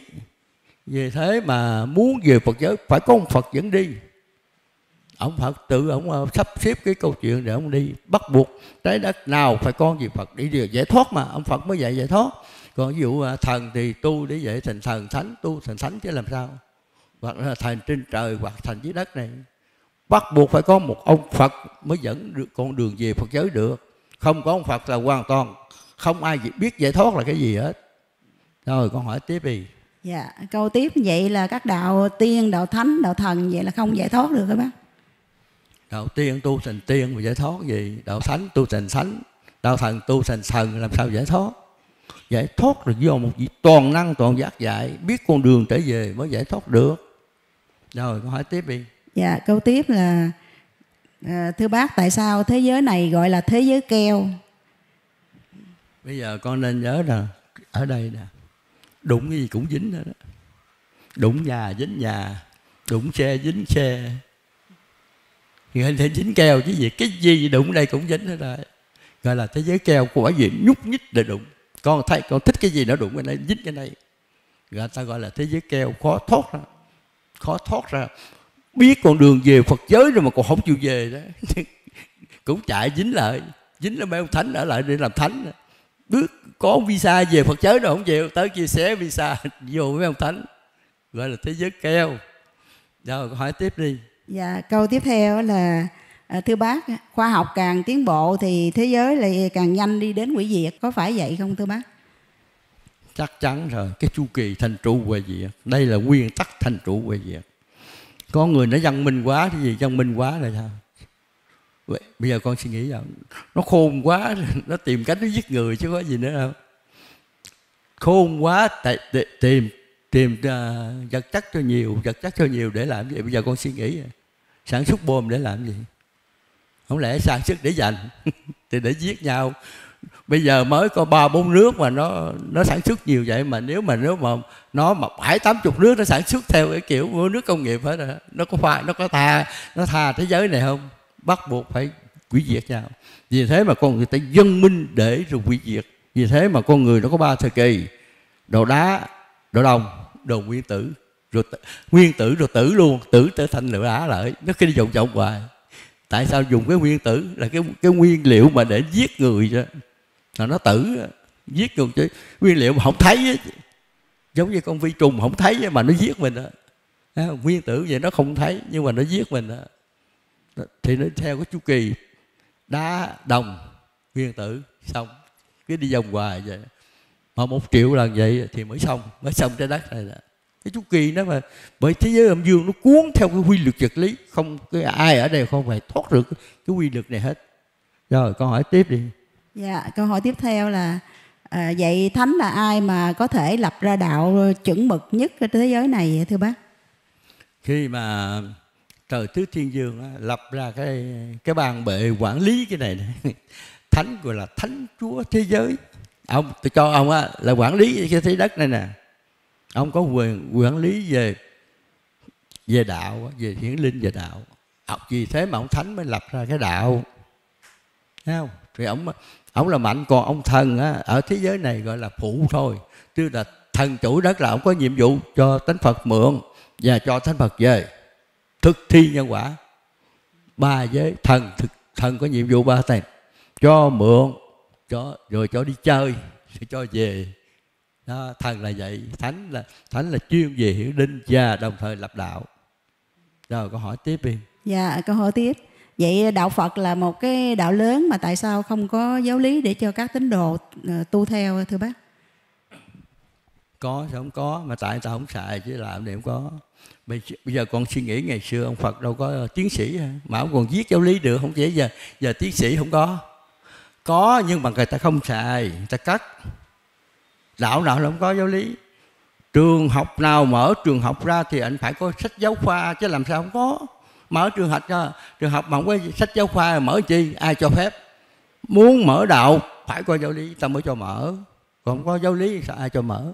Nhưng mà ta không xài ta cắt đi bởi vì nếu mà cái giáo lý á, mà nếu mà đưa ra học hành đúng thì không có kiếm tiền được. Giáo bởi bởi vậy tại giờ người ta bỏ giáo lý để người ta tu tưởng kiếm tiền. Chứ còn đưa giáo lý ra rồi ai cúng? Vì thế mà cái vị giáo lý phải dẹp. Rồi câu hỏi tiếp đi. À, dạ thưa bác, câu hỏi tiếp theo là cái tánh người của mình nó còn hoài không hay hay là nó mất đi gì thưa bác? Nếu mà ở trong thế giới này còn hoài, còn nó về phật giới nó mất. Về phật giới nó đến trung tâm vận hành luân hồi nó mất. Còn nếu ở trong trái đất này, nó nó nó chỉ đổi tên thôi. Th- tánh người rồi sau nó chuyên trùng ông thần. Ông thông nó lên trên trời gọi là tánh trời. Thấy không? Nó đi xuống địa ngục là tánh ngục xuống tánh thú gọi là tánh súc sanh vậy đó. ở trong thế giới này, vật lý nó luân chuyển không cách nào mất hết. Muốn muốn cái tánh người mất thì phải vô trung tâm vận hành luân hồi á. Thì nó không còn hoạt động nữa thì âm dương nó trở về âm dương. Vì cái tánh người của mình nó cấu tạo bằng điện từ âm dương nó phát ra 16 tứ tánh gọi là tánh người. Muốn muốn dứt nó thì phải về trung tâm vận hành luân hồi nó mới dứt được. Còn nếu ở trong này thì hoàn toàn không dứt được. Rồi câu hỏi tiếp đi. Dạ, câu hỏi tiếp theo. À, tất cả những chùa ở Việt Nam thường đưa hình ảnh và tượng của Đức Phật để cho Phật tử đến cúng dường và cầu xin Đức Phật ban phước. Vậy à, Phật có ban phước cho những Phật tử này không thưa bác? Phật nói là nơi đây là ngũ thú tập cư cổng có đâu đây mà ban phước trái đất này là ngũ thú tập cư không có ổng có đây mà ban phước cái gì vì thế mà các chùa thờ Phật là sao? Tỉnh thần vô. Tôi tôi để ông chết sự thật tôi kêu ông thần vô. Mà ông thần không vô thì ông thánh vô. Cái đất này đâu có đâu có Phật đây mà mà ban phước. Có ban phước là thánh ban phước có. Thấy không? Cầu xin thánh thánh ban phước. Vừa vừa lại ổng nói giờ thưa thánh pha ban cho con. Mà muốn nhiều, nếu một trăm ngàn rồi. Thấy túi con có một triệu ổng rút một trăm ngàn cái ông đưa cho con. rồi con tưởng đâu thiệt ai về về nhà kiểm tra lại. Ủa cái, gì? cái này tiền của tôi chứ đâu phải tiền của ông thánh đâu. Ông ông có cái tài móc túi ông đưa lại cho mình rồi mình tưởng là ông cho mình chứ sự thật là của mình. Rồi có hỏi tiếp đi. À, như vậy á thì à, giờ các chùa thầy hai tổ chức để mà cho Phật tử đến cúng rồi nói là để à, à, Phật ban phước cho. Thì như vậy những vị thầy đó nói như vậy là có bị phỉ bán Đức Phật không? Làm như vậy đó. không không có, thế gian nào không có phỉ bán ai ông phật nó chửi ông ổng có hỏi thua vậy đó. nhưng mà làm vậy bị cái nhân quả thôi chứ không có phỉ bán ai ông phật nói, thế gian này muốn làm gì làm đức phật dạy thiền tông còn không dám nói ra nói ra nó chửi đâu phỉ bán nhầm gì đâu, thấy không bây giờ thì thế- đã là thế gian muốn làm gì làm, phật nó muốn làm gì làm, ông không xen vô chửi ông cũng được đấy nhưng mà chửi ông không nói một câu này. Chửi như lai chỉ xuống tầng ờ, địa ngục thứ 18 thôi. Còn nếu phá cái cái thiền tông này xuống thì ông lửa lớn á, muốn muốn làm gì làm. Ông chỉ cho biết vậy đó. Chứ ông cũng không ờ, ông không cấm chửi ông. Mà mà, mà có chửi ông đâu thua gì ông bên Phật giới đâu có thấy gì đâu. Giống như mà giống như con qua Mỹ con ở thì bên này nó tên kêu con nó chửi ông thua gì. con đâu có ở đây đâu. Thấy không? Ông Phật ở bên kia không chửi kiểu gì không thua hết muốn chửi là chửi gió trời cho vui thôi. Rồi hỏi tiếp đi. Dạ thưa bác, vào thời mạt Pháp, tinh hoa đạo Phật có bốn chữ giác ngộ giải thoát. Vậy tinh hoa này có phổ biến ra được với mấy thầy ham tiền không ạ? làm sao làm sao được? Đấy, thế giới này là thế giới âm dương giải thoát nó thoát ra ngoài lực âm dương vì thế mà đức phật bảo là là cái thiền tông này là công bố ra rồi á, thì được không được thì dẹp chứ đừng có đừng có đừng có bám theo nếu mà chết ra thấy không? Thì bây giờ á, thiền tông này là mình mình trụ được ngày nào thì trụ cũng trụ được thôi chứ. Bây giờ bác mà chết rồi đó thì nấu ai nấu nổi thì nấu nổi thôi dẹp có vậy thôi. Thấy không? Ăn thua cái thế hệ sau nếu nấu nổi thì nấu nấu nổi thôi. Rồi hỏi tiếp đi. Dạ câu tiếp theo. À, thưa bác, trái đất này ai làm chủ và Thánh Chúa Thế Giới lập ra ba đạo tiên thánh thần để làm gì thưa bác? Thánh Chúa thế giới lập ba đạo tiên thánh thần là để thỏa mãn cái tưởng của con người giờ con muốn ờ, con con ngồi đây con buồn quá con tự con tưởng con lên trời thì sao thì phải lập cái đạo trời cho con tu muốn tưởng làm thần thì phải lập đạo thần cho con muốn muốn làm sung sướng rồi lập đạo tiên cho con. Đó là vậy. Đạo là lập theo cái tưởng con người. Con người không tưởng không có đạo. Có vậy thôi. Rồi con hỏi tiếp đi. À, dạ con hỏi tiếp là à, thường người ta hay thờ à, các vị Phật hay Bồ Tát gì á, ở giữa chân mày nó có cái cái ánh sáng phát ra về ý nghĩa của cái ánh sáng đó là cái gì thưa bác? Giữa, giữa chân mày giữa hai chân mày nó gọi là cái ấn đường lục lỗ gọi là lục lỗ phát quang sáu có có cái lỗ phát quang. Trong đó nó có con mắt của Phật ngó ra cái chỗ đó đó. Rồi mắt thánh mắt thần rồi mắt uh, tiên rồi mắt của hồn nó cũng nằm sáu lỗ và lục lỗ phát quang. Vì thế mà ông Phật mà muốn, muốn quan sát ở thế giới này ông phát ra cái màu vàng ông quan sát hết. Nhưng mà cái mắt phàm, con mắt phàm mình không thấy. Còn nếu mà vị thánh phát ra phát màu cái màu trắng là vị thánh màu thần thì phát ra cái màu đỏ. Đó rồi tiên phát ra cái màu xanh rồi của hồn phát ra cái màu xám đen. Nó mỗi người nó có cái được cái làn sóng điên. Nó gọi là ấn đường lục lỗ phát quang giữa hai chân mày con người. Rồi con hỏi tiếp đi. À, dạ câu hỏi tiếp theo. Đạo Phật là đạo nhân quả luân hồi tại sao các thầy lại không biết uh, vấn đề đó thưa bác? ai nó không biết? Chùa nó ghi là đây chùa là chùa là ta tu, tu giải thoát nè chùa thiếu gì người ta để mà tại ta không giải thôi chứ sao không biết? Tất cả những người vô đạo là gì? Ta muốn tu thoải mà muốn tu để làm gì? Tôi muốn giải thoát. Ông nào cũng nói vậy mới cho đi. Chứ nói mà vô nó tu để cúng thì không phải tu đạo cúng là phải vô là làm ông thầy ông thầy cúng, nó nằm mà hồi xưa nó gọi là ông thầy pháp á. Bây giờ mới đưa vô cái chùa nó sai, đưa vô cái chùa sai. Chùa không phải, chùa là tu giải thoát. Còn thầy pháp là tu ở trong cái nhà nhà, cái nhà thầy cúng á. Hồi đó thì gọi là nhà thầy pháp. Bây giờ nó sai, nó nó lộn với này. Chứ đúng là đã vô vô thầy pháp là phải không mấy người nào bây giờ, trong cái à, cái cái tuồng mà nghiêu sò ốc hến á nào nó làm thầy pháp có có ông làm thầy pháp đó, phải không? Đó cái này cái diệu tích ngày xưa nó còn lại đó. Chứ nếu mà thầy cúng thì gọi là thầy pháp. Còn thầy tu, tu giải thoát thầy tu giải thoát khác. Tu giải thoát thì phải ly ra các ái khinh thân cái này này. Phải phải phải đúng là ông thầy tu. Còn không đúng cái này thì không có tu bởi vì nó có cái bài của người tu được còn cái bài của thầy pháp nó có riêng mình phải hiểu cái nguyên tắc này thì mình hiểu cái đạo. Bởi vì bây giờ cái đạo phật á, nó gồm cả mấy ông thầy cúng vô thành cái đạo phật nó chặt cái chặt cái chỗ này nè. Rồi con hỏi tiếp đi. Dạ, à, con xin hỏi câu tiếp là à, các vị tiên sống ở cõi trời cực lạc có đường trở về Phật giới không thưa bác? trong cái tam giới này duy nhất chỉ có trái đất. Sáu trái đất có đường về Phật giới sáu trái đất nó mới quay được cái ngang cái trung tâm vận hành luân hồi trái đất nào mà quay đúng vào trung tâm vận hành, luân hồi thì mới ra được. Còn nếu mà đằng kia nó không quay đúng, mà nó ở trong cái thế giới vật chất nó mới ra được. Bởi tạo công đức là tạo ở thế giới vật chất. Còn cái thí dụ à, cõi trời dục giới à, sắc giới vô sắc, nó là cái nơi hưởng phước, nó không có, nó không có cái đường về Phật giới. Duy nhất đường về Phật giới thì nằm ở trong cái sáu trái đất. Mà do con, trong đức là do con người tạo ra thì cũng do con người mang về, tánh người mang về. Có người chết thì cái tánh người mang về, đến trung tâm đường hành, luân hồi, tánh người nó biến mất, nó trả về cho thế giới vật chất này. Duy nhất đường về Phật giáo chỉ có sáu đất mới có thôi. Rồi, con hỏi tiếp đi. Thưa bác, con hỏi câu, hỏi tiếp theo. Làm sao cháu biết sự thật của các đạo ở trái đất này, thưa bác? Nếu mà cháu không biết cái sự thật các đạo thế đất này cháu phải đọc tìm đọc được cái à, quyển giáo lý đạo Phật khoa học giáo lý đạo Phật khoa học vật lý thì cô mới hiểu được cái này. Đây là nó giải thích tất cả những gì mà có trên mặt trái đất hữu hình vô hình. Phải tìm được cái quyển giáo lý này đọc thì mới hiểu được.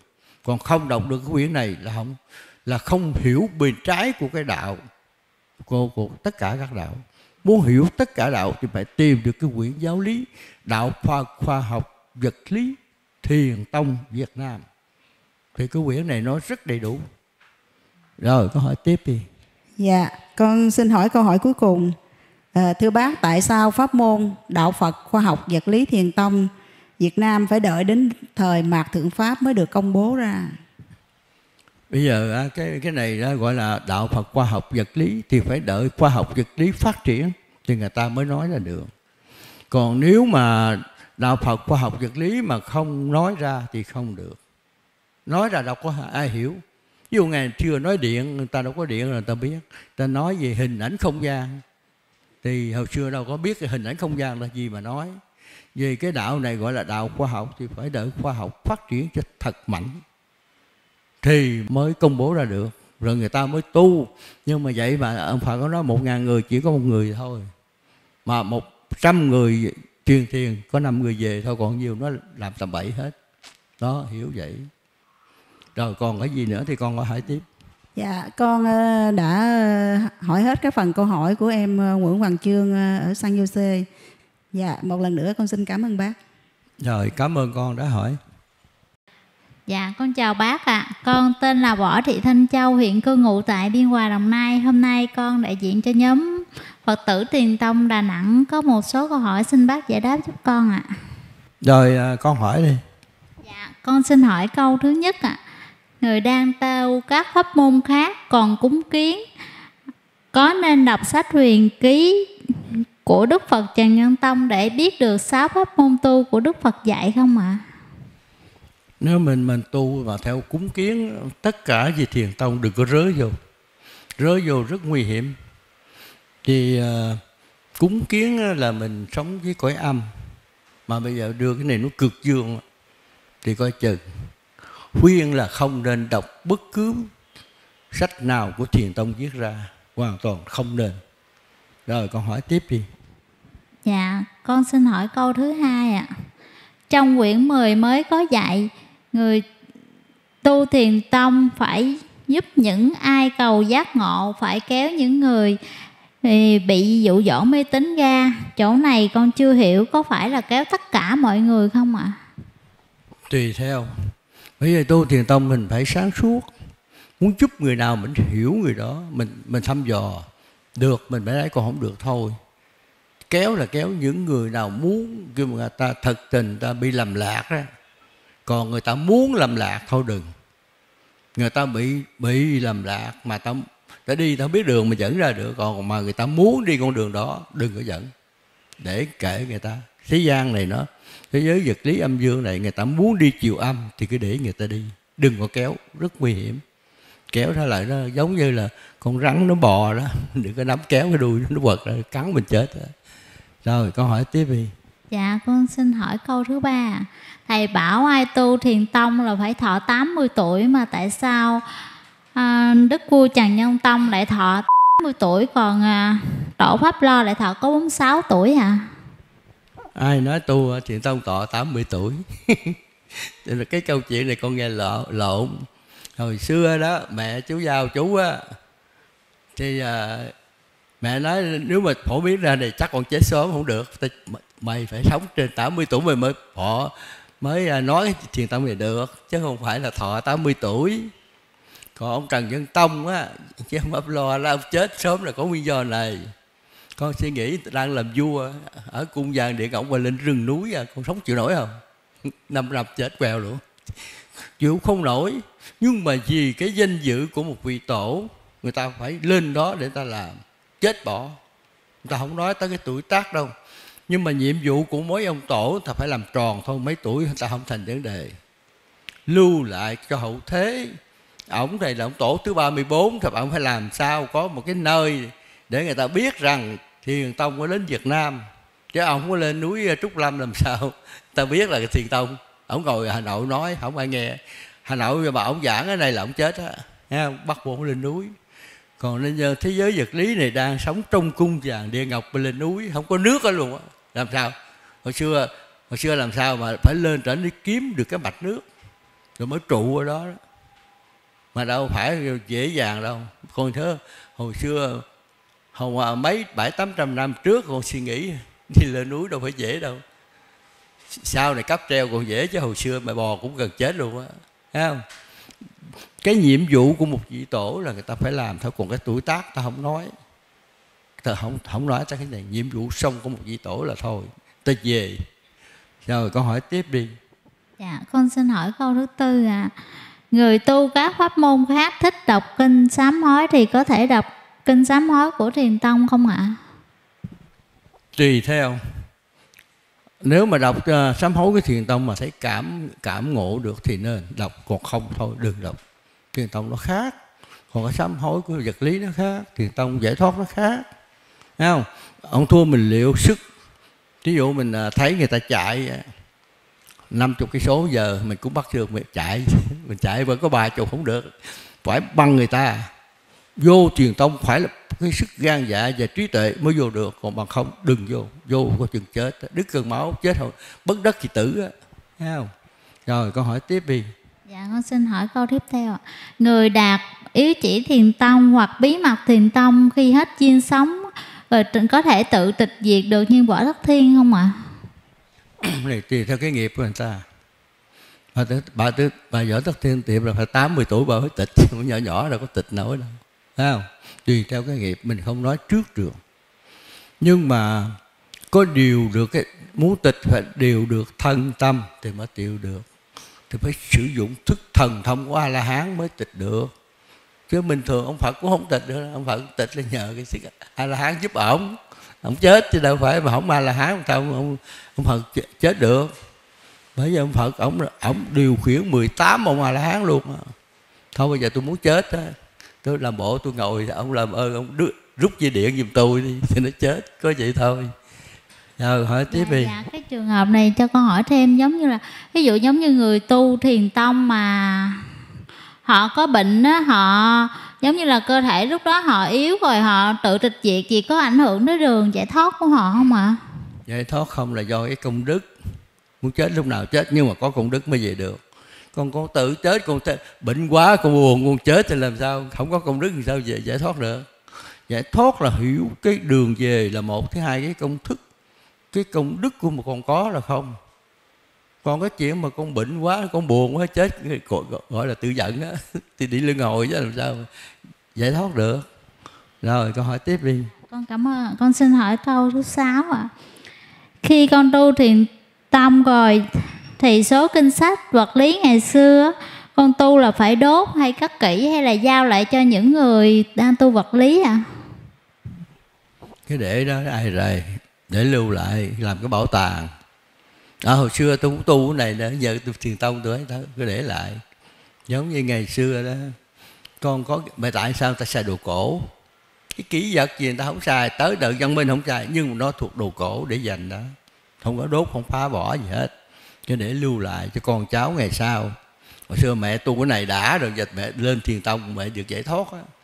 Cái để đây là làm gương cho con cháu chứ làm sao đốt bỏ được không có đốt. Đừng có làm vậy. Rồi hỏi tiếp đi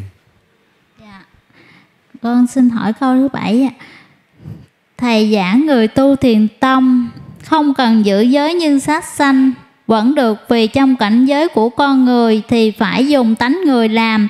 Nhưng sau bài, sám hối lại có, sám hối năm tội và trong đó có câu, luật nghiêm giới cánh ban hành vậy là sao ạ?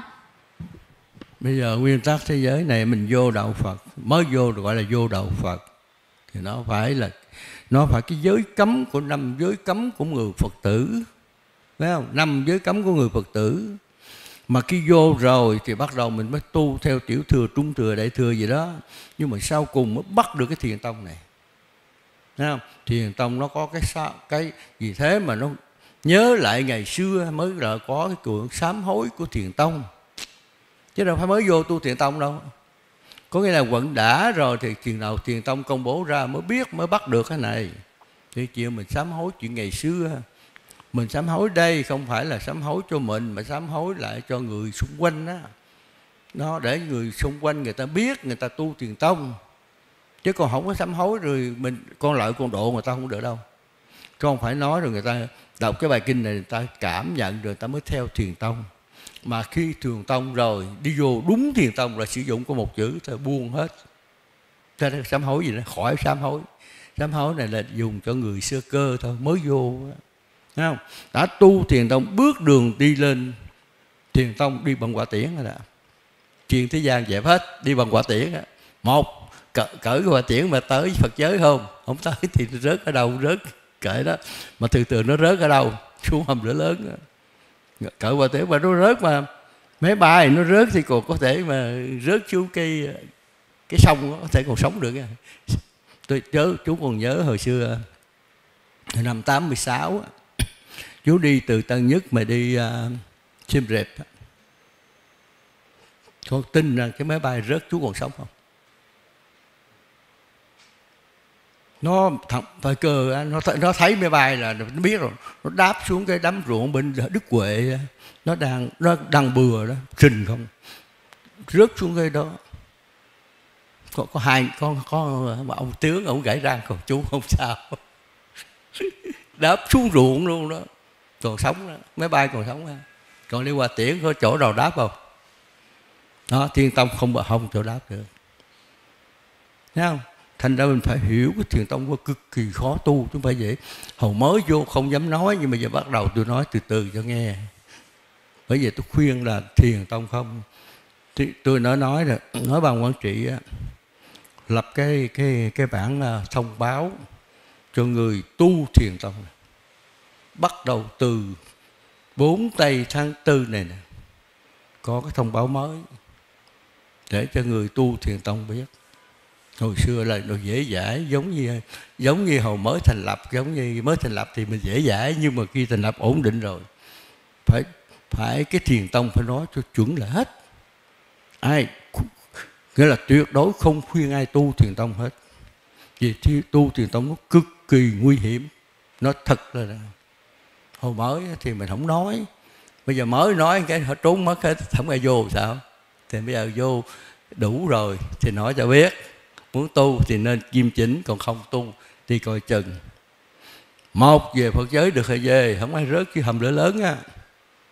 Còn tu vật lý lên trời được không lên thì xuống địa ngục thôi. Đơn giản, phải không?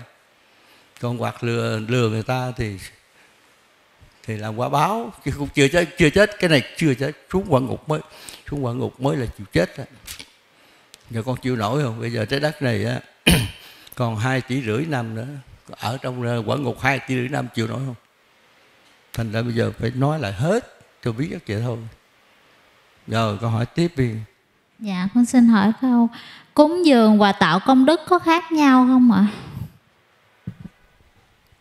Cúng dường mình đem cái tài vật hoặc vật chất thì mình cúng cho cái cái chùa hoặc là ông sư thì cái mục đích của con cúng để con muốn làm cái gì? Thứ hai nữa là ông sư cái chùa làm cái gì? Cái này là con phân biệt là coi cái mục đích. Bởi vì người ta bảo là tu thì, tu đạo phật là phải tu bằng trí tuệ. Cúng cúng dường để được cái gì? Con muốn để muốn được cái gì? Là do cái đó, đó. Cho con à, muốn cúng dường để giải thoát mà con đưa vô mấy ông cúng thì làm sao giải thoát? Thấy không? Thì con nấu cát chẳng muốn thành cơm mà có nghĩa là mình vô đạo phật là phải bằng trí tuệ sáng suốt làm gì cho rõ ràng. Chứ đừng có mơ hồ. Thiền tông không cho mơ hồ. Thiền tông là trí tuệ sáng suốt. Rồi con hỏi tiếp đi. Dạ con xin hỏi câu là khi tạo công đức mà muốn hồi hướng cho cha mẹ anh em con cháu vị người thân này có nhận được công đức không ạ? Bây giờ con suy nghĩ vậy nè giờ con á con ăn cơm để cho mẹ con no được được không? Mẹ con no không? Dạ cái đó là không được ạ. À, thì cái kia làm sao được? Cái hồi hướng cái hồi hướng đây là cái lối lừa của người thế gian thôi chứ làm gì có hồi hướng. Ai ăn nấy no tội ai nấy chịu chứ làm sao chuyện hồi hướng. Cái này là cái lối lừa của người thế gian. Đây là thế gian mới làm cái chuyện này. Thực tế tiền tông thực tế. Mình ăn mình no à, mình học mình biết. Chứ mình học để tôi học tôi học học tôi học để rồi tôi hầu hướng cho ba tôi. Con đang làm bác sĩ tôi học bác sĩ rồi tôi hư hướng cho ba tôi biết bác sĩ được không? Mà toàn không được. Bằng trí tuệ. Còn cái kia nó thuộc gì xin lỗi thế gian người ta lừa đảo nhau thôi chứ làm gì có hồi hướng.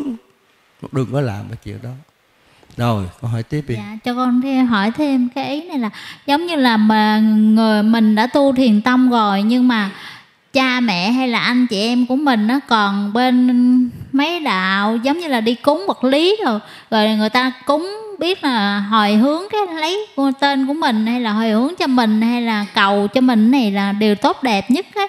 rồi cúng sao dễ hạn như vậy là mình có ảnh hưởng gì không ạ?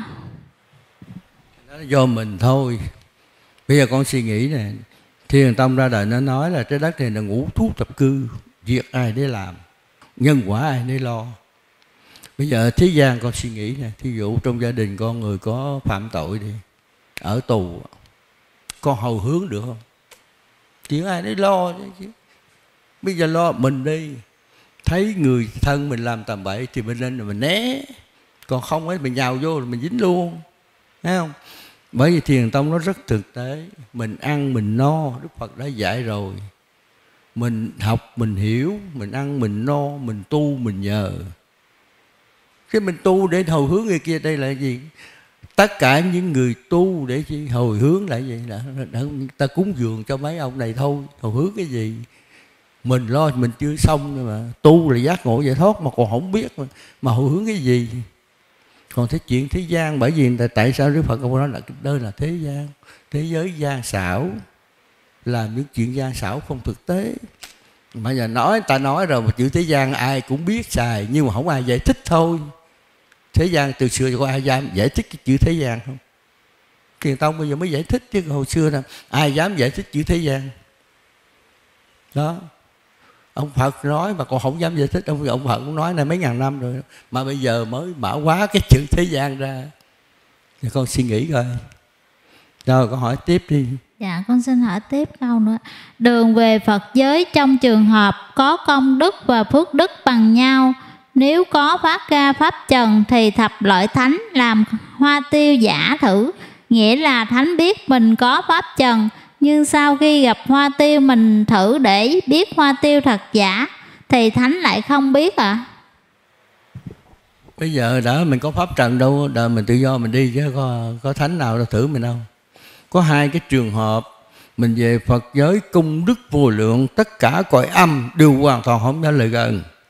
Thứ hai, pháp trần lợi gần nhưng mà không dám đụng, thì làm sao giả mình được?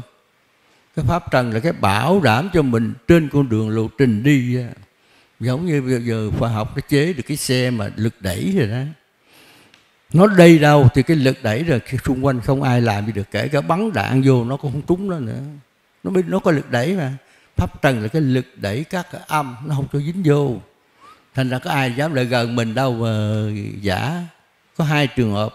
Một là công đức vô lượng, hai là pháp trần phát ra, thì mấy loại âm không dám lại gần đó. Chứ không chứ không phải chứ không phải giỏi gì đâu. Nhưng mà đây là cái cái lực quy lực vật lý âm dương. Nó đẩy ra. Vì thế mà trong chiến tranh á chiếc máy bay nằm nó có gắn cái tần suất cái điện dương á, nó đẩy ra đó. Kêu bằng quả tiễn bắn trúng. Bắn vừa tới nó chè nó, nó đẩy mà để, để trật lật. Vì thế mà khoa học bây giờ về, về vũ khí chiến tranh nó có có làm cái này. Thấy không? Vì thế mà người ta gọi là máy bay tàng hình tàng hình là thì nó thấy có chứ đừng bắn nổ trúng được kể như nó tàng hình chứ có gì đấy chứ đâu phải không thấy đường đâu. Thấy không? Là nó nói về cái chuyện này chuyện âm dương lực đẩy âm dương thôi. Rồi ông hỏi tiếp đi. Dạ xin bác giải thích giùm con là tại sao gọi là con hồng cháo lạc ạ? Con hồng là con hồng là gì? Hồng hoàng mình là tổ tiên mình là hồng hoàng phải không? Lạc là lạc long quân. Con của hai ông này. Con con con hồng cháo lạc nhớ không? Lạc long quân bạo cơ. Thấy không? Rồi gọi là thành rồi nói chung là mình là con hồng cháu lạc là con của lạc long quân. Và bà, bà âu cơ. Thấy không? Rồi câu hỏi tiếp đi. Con xin hỏi câu đệ tử của ngài thanh hải nói rằng phật tánh là khi mình hiểu được ý của người khác và được như vậy là thành phật xin thầy giải thích điều này cho chúng con hiểu ạ. Phật tánh là cái tánh Phật là một viên tử sáng sáng suốt thôi. Còn hiểu này kia là gọi là hiểu tánh của họ, họ hiểu tánh của hồn Xin làm sao phải giải thoát cái chuyện này? Bởi vì người ta không có hiểu người ta giải thích gì thôi. Nhưng mà nên thế gian này nè ai muốn tu gì tu mình cũng không đá động với người ta. Nha, không? mình nên nhớ né bây giờ mình hiểu rồi. Tánh người là cái gì? Tánh phật là cái gì? Mình phải hiểu này. Hiểu tánh phật mới về phật giới được. Vì mới, vì thế mà trong kinh là kiến tánh thành phật. Thấy bằng tánh phật thì mới biết đường đi về phật giới mới thành phật. Nhưng mà muốn về phật giới phải có công đức và có biết công thức đi. Chứ không phải là ờ, kiến tánh thành phật rồi bây giờ giống như là giờ tôi biết đường đi mỹ họ có tiền không không. Tôi đóng tiền tôi ở đây. Với biết thì được đúng rồi nhưng mà phải có tiền mới đi được. Mà biết đường đi không? Không biết đâu biết rồi biết đi đâu đi đâu đi đâu xin visa đi qua mỹ. Thấy không? Tất cả gì nó phải quy tụ lại đúng về phật giới. Thứ nhất anh phải có công đức. Thứ hai biết đường đi. Chứ còn anh không biết đường đi không có công đức rồi, rồi sao? Rồi ai dẫn mình đi? Mà phải đến cái thời buổi một vị phật phân thân. Cái thời buổi này thì mới về Phật giới được, chứ nghe xin lỗi con á. 10 năm về trước về Phật giới không được. Trừ khi công bố quyền ký ra thì con đường chư Phật mới phân thân vào trong cái bình lưu để mà rước người về. Mà khi đã bắt đầu truyền thiền rồi thì mới có được cái này. Còn chưa truyền thiền cũng không được. Chưa truyền thiền ai dặn dò đường về Phật giới đâu. Biết đường đâu rồi con hỏi tiếp đi Dạ, con hỏi câu ạ. Người có người trước đây tu theo pháp môn đại bi gì đó ăn chay hàng chục năm mà nay chuyển qua thu tiền tông lại không biết sao lại ăn mặn. Vậy cho con hỏi là nếu giờ họ lại ăn mặn mà ta không tạo công đức được thì có giải thoát không ạ? À? Vậy chết chứ giải thoát gì? Đã về Phật giới thì có công đức và biết công thức. Còn chuyện ăn chay ăn mặn không thành vấn đề chay ăn mặn là do cái người ta thích thôi nhưng mà nên nhớ rằng hồi xưa đó mình tu vật lý mặn chay mà vô đây ăn mặn là mấy ổng dụ mình đó. Bị, bị rồi đó. Cái đó là bị rồi bị dụ rồi đó. Ha còn về Phật giới được có dụ dụ nhưng mà tôi có công đức tôi vẫn về được. Muốn dụ gì dụ có công đức tôi về còn không có công đức tôi đừng mong về. Rồi câu hỏi tiếp đi. Dạ con xin hỏi câu hỏi là Người không tu theo pháp môn thiền tông Mà lại mua huyền ký của Đức Phật Để tặng thì tạo có tạo công đức được không ạ? À? Được Nhưng mà không Giống như ông à, ông sẽ là phát á Mấy chục đời trước, mấy ngàn đời trước Ông cũng cho đủ thứ Có tiền ông cho hết Nhưng mà ông có công đức cũng để dành đó Cho đợi, đợi ông Phật chỉ rồi mới về Nếu mà làm vậy thì không được Bởi vì tại sao mà đã tu thiền tông, truyền thiền mà đi có năm người về thì con suy nghĩ không tại sao 95 người đi đâu? Là do cái dạng này này cũng muốn làm, tạo công đức nhưng mà không muốn về thôi, thì để đó để dành. Để dành đời chừng nào năm mười ông Phật sao rồi thì về. Thấy không? Rồi, hỏi tiếp đi. Dạ. con hỏi câu tiếp theo ạ. À.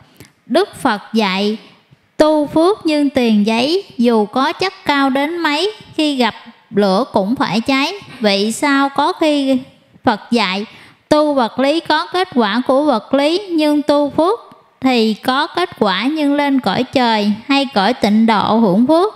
Xin thầy giải thích cho chúng con hiểu à thế giới này là nó, nó nó có hai cái loại. Một là hưởng phước ở đây hai là hưởng phước trên trời là gọi phước dương phước âm còn công đức nó thuộc về công đức chứ không phải là phước.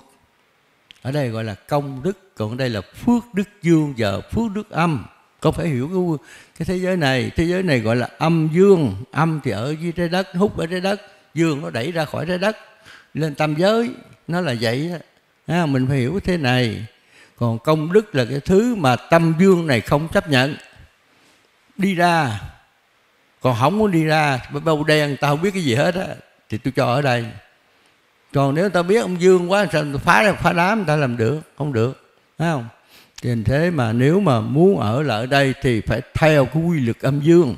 Bầu đen để cho ông âm luôn đi đâu. Thì ông mới ở đây được. Đó thì con phải hiểu cái thế giới vật lý này. Thế giới này là âm dương hai cái này thôi. Còn nếu mà cái, cái, cái mà không phải âm dương đi ra đó nó vậy thôi.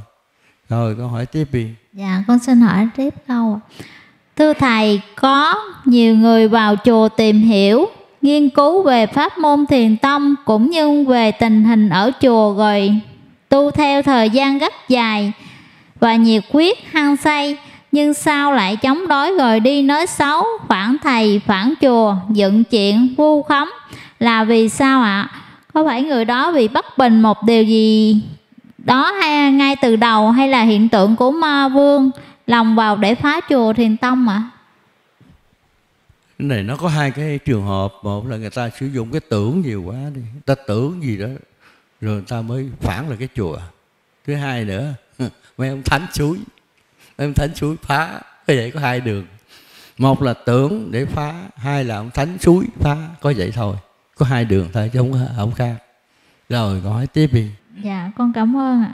Giờ con xin hỏi tiếp không ạ người tu theo tiền tâm, rồi nhưng có bệnh, mà nghe ai giới thiệu chữa bệnh bằng cách đọc sách luân công.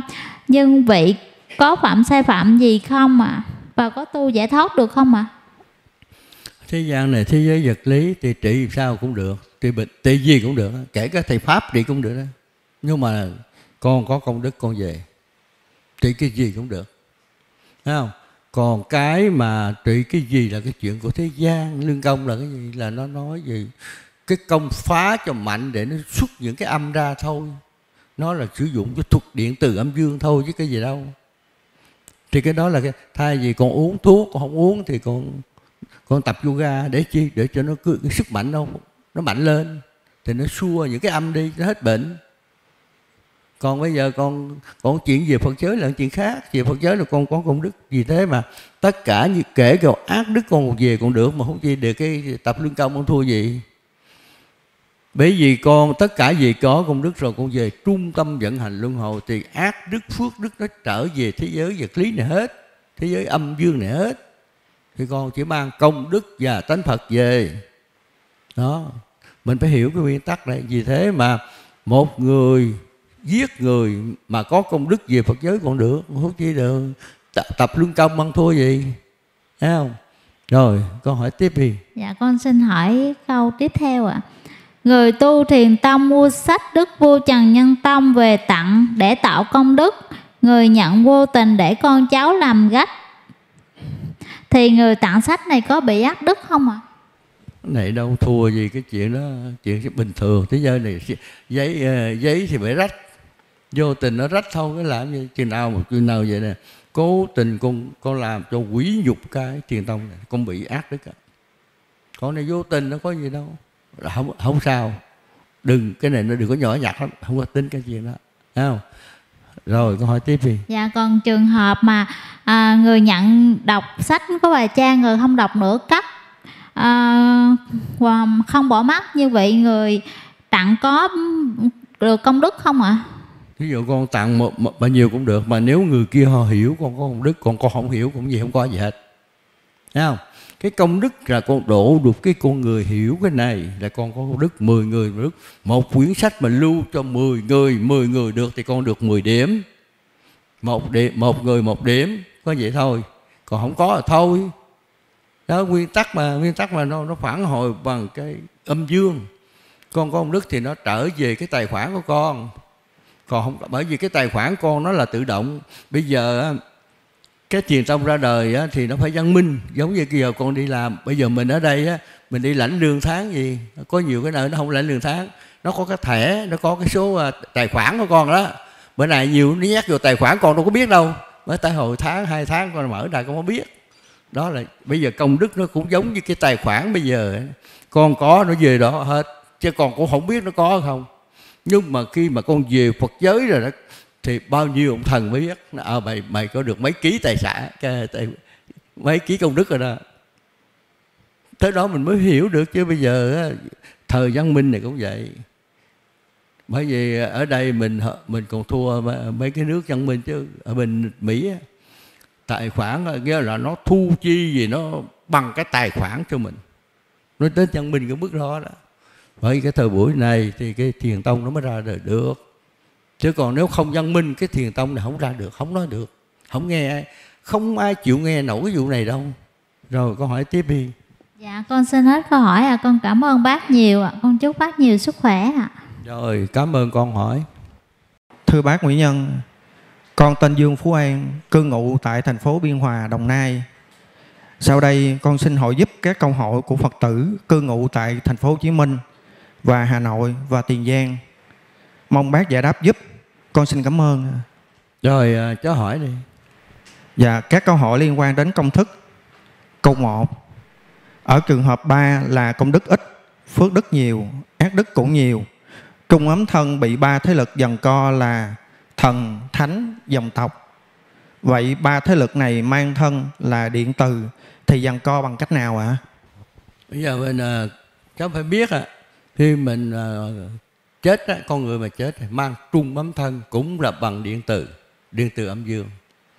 Đương còn thánh thần thì nó mang điện từ âm rất nặng rất mạnh. Thần thánh thì mang cái điện từ gọi là nó nhẹ mà nó nó quyền linh. Còn con người cái ờ, cái dòng tộc á, thì mang thân người cũng âm dương giống như mình. Thì ba cái thế lực này á, là nó nguyên tắc á, nếu mà cháu cái công đức ít thì ông thần cho con về. Nếu dưới điều kiện là công đức ít nhưng mà được thấy đường về Phật giới thì cho về. Còn ông thánh á, ông thánh này là ông thánh ông dụ mình. Ông bảo là đừng về bển buồn lắm đi theo đi theo thánh chúng tôi thì rất vui lắm. Còn ở trên bên ờ, bên dòng họ gì? Nói là thôi con đi về với với, với ông bà chứ đừng có đi về đi đừng có giải thoát. Đó ba cái thế lực này đó ba cái thế lực này nó nắm kéo cái trung ấm thân mỗi một người nắm một góc kéo là vậy chỗ ý là cái chỗ này nè. Thấy không? Dạ. rồi dạ, con hỏi cho hỏi tiếp đi. Dạ câu 2 lúc trước giải đáp bác có nói là trung ấm thân khi thoát ra khỏi thân tứ đại thì có thể nhìn rất xa và sáng suốt vậy cái nhìn này có thể nhìn xa được tới đâu ạ? À? có thể nhìn xa đến vị trí hoa tiêu phật dẫn được không ạ? À? không không được. Cái này phải hiểu nè. Ví dụ mà con mất rồi mà đi ra cái mang cái nghiệp âm thì nó chỉ nhìn thấy trong cái nghiệp âm thôi.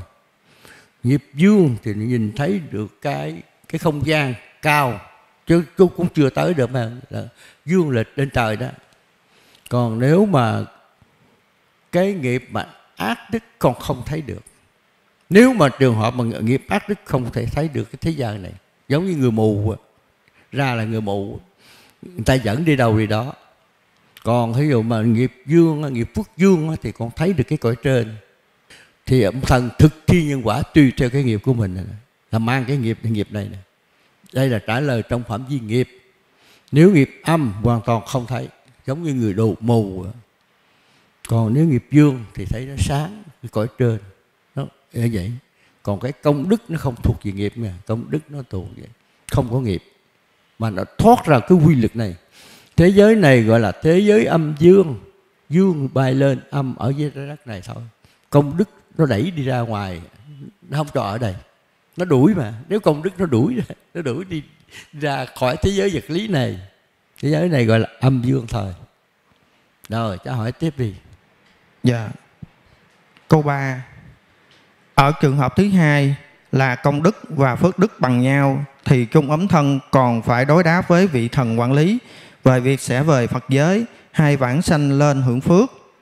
Hoặc ở trường hợp thứ ba là công đức ít, phước đức nhiều, ác đức nhiều thì cung ấm thân bị giằng co chưa biết là có trở về Phật giới được không. Vậy thì ở hai trường hợp công thức trên như vậy vẫn chưa xác định rõ là có thể về được Phật giới hay không. Vậy lúc mất thân tứ đại thì cung ấm thân sẽ thoát ra vị trí nào trên cơ thể à? bây giờ à, tất cả nếu mà có công đức thì nó thoát lên đỉnh đầu gọi là đảnh giải thoát nhớ là đảnh giải thoát mặt mắt sanh thiên cái mặt mắt mình nó sanh lên có quả trời á còn cái đảnh lên trên đầu là, là thoát giải thoát đi ra ngoài này thì cái này tùy theo giải thoát nào. Nếu mà giải thoát công đức nhiều bay ra liền. Còn công đức mà nửa này nửa kia thì có sự dạ, có sự can thiệp của vị thần. Hỏi giờ muốn muốn về hay là muốn đi hưởng phước? Còn cái thứ ba đó là ba thế lực thì cái này phải dùng cái kỹ thuật đánh tan cái âm của thế gian này bằng cái tiếng gì? Tiếng buông la cho lớn. Vì la một cái âm một buông lớn vào cái thì nó, cái tiếng vang đó nó lại xá xóe cái cái cái cái màn âm dương của cái thế đất này thì mới thoát ra được. Cái đây là sử dụng cái thuật để thoát ra. Đó nó có ba cái trường hợp này. Rồi à, có, cháu có thắc mắc thì hỏi thêm cái này. Đó là ba cái thuật để đi ra đi trở về Phật giới là cái chỗ này. Rồi cháu hỏi tiếp đi. Dạ. Câu 4. Ở trường hợp công thức thứ hai là công đức và phước đức bằng nhau thì vị thần quản lý sẽ nắm trung ấm thân của Phật gia bên nửa trắng thì lúc đó vị thần sẽ nắm như thế nào ạ? À? thì à, mình nắm à, thân tứ đại thì mà, mà con biết là gì Dạ. thì bên kia nó cũng vậy nó cũng bằng thần à, cũng bằng điện từ thì trung thân cũng bằng điện từ thì nó nắm bằng điện từ Dạ. thấy không thì mình hình dung người giống như nắm thân tứ đại nắm đúng thân tứ đại điện từ nó nắm theo điện từ chỉ cái cái cái, cái thế giới nào thì nó làm đúng theo thế giới đó.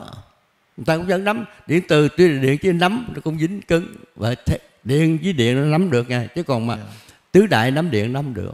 Hoặc là điện nắm tứ đại không được. Thế giới nào nó sống theo thế giới đó?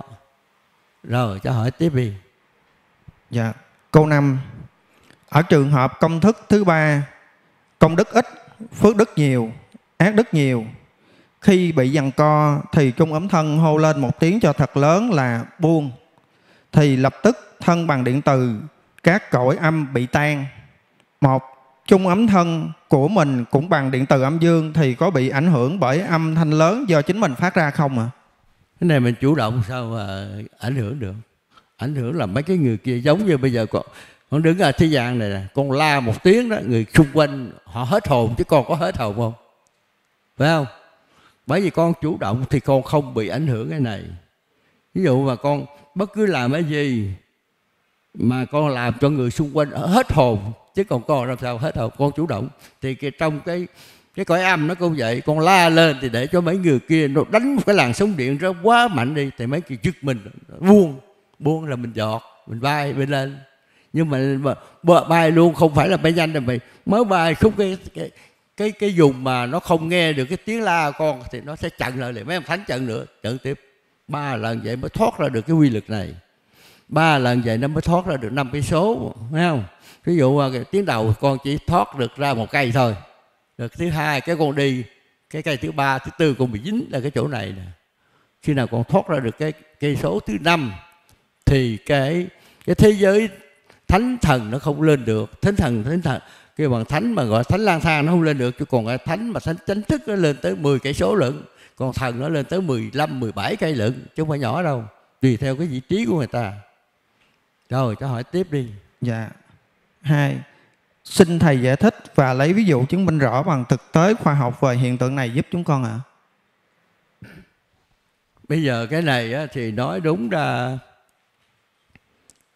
nếu mà nó thực tế khoa học mà chứng minh bằng cõi vô hình không được. Nhưng mà có thể nói thế này được. Thì bây giờ nói về chứng minh về cái chuyện khác thì được về cõi vô hình. Chứ ngày xưa đó mình thấy à, nói là ví dụ cõi vô hình mình không thấy bây giờ chính mình không thấy nhưng mà giờ khoa học nó cho mình thấy. Thí dụ những cái cái cái người mà ta có cái đèn à, có có có có, có, có cái bóng đèn mà phân giải cao nó rọi ban đêm á thì mấy cái mấy người ta đi trong cái xe tăng ban đêm nó nhìn thấy được phân giải cao mà gọi là kiến hồng ngoại đó. mà bây giờ đó thì cái cái nền văn minh nó càng cao khi nào mà cao mà con nhìn con đeo cái kiến này mà con thấy được cõi âm là bắt đầu trái đất bắt đầu xong rồi đó Thấy không khi đeo được cái kiến này mà thấy được cõi âm và kể cả trời trời phân thân xuống đây luôn á còn uh, Phật chư Phật vô đó. còn con mà con thấy được cái này là lúc đó loài người sẽ được nghe các cõi âm giảng về về cái cái sự tồn vong của trái đất này.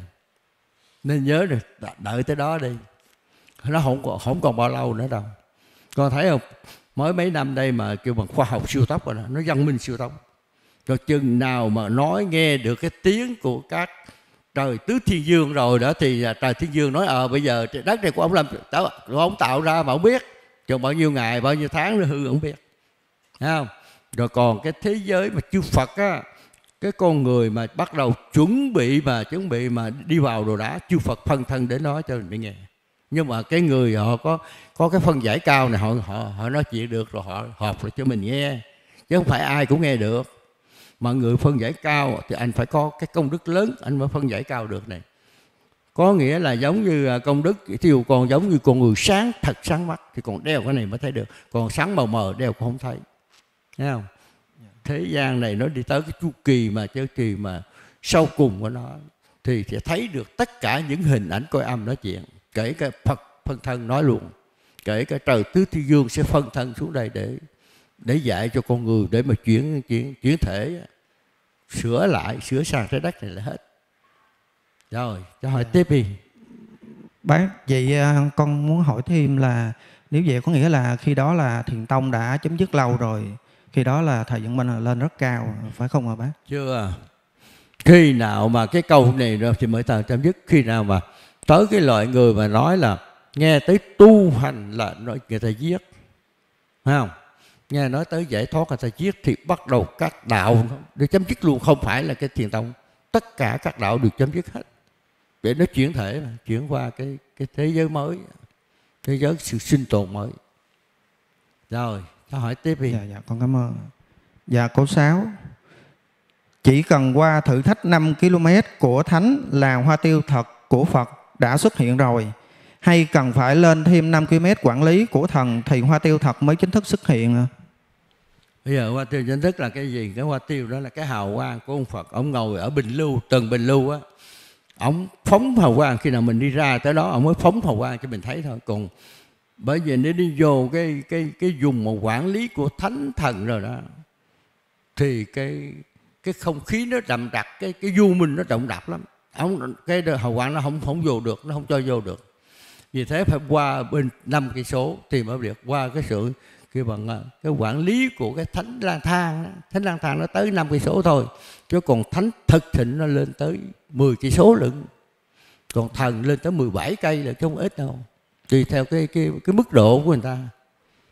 Vì thế mà con ra được năm cây số thì cái hào quang của chư Phật mới mới phóng ra được.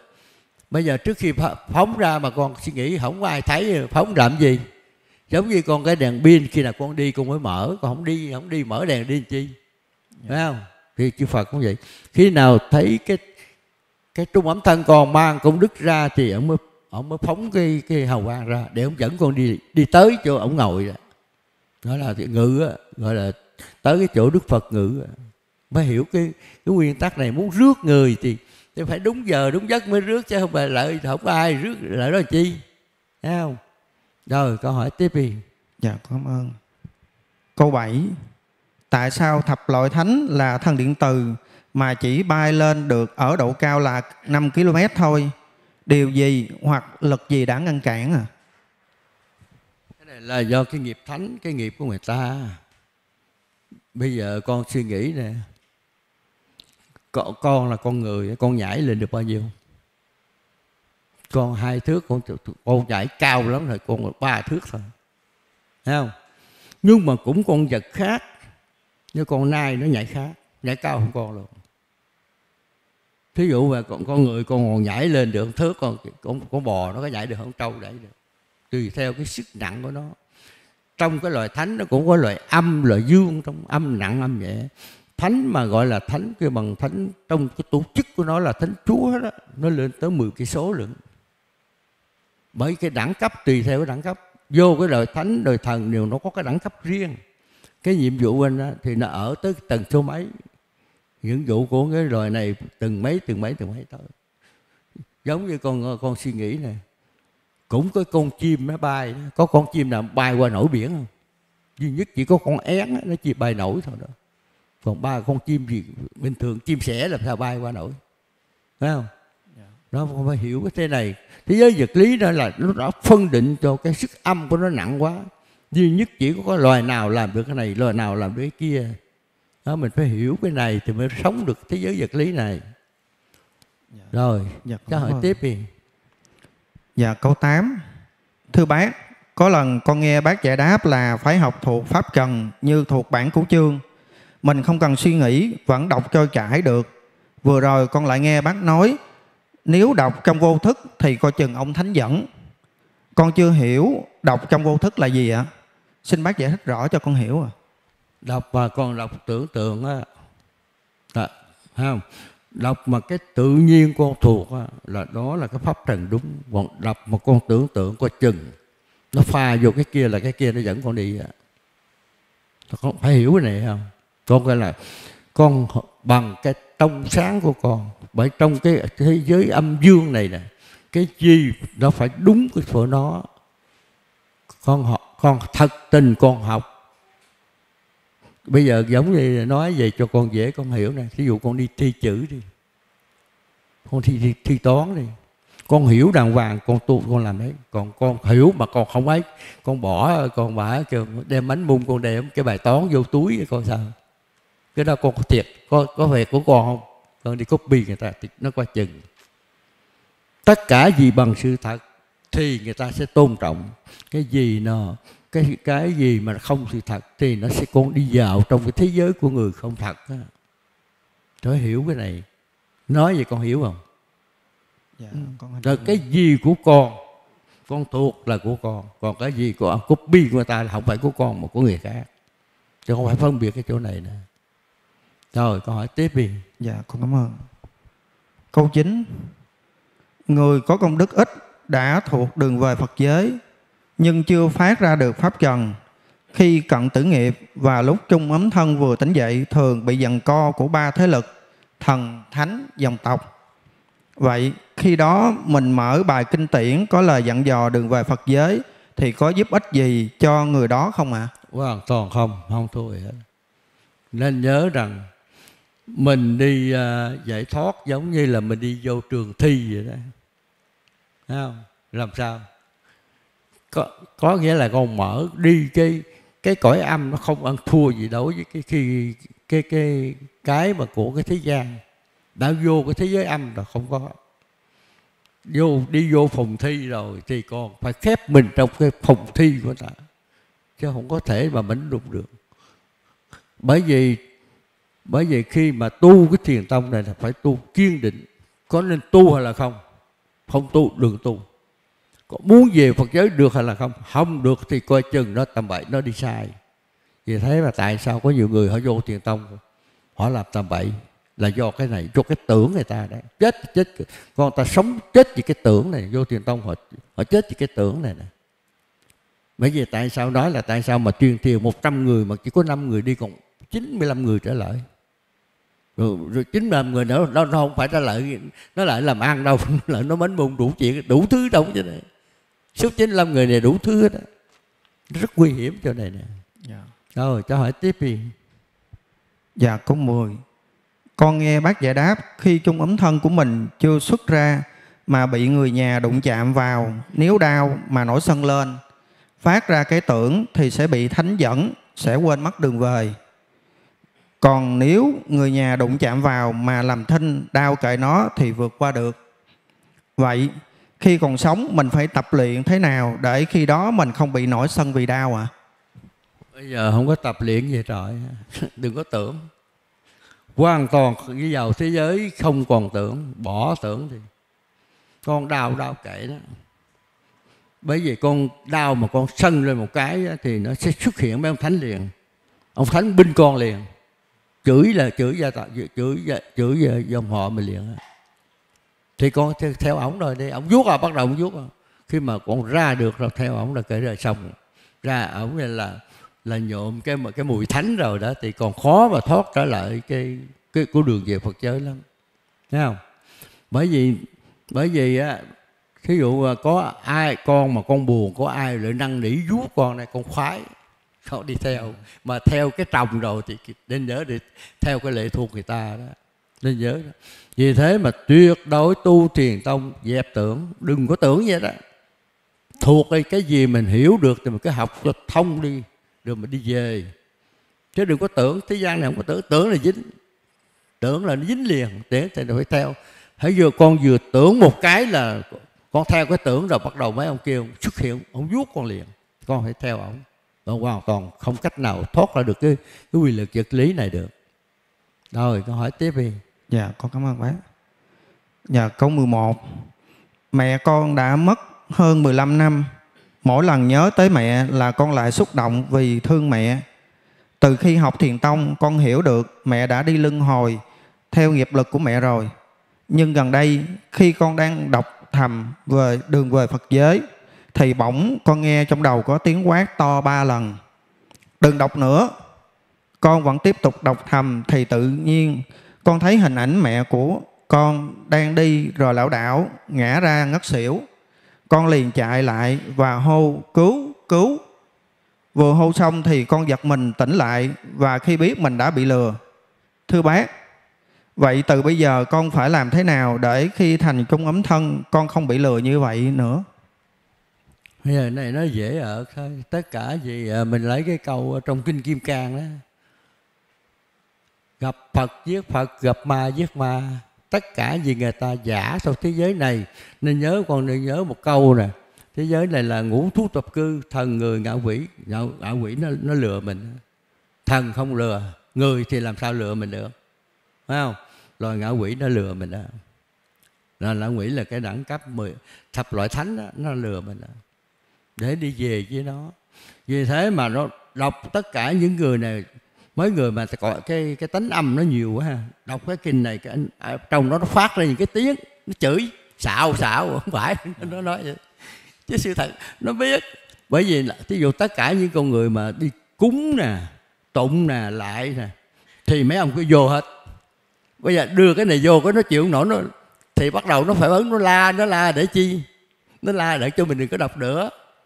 Nhưng mà đọc hoài thì nó trốn mất luôn, nó bắt đầu nó chịu nổi, chạy. Thấy không? Đa số nhiều người mới tu cái này tu bên túng tụng mà đi ra ưa ưa gặp ngay cái trường hợp này. Nó mà nó còn ở trong đây còn đọc nó chịu nổi nó la nó la nó la nghe tiếng luôn á. Thấy không? Nó nghe bởi vì mình cái cái tánh mình nó nghe cái tánh về bằng điện mà nó la bằng điện thì mình nghe cho còn cái tánh cái tánh sát mình không nghe mình nghe bằng cái tánh của mình cái người đứng kế bên không nghe nhưng mà mình lại nghe. Là cái tánh cái tánh bằng cái, cái tánh người của mình nó bằng điện thì ông kia bằng điện nó cũng nghe nó la vậy đó chửi lộn luôn á nó thấy không? Thấy không? Yeah. Dạ. chú còn nhớ có chứ có cái cô nào ở trên ở trên hóc môn á nó hù á bà, bà đang tu tịnh độ qua nó hù nữa rồi bà, bà nói hỏi chú chú nói kệ đó nó nó, nó hù á, thì thách đó.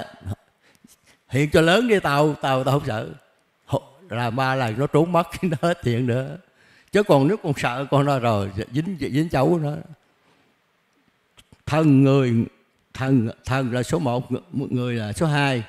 Nó ngạo quỷ nó xếp thứ ba nó thuộc về em mình. Tại mình sợ nó chứ sự thật nó cái đẳng cấp nó thấp hơn mình. Dạ. thấy không? Rồi con hỏi tiếp đi.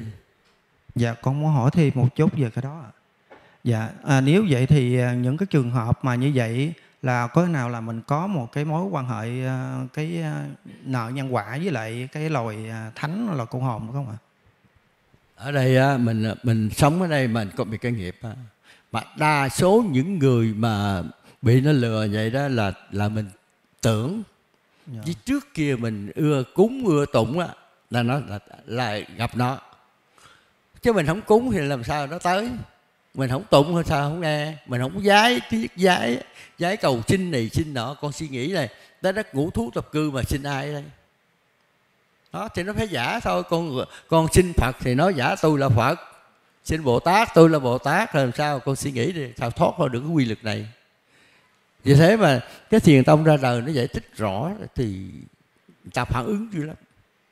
Nó phá vỡ cái cái cái cái giả dối của thế gian này mà để con suy nghĩ sống nổi không mà chỉ là nói nó nó căn bản thôi chứ không phải nói sâu rồi đâu nói sâu giờ không ai chịu nổi đâu.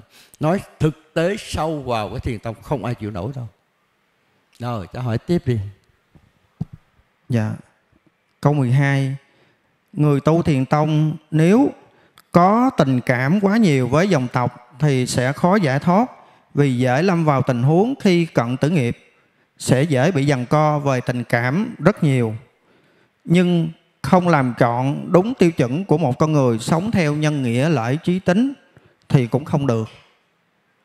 Vậy, xin bái cho chúng con một lời khuyên phải sống làm sao để có thể cân bằng được cuộc sống vật lý ở đây. Để không bị dính quá nhiều về tình cảm vào dòng tộc, nhưng vẫn không bị mang tiếng là không có trách nhiệm nhiều với dòng tộc. Để khi mất thân con đường trở về Phật giới của chúng con luôn được rộng mở và thuận lợi. Ngoài yếu tố quan trọng nhất là phải tạo ra được công đức cho thật nhiều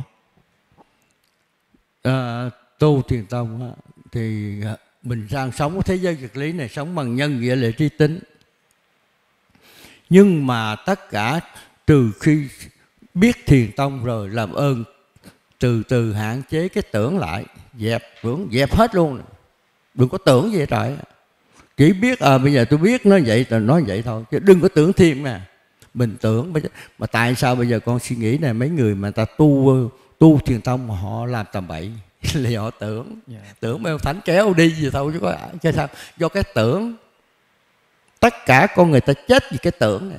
Con làm giàu cũng bị tưởng mà con bị nghèo cũng vì cái tưởng này. Mà con tu đúng tu sai cũng mà cái tưởng này nè mà may mắn bây giờ thiền tông ra đời nó chỉ công thức còn cứ theo công thức thôi. Nhưng mà còn nếu mà cái công thức này con không có đồng ý con đi hỏi người ta. Phá vỡ được cái con người ta có lường gạt mình không? Nếu đúng thì con cứ để vậy thôi đừng có tưởng. Nhớ là tuyệt đối đừng có tưởng. Thấy không? Yeah. Dạ. thì rồi con rất đúng. Con chết vì cái tưởng này thôi còn sống thì sống bằng nhân nghĩa lê trí tính. Khi vào thiền tông cấp đông chung tất cả đều cái dẹp hết không có tưởng như rồi đó. Rồi cứ cứ cứ cứ bình thường theo cái công thức người ta ba cái giai đoạn đi á. Nếu mình có phước rồi công đức nhiều thì mình đi thoải mái không nói gì đó còn nếu còn có pháp trần rồi con cũng không sợ. Đó rồi mình hiểu công thức này thôi dẹp cái tưởng đi. Yeah. Dạ. con dẹp tưởng thì con đi về phật giới an toàn. Còn còn con mà tưởng thì thôi, còn dính liền. Tưởng đâu dính đó. Xung quanh giống như là mũ rồi đụng đâu dính đó. Thấy không? Rồi, câu hỏi tiếp đi. Dạ các câu hỏi liên quan đến phần giác ngộ ạ. Dạ câu 1 con thấy có trường hợp người chết sau 2 3 năm, phần xác của tứ đại không bị phân hủy mà lại cứng lại và trắng như sáp. Hiện tượng này ở quê con, mọi người gọi là mộ kết. Con chưa hiểu rõ mộ kết là gì và người chết như thế nào thì có mộ kết. Gia đình nào có mộ ngôi mộ kết thì có ảnh hưởng gì không ạ? À? bây giờ đó tất cả cái mộ kết này nè thế là do ông thánh. Tất cả những người tu á, mà mà nói về hiển linh nhiều á, thì sẽ có cái mộ kết này. Nó là cái chất cái chất uh, điện âm á, nó cố nhiều lắm thì nó sẽ tra, nó nó bất hoại mà. Cái điện âm nó xuống nhiều cái điện dương nó không bị nha. Cái điện âm nó bị kết. Mà thứ nhất là mấy cái ông mà thầy mà ngày, ngày xưa mà mà vua pharaoh á họ họ chơi bùa dữ lắm. Nó khỏi cần ờ, ốp sát vậy rồi mà họ chơi bùa càng nhiều thì cái mộ kết nó càng lớn. Cái cõi âm cõi âm nó là cái cõi đặc Thấy không? thì mới ra cái mộ kết này. Mà đa số tìm lại là tất cả những người nào có cái mộ kết này là hoàn toàn là đi hoàn toàn là cúng nhiều nè hoặc là tin tưởng về thần linh nhiều thì nó sẽ có cái cái này. Tùy theo cái mức độ của nó. Càng nặng hơn nhất. Thứ nhất là mấy cái ông mà uh, mấy ông thầy mà luyện thiên lên cái hoàn toàn ông này ông chết nó thành một cái nó cứng cắt luôn. Cái cọng tóc ông cũng vẫn bị linh chứ không phải vậy tại sao có nhiều người ta thờ tóc á? Thờ tóc rồi thờ này thờ kia đó là, là mấy người thờ tóc là do cái mộ kết này nè. Cái nó linh lắm. Bởi vì à, hồi xưa là ông bà phải thứ nhất là làm thầy pháp á ngày xưa. Làm thầy pháp thì nó có cái mộ kết này. Là chỉ ta chơi bằng cõi âm không à? Thầy pháp là nó chơi bằng nó nó nó trục của hồn bằng cõi âm không? Chính bây giờ mấy người mà niệm phật hay niệm mà thấy cái à, thấy cõi âm nhiều nó cũng dính vào cái mộ kết này, này một cái là nó nó loãng một cái nó ít thôi. Có nhiều khi nó nó chỉ còn, nó chỉ một cái lớp da nó không tan, nhưng một cái ruột nó nó tan. Còn có nhiều cái đó, nó dày, nó nó nặng quá, nó dày, nó luôn tới trong ấy. Vì thế mà con đi con đi vô trong mấy cái bảo tàng, con để ý này cái bảo tàng mà kêu bằng sở thảo cầm viên nó có cái, nó có cái hình mà gọi là không không ngoại đó. Con chỉ cần đưa cái mặt con vô nó đẩy con ra liền. Chú đi ra hà nội rồi hà nội nó cũng có cái mấy cái mặt cái cái này đỡ trong cái nhà kiến nha. Thì con đứng con dòm không sao mà con đưa sát vô nó đẩy con ra liền. Đó là cái cái cái sức cái sức nó nó, nó mạnh nó vậy đó. Bây giờ này không biết nó bây giờ nó còn không? Hồi trước á cái à, cái bảo tàng mà trong à, trong thảo cầm viên á con vô đó nó có cái một cái hình nó đen thui đó. À, là cái một kết đó đó rồi câu hỏi tiếp đi dạ con cảm ơn câu 2 trong một giải đáp, bác có nói là người chết bắt đắc kỳ tử, chết vì tai nạn thì sẽ có trường hợp không được đi lưng hồi liền, mà bị quỷ giữ hồn lại cho đến khi nào có người thấy chỗ. Tại sao lại có hiện tượng như vậy? Ai giữ hồn mình và người chết như thế nào mới bị giữ hồn lại hả? Đây là thế giới âm, nó được cái quy tắc của nó vậy. Mà đa số là tất cả những cái nơi mà nó có cái miễu thờ đó thì đa số là quỷ dư hồn nào đó. đó. Thấy không? Còn tới cái gần cái vùng đó không phải sát cái miễu đâu mà con chết ở cái vùng đó thì chắc chắn con trường nào mà có cái miễu thì còn gọi là con phải bắt buộc phải ở giữ giữ đó để thế cho cái người đó đi đi đầu thai đó bây giờ này Sài Gòn Đà Lạt nó có cái đèo Ba Cô con nhớ không? Dạ. hồi đó có ba ba người gái mà chạy xe tắt xong mà bị lũi vô đó chết ba người gái. Và đèo Ba Cô mà cái chỗ đó là cái chỗ quỷ vô hồn. Người nào mà bởi vì lâu lâu nó tới đó có người, người ta chết để, để mấy người này đi. Tất cả tới tất cả những nơi mà có cái miễu đều là có quỷ dư hồn hết. Mình muốn khỏi quỷ dữ hồn này phải phá được cái này thấy không? Bởi vì mình cắt ra để chi? Để người ta ở ta ở thì bây giờ tôi buồn quá, tôi tôi không muốn ở nữa. Thì tôi đi xui khiến khu khư xui mấy người khác. Chết để thế, tôi đi. Bởi vì cái này không, mình không dám nói công khai. Chứ sự thật cái này nếu mà tất cả những nơi nào mà có miếu đều qua chừng chỗ đó đâu có quỷ dư hồn hết không phải chết tại miễu mà chết ở một cây số nửa cây số cũng phải bị. Nó phải, không phải quỷ du hồn là ở trong cái miễu nó hoài đâu, nó phải đi tới đi lui năm ba cây số chứ không lẽ đấy rồi chết là nó kéo vô, nó kéo vô chỗ đó đó. Là cái này là cái tục lệ do con người tạo ra. Mà mà ai là do mấy ông thầy pháp tạo ra? Ông thầy pháp chơi với, chơi chơi với còi cõi âm nhiều, ông tạo ra. Để chi ông cúng? Ông lấy tiền tiền cúng thôi chứ bây giờ nếu mà dẹp hết rồi từ từ rồi nó có, nó cũng hết à chứ không có chứ không có có cái cái tục lệ này nữa đâu. Là do có mấy ông thầy pháp. Bây giờ thiền tông nó ra đời nó phá hết rồi không còn cái gì nữa thì khỏi giữ hồn giữ ma cho từ từ thấy không? Là do mình do mình. Mà gốc tích là do mấy ông thầy pháp. Mấy ông thầy cúng á. Hồi xưa người ta gọi là thầy pháp chứ bây giờ gọi là thầy cúng chứ bây giờ là gọi là thầy pháp. Thấy không? Dạ. rồi câu hỏi tiếp đi dạ câu 3 người có công đức mà bị chết bắt đắc kỳ tử thì họ có phải làm quỷ giữ hồn không ạ à? họ có thể trở về phật giới được không hay phải đi luân hồi tiếp nếu có thì bao lâu sau mới được về hoặc bao lâu sau mới đi luân hồi ạ? À? Nếu mà có cái nghiệp quỷ giữ hồn thì mới đầu thai làm nghiệp quỷ giữ hồn nữa, còn chết bất trì kỳ tử nó ở trong nhà đó quấn quýt vợ con hoài thấy không? Nó phải hiểu cái thế này.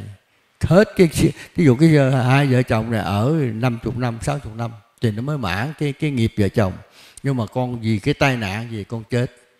Con không đi được. Bởi vì cái cái cái cái, cái chương trình đầu thai con không có thì con phải ở trong cái ở trong gia đình. Là bởi vì mới có chuyện thờ trong gia đình. Bấy thờ là thờ mấy người này nè còn thí dụ ông bà mình chết mà nó cái nghiệp là đã đi rồi, nhưng mà mình nhớ rằng ông bà mình thờ là mình tưởng niệm thôi.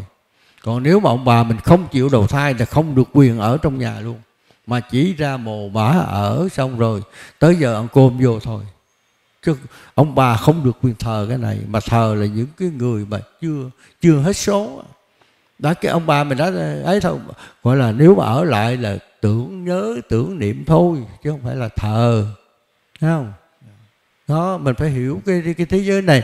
Khi là con bị nhân quả luân hồi thì con phải theo cái cái đời sống mới rồi. Còn con chưa thì con phải ở lại nhưng cũng thời gian thôi, chứ không phải chính diễn vì thế mà có thể là thờ ba đời thôi đời ông nội thôi, đời ông cố thôi, bỏ. Đó, có nhiều cái gia đình đó vậy thôi.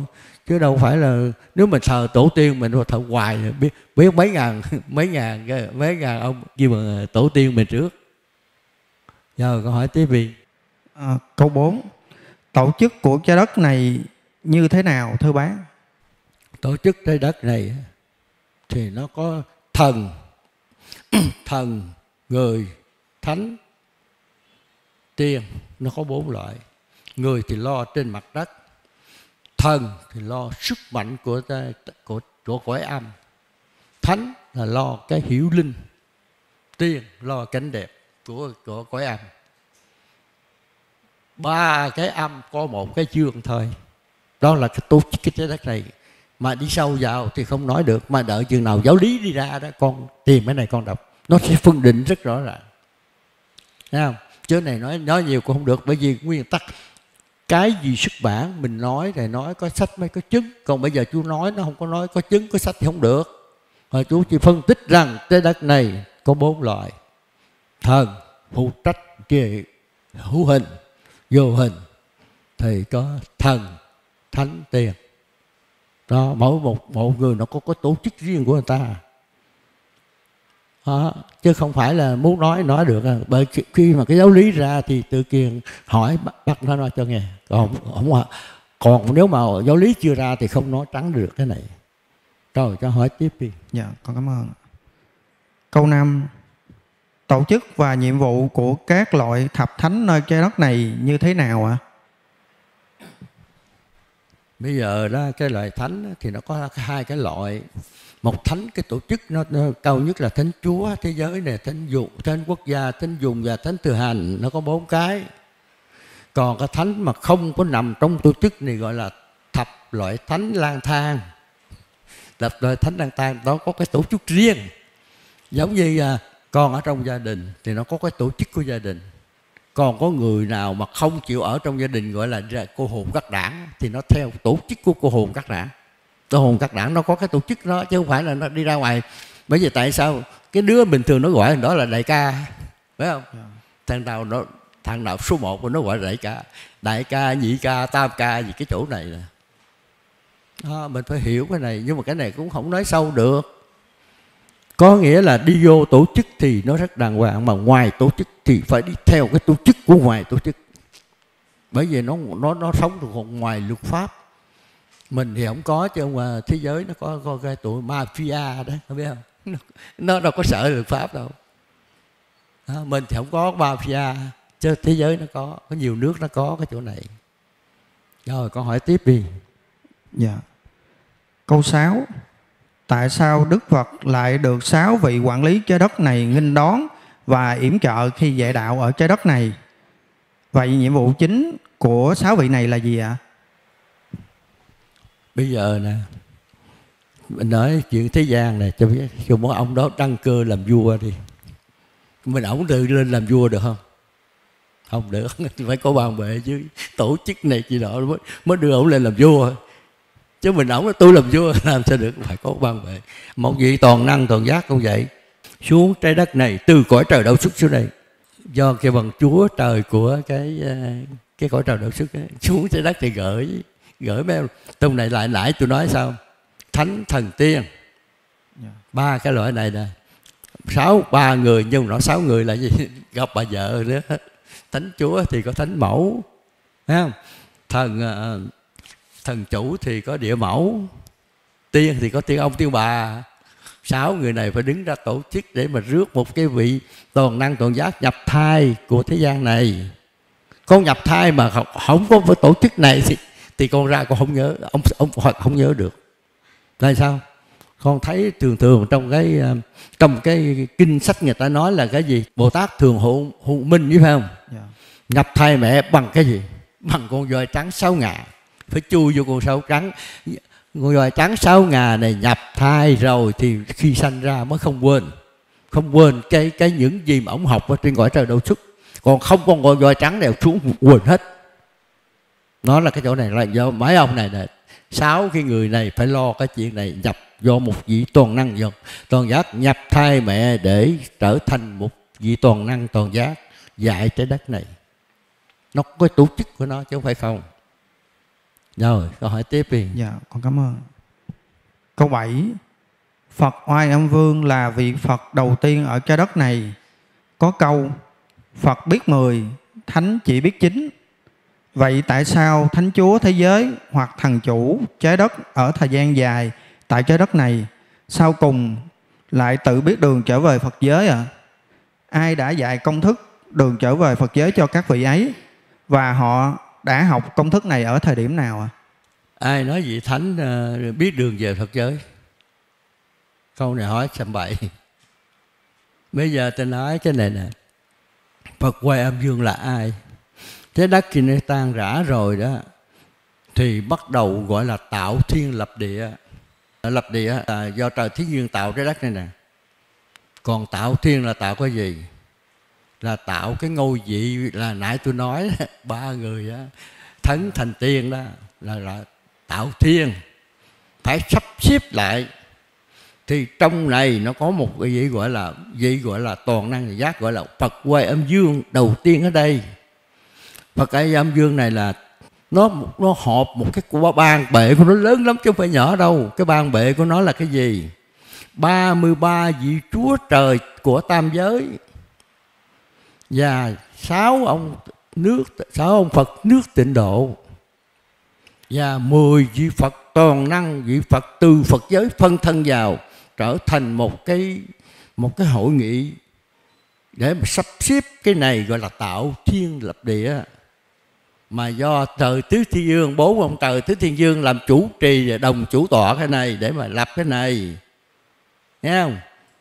Rồi sau đó là muốn về Phật giới thì 10 cái ông Phật phân thân thế dạy. Cái ông nào mà quay âm dương phải dạy cho ông thuộc cái này hết, công thức này. Dẫn ông về Phật giới luôn. Rồi từ Phật giới ông mới phân thân trở lại. Phân thân lại để ông dạy cho ông Phật thứ hai. Thấy không? Quay âm dương là bắt đầu, không ai không ai ấy, nhưng mà mười mười ông Phật bên Phật giới phân thân, giới dạy ông, rồi rước ông về để chi? Để khi ông Phật thứ hai bảy ngàn năm sau ông Phật thứ hai muốn thành Phật thì do ông Phật quan ông dương mới điều khiển ông về lên trên cái cõi trời đâu suốt á học ở trở rồi mới nhập tha, nhập vào cái thế giới này. Gọi là tái nhập ta bà đó. Là trong kinh thường nói là tái nhập ta bà là cái chỗ này nè. Để mà dạy một vị Phật thứ hai vì một cái đất là có một triệu ông Phật chứ không phải nhỏ đâu chứ không phải nhỏ đâu 10 ngàn năm tính đây một tỷ 10 tỷ phải không? 10 tỷ về cái 10 ngàn năm thì cái nhận là một triệu ông Phật. Mà cái ông Phật đầu tiên gọi là oai âm dương oai là cô quay quay dũng. Âm là cái cái điện âm mà dương là cái điện dương chứ không phải vương nha. Dương chứ không phải vương. Dạ. nó phải hiểu nó có cái tổ chức tổ chức cái trái đất. Đầu tiên gọi là tạo thiên lập địa. Là sao? Là cái có cái hội nghị này này cái hội nghị gọi là hội nghị tạo thiên lập địa. Là cái chỗ này do 10 vị Phật phân thân 33 vị trời sáu ông Phật tịnh độ. Và và sáu ông bà ở trên trái đất đó, ở vô hình. Có con người không bằng tu à? Con người không có không dính líu rồi cái chuyện mà ấy. Con người rồi xin lỗi rồi chỉ là hiện thân. Sau cùng thì mới có người là công cụ. Bởi vì thành ra Đức Phật ông nói con người mình không có thật. Giờ con gì có thật không? Con sống trăm tuổi rồi còn mặt biến mất đâu thì ta cũng cứ theo cái quy luật luân hồi vậy thôi. Chứ con người trong ai thật thật thì sống hoài? Sống không khi nào chết. Sống trăm tuổi cũng tiêu. Là làm sao thiệt? Thấy không? Rồi con hỏi tiếp đi. Dạ, con à, hỏi thêm câu đó là cái à, nếu mà như vậy thì cái cõi trời mà tứ thiên dương á khi mà tạo ra cái trái đất đầu tiên mà có vị Phật Hoa Âm Dương đó thì cái cõi trời tứ thiên dương đó là ở đâu à? Tức là thuộc như thế nào à? Trời thiên dương con có coi tam giới không? Nằm Dạ. trong tam giới đó. Trời thiên dương đó tuy là một trái đất nhưng mà mỗi ông nó bốn góc. Mỗi ông chịu một góc. Bởi vì khi mà tạo cái trái đất này là không phải một ông tạo được đâu. Nó bốn ông mà nó có cái ban bệ của nó. Giống như mình xây thí dụ mình ở đây thì trái đất này cho nó hiểu này con là tập đoàn xây dựng đó. Tập đoàn xây dựng ra đâu phải một người nhớ nhớ một cái ban bệ lớn lắm một ông tổng giám đốc và bốn bốn ông phó tổng giám đốc. Rồi bao nhiêu mà lính tráng nữa mới tạo thành là một cái tập đoàn. Thì trời thiên dương nó cũng thuộc về tập đoàn sản xuất hành tinh. Thấy không? Bởi vì nên nhớ là trái đất nó bao nhiêu tỷ tấn mà mấy ông ông gom ông gom từ à, ví dụ bây giờ đầu tiên ông ông ông tạo cái lỗ đen vũ trụ để ông quay mà bốn trợ với tập đoàn ông quay một cái nó thành cái sức hút vật lý nó thành là cái lỗ đen vũ trụ. Ông mới quay là quay ổn định rồi thì mới điều khoản cái điện từ âm dương vô âm âm vô trước dương vô sau sao, sao nó quay để chi? Để nó quay cái hành tinh lửa vô để nó cuốn nó nó quay theo cái quy luật vật lý. Nó đây là cái ông mấy ông tạo thế dương gọi là cái ông gọi là vua sản xuất hành tinh đó chứ chứ không phải nhỏ đâu phải công nghệ ta. Người, bây giờ mình mới hiểu là cái con người mình tứ đại sực thình yếu yếu xìu. Thấy không? nhưng mà cái con người bằng điện từ nó gấp một tỷ lần của mình, nó mạnh bằng một tỷ lần mình. Tại sao trái đất này nó đang quay vậy mà nó nó cho quay được? Nó đâu có đụng đâu, nhưng mà nó điều khiển bằng điện. Vì thế mình mới chứng minh cái chuyện này nè. Con nên nhấn chính mà, cái con người mình mà từ đây đi Mỹ bao nhiêu ngày tới tôi cho đi máy bay 24 tiếng mới tới đó nhưng mà điện đưa nó đi chừng nào tới. Không nó không có tới một một phần ngàn giây nữa. Thấy không? Nó đi rất nhanh vậy đó, con suy nghĩ đi. Thôi mình phải hiểu cái điện mà hơn nữa là cái điện mà gọi là cái cái cõi trời à, tứ thiên dương gọi là cõi trời trục giới là cái giới rất cực kỳ mạnh. Nó điều khiển luôn cả cái tam giới mà. Sức rất rất rất mạnh cái chỗ đó còn mình là xin lỗi tứ đại yếu yếu xìu. Giác cũng giác 10 10 kg ra không nổi. Xin lỗi. Trái đất mà nó còn quay nó bắt quay được á. Bốn ông đứng ông đứng bốn góc. Tôi quay một cái biểu nó chạy bao- nhiêu. Trái đất này nó quay một, một nó di chuyển một tiếng đồng hồ bao nhiêu? Một ngàn tám trăm cây số. Cô suy nghĩ. Trên thế gian này có cái nào mà mà quay nổi eh, vật chất nào mà quay nổi một ngàn tám trăm cây số? Không thấy không? Đi, đi sâu vào cái thiền tông nó nhiều cái nó khủng khiếp lắm chứ không phải vậy rồi cho hỏi tiếp đi Dạ, con cảm ơn ạ. Câu 8. Công đức được tạo ra phải nếm mùi trần gian mới có giá trị. Ý nghĩa câu này là gì ạ? bây giờ con nói thiệt con á con mà cha mẹ sinh ra con tự làm ra tiền con mới giá trị của đồng tiền của con thế cha mẹ con cho con con không không giá trị gì đấy con chỉ biết tiêu xài thôi nhưng mà nên là con cái số tiền con làm ra thì con giàu mới lâu còn cha trong dân gian ta nói là cha thâu con sức thằng cha giàu thằng con nó phá sản nó cho con biết thế giới nó là vậy đó Thấy không con hiểu không Dạ, con hiểu. ừ. Dạ, con cảm ơn. Câu 9. Vị Phật đầu tiên ở trái đất này là Oai Âm Dương. Tiền thân là Thánh Chúa thế giới hoặc thần chủ trái đất. Những vị này đã tạo ra công đức bằng cách nào và ai đã chỉ dẫn các vị ấy cách đã tạo ra được công đức à? Bây giờ á, con sẽ là ở đây là 10 tỷ năm. Vô cho tánh Phật vô đây tạo công đức. Ai cho ổng vô? Thì ổng cho vô. Cái bà, con mà về Phật giới ổng có công đức á. Ổng cũng cũng có một phần Mà 10 tỷ rồi bao, bao nhiêu tiền mà công đức? Nhờ công đức này mà vị- mười vị Phật có phân thân vào dạy cái, dạy bởi vì cái thánh chúa thế giới này nè, Phật qua âm dương thì nó gồm có thánh chúa nè, thần chủ và tiên ông. Tiên ông, tiên bà đó. Thì những người này sẽ tuân tự thay phiên nhau làm quay âm dương. Thí dụ kỳ này ông ông thánh thì kỳ sau ông thần, rồi kỳ sau ông tiên, thí dụ đại khải. Cứ 10 tỷ năm thay lần. Bây giờ những người này là tù tiên thánh thần, người ta tuy ta không có làm, nhưng mà còn đã góp một phần tạo công đức. Ai cho ai cho vô đây, ông thần? Rồi ông thánh sẽ ai ai ai mà giúp cho ông thánh quản lý này là ai giúp cho con tu được? Chính ông thánh giúp con tu chứ không phải ai đâu. Mà chỉ ông thánh lang thang phá con thôi chứ ông thánh trực thí. Bởi vì nói rồi, tại sao cái người mà con tu đàng hoàng đây ông thánh giúp đàng hoàng? Chỉ ông thánh thánh lang thang mới phá. Mà thánh lang thang phá không phải tự ổng phá nữa đâu. Là tại mình.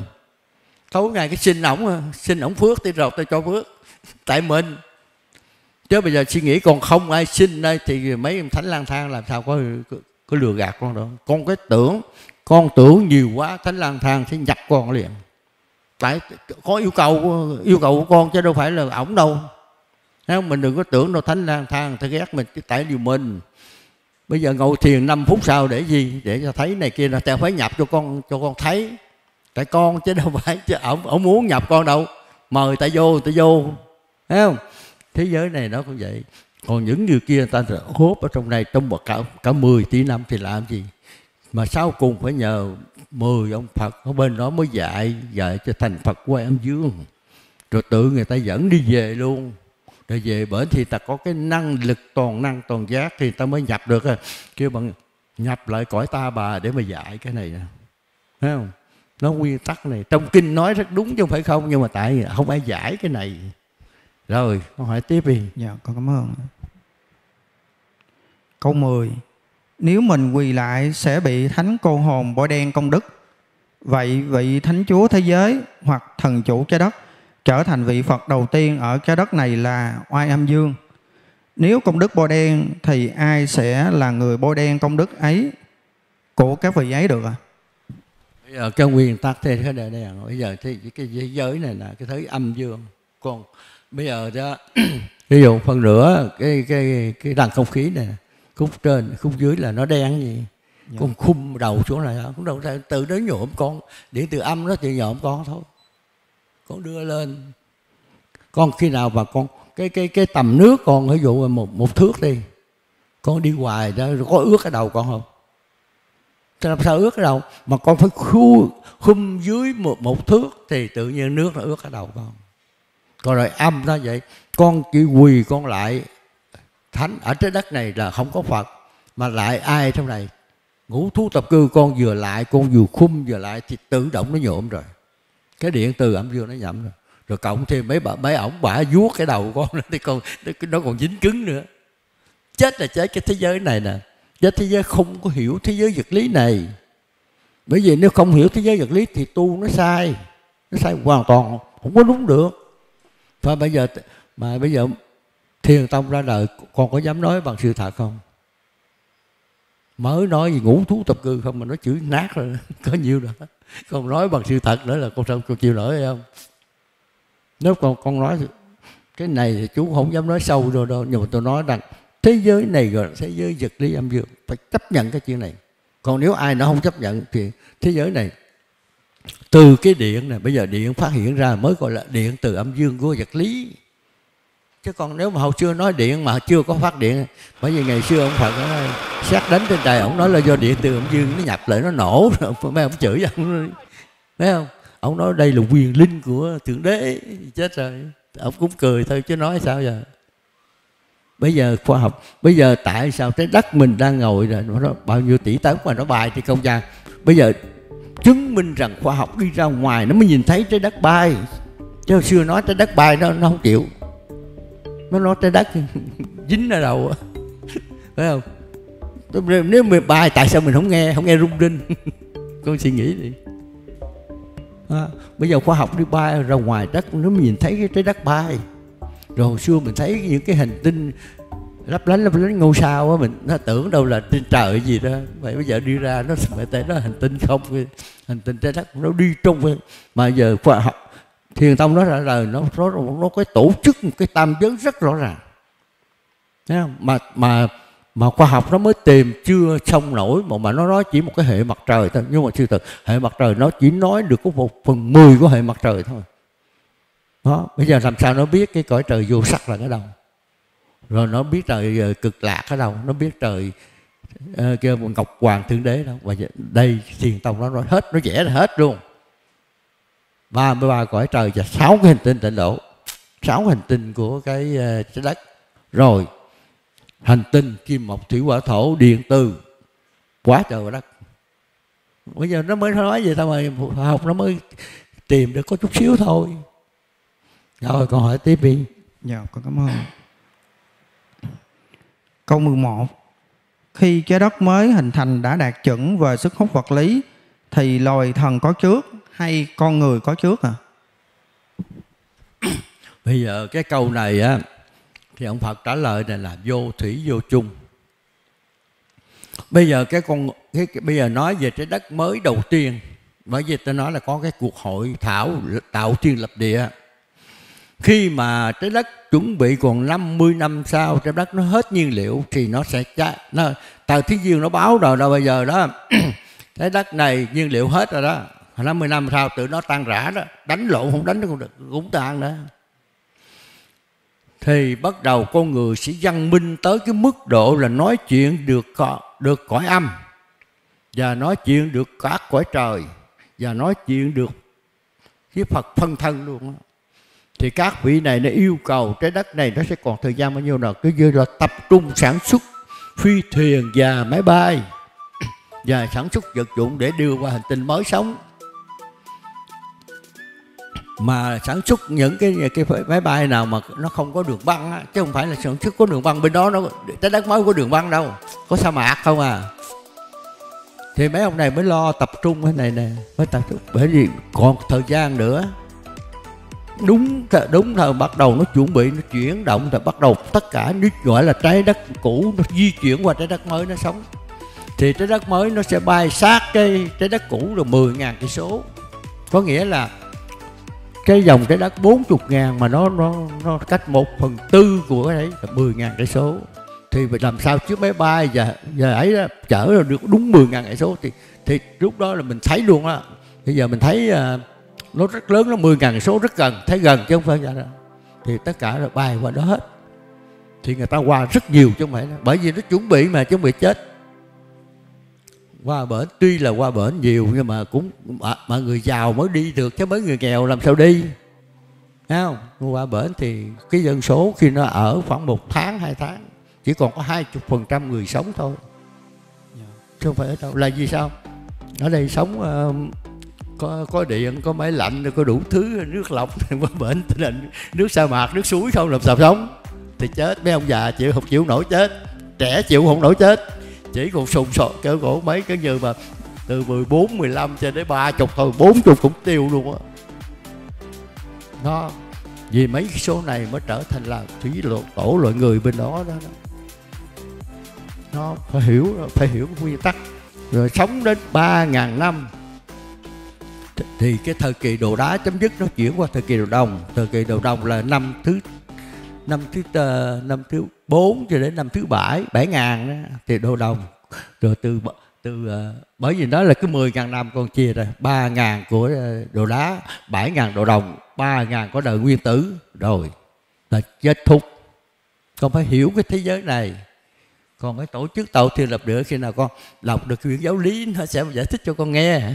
Nó nghe rất nhiều cái đó. Yeah. Dạ. con chưa hiểu nổi đâu.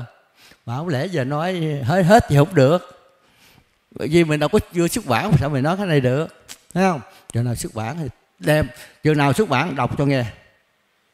Giờ rồi có có mạo muội giờ, giờ mà đọc cái bài số 24 của vị giáo lý. Nó nói về về cứu trái đất về sinh tồn của loài người đó bài 24 đó. Rồi câu hỏi tiếp đi. Dạ, dạ con cảm ơn câu 12 có phải khi con người đến trái đất này sinh sống rồi chết đi mới thành thần, phải không ạ? À? Thành thần ở thế giới này nó tự nhiên bởi tạo thiện thập địa nó có thần thánh, người rồi tất cả gì nó có đầy đủ hết rồi. cái thành thần này đó, mình ở trái đất này mình làm, mình thích làm thần thì sẽ chết làm thần vì sao mà nói câu này thì chú không dám nói rõ ở trong gian, trong dân gian có nói cái câu này sống làm tướng, thác làm thần con suy nghĩ sao? Nói nhiều, nếu nói nói nhiều á, thì nó rất hay nhưng mà không được. Nó chưa xuất bản chứ không nói cái này. Thánh thần là do cái lòng mình muốn. Ví dụ con muốn hiển linh thì con chết làm thánh. Con muốn dùng sức mạnh thì chết con làm thần. Có vậy thôi. Thánh thần là do cái lòng của mình, ham muốn của mình. Rồi câu hỏi tiếp đi dạ con cảm ơn. Câu 13 loài thánh có ở trái đất này trước khi có con người. Hai con người đến trái đất này rồi chết đi mới thành thánh, thành con hồn ngã quỷ. Bây giờ nói thế này là trái đất này mà vừa chết rồi trái đất mới, tất cả đều trung ấm thân và tất cả thần thánh là cõi vô hình phải di chuyển nhanh hết qua cái trái đất mới á.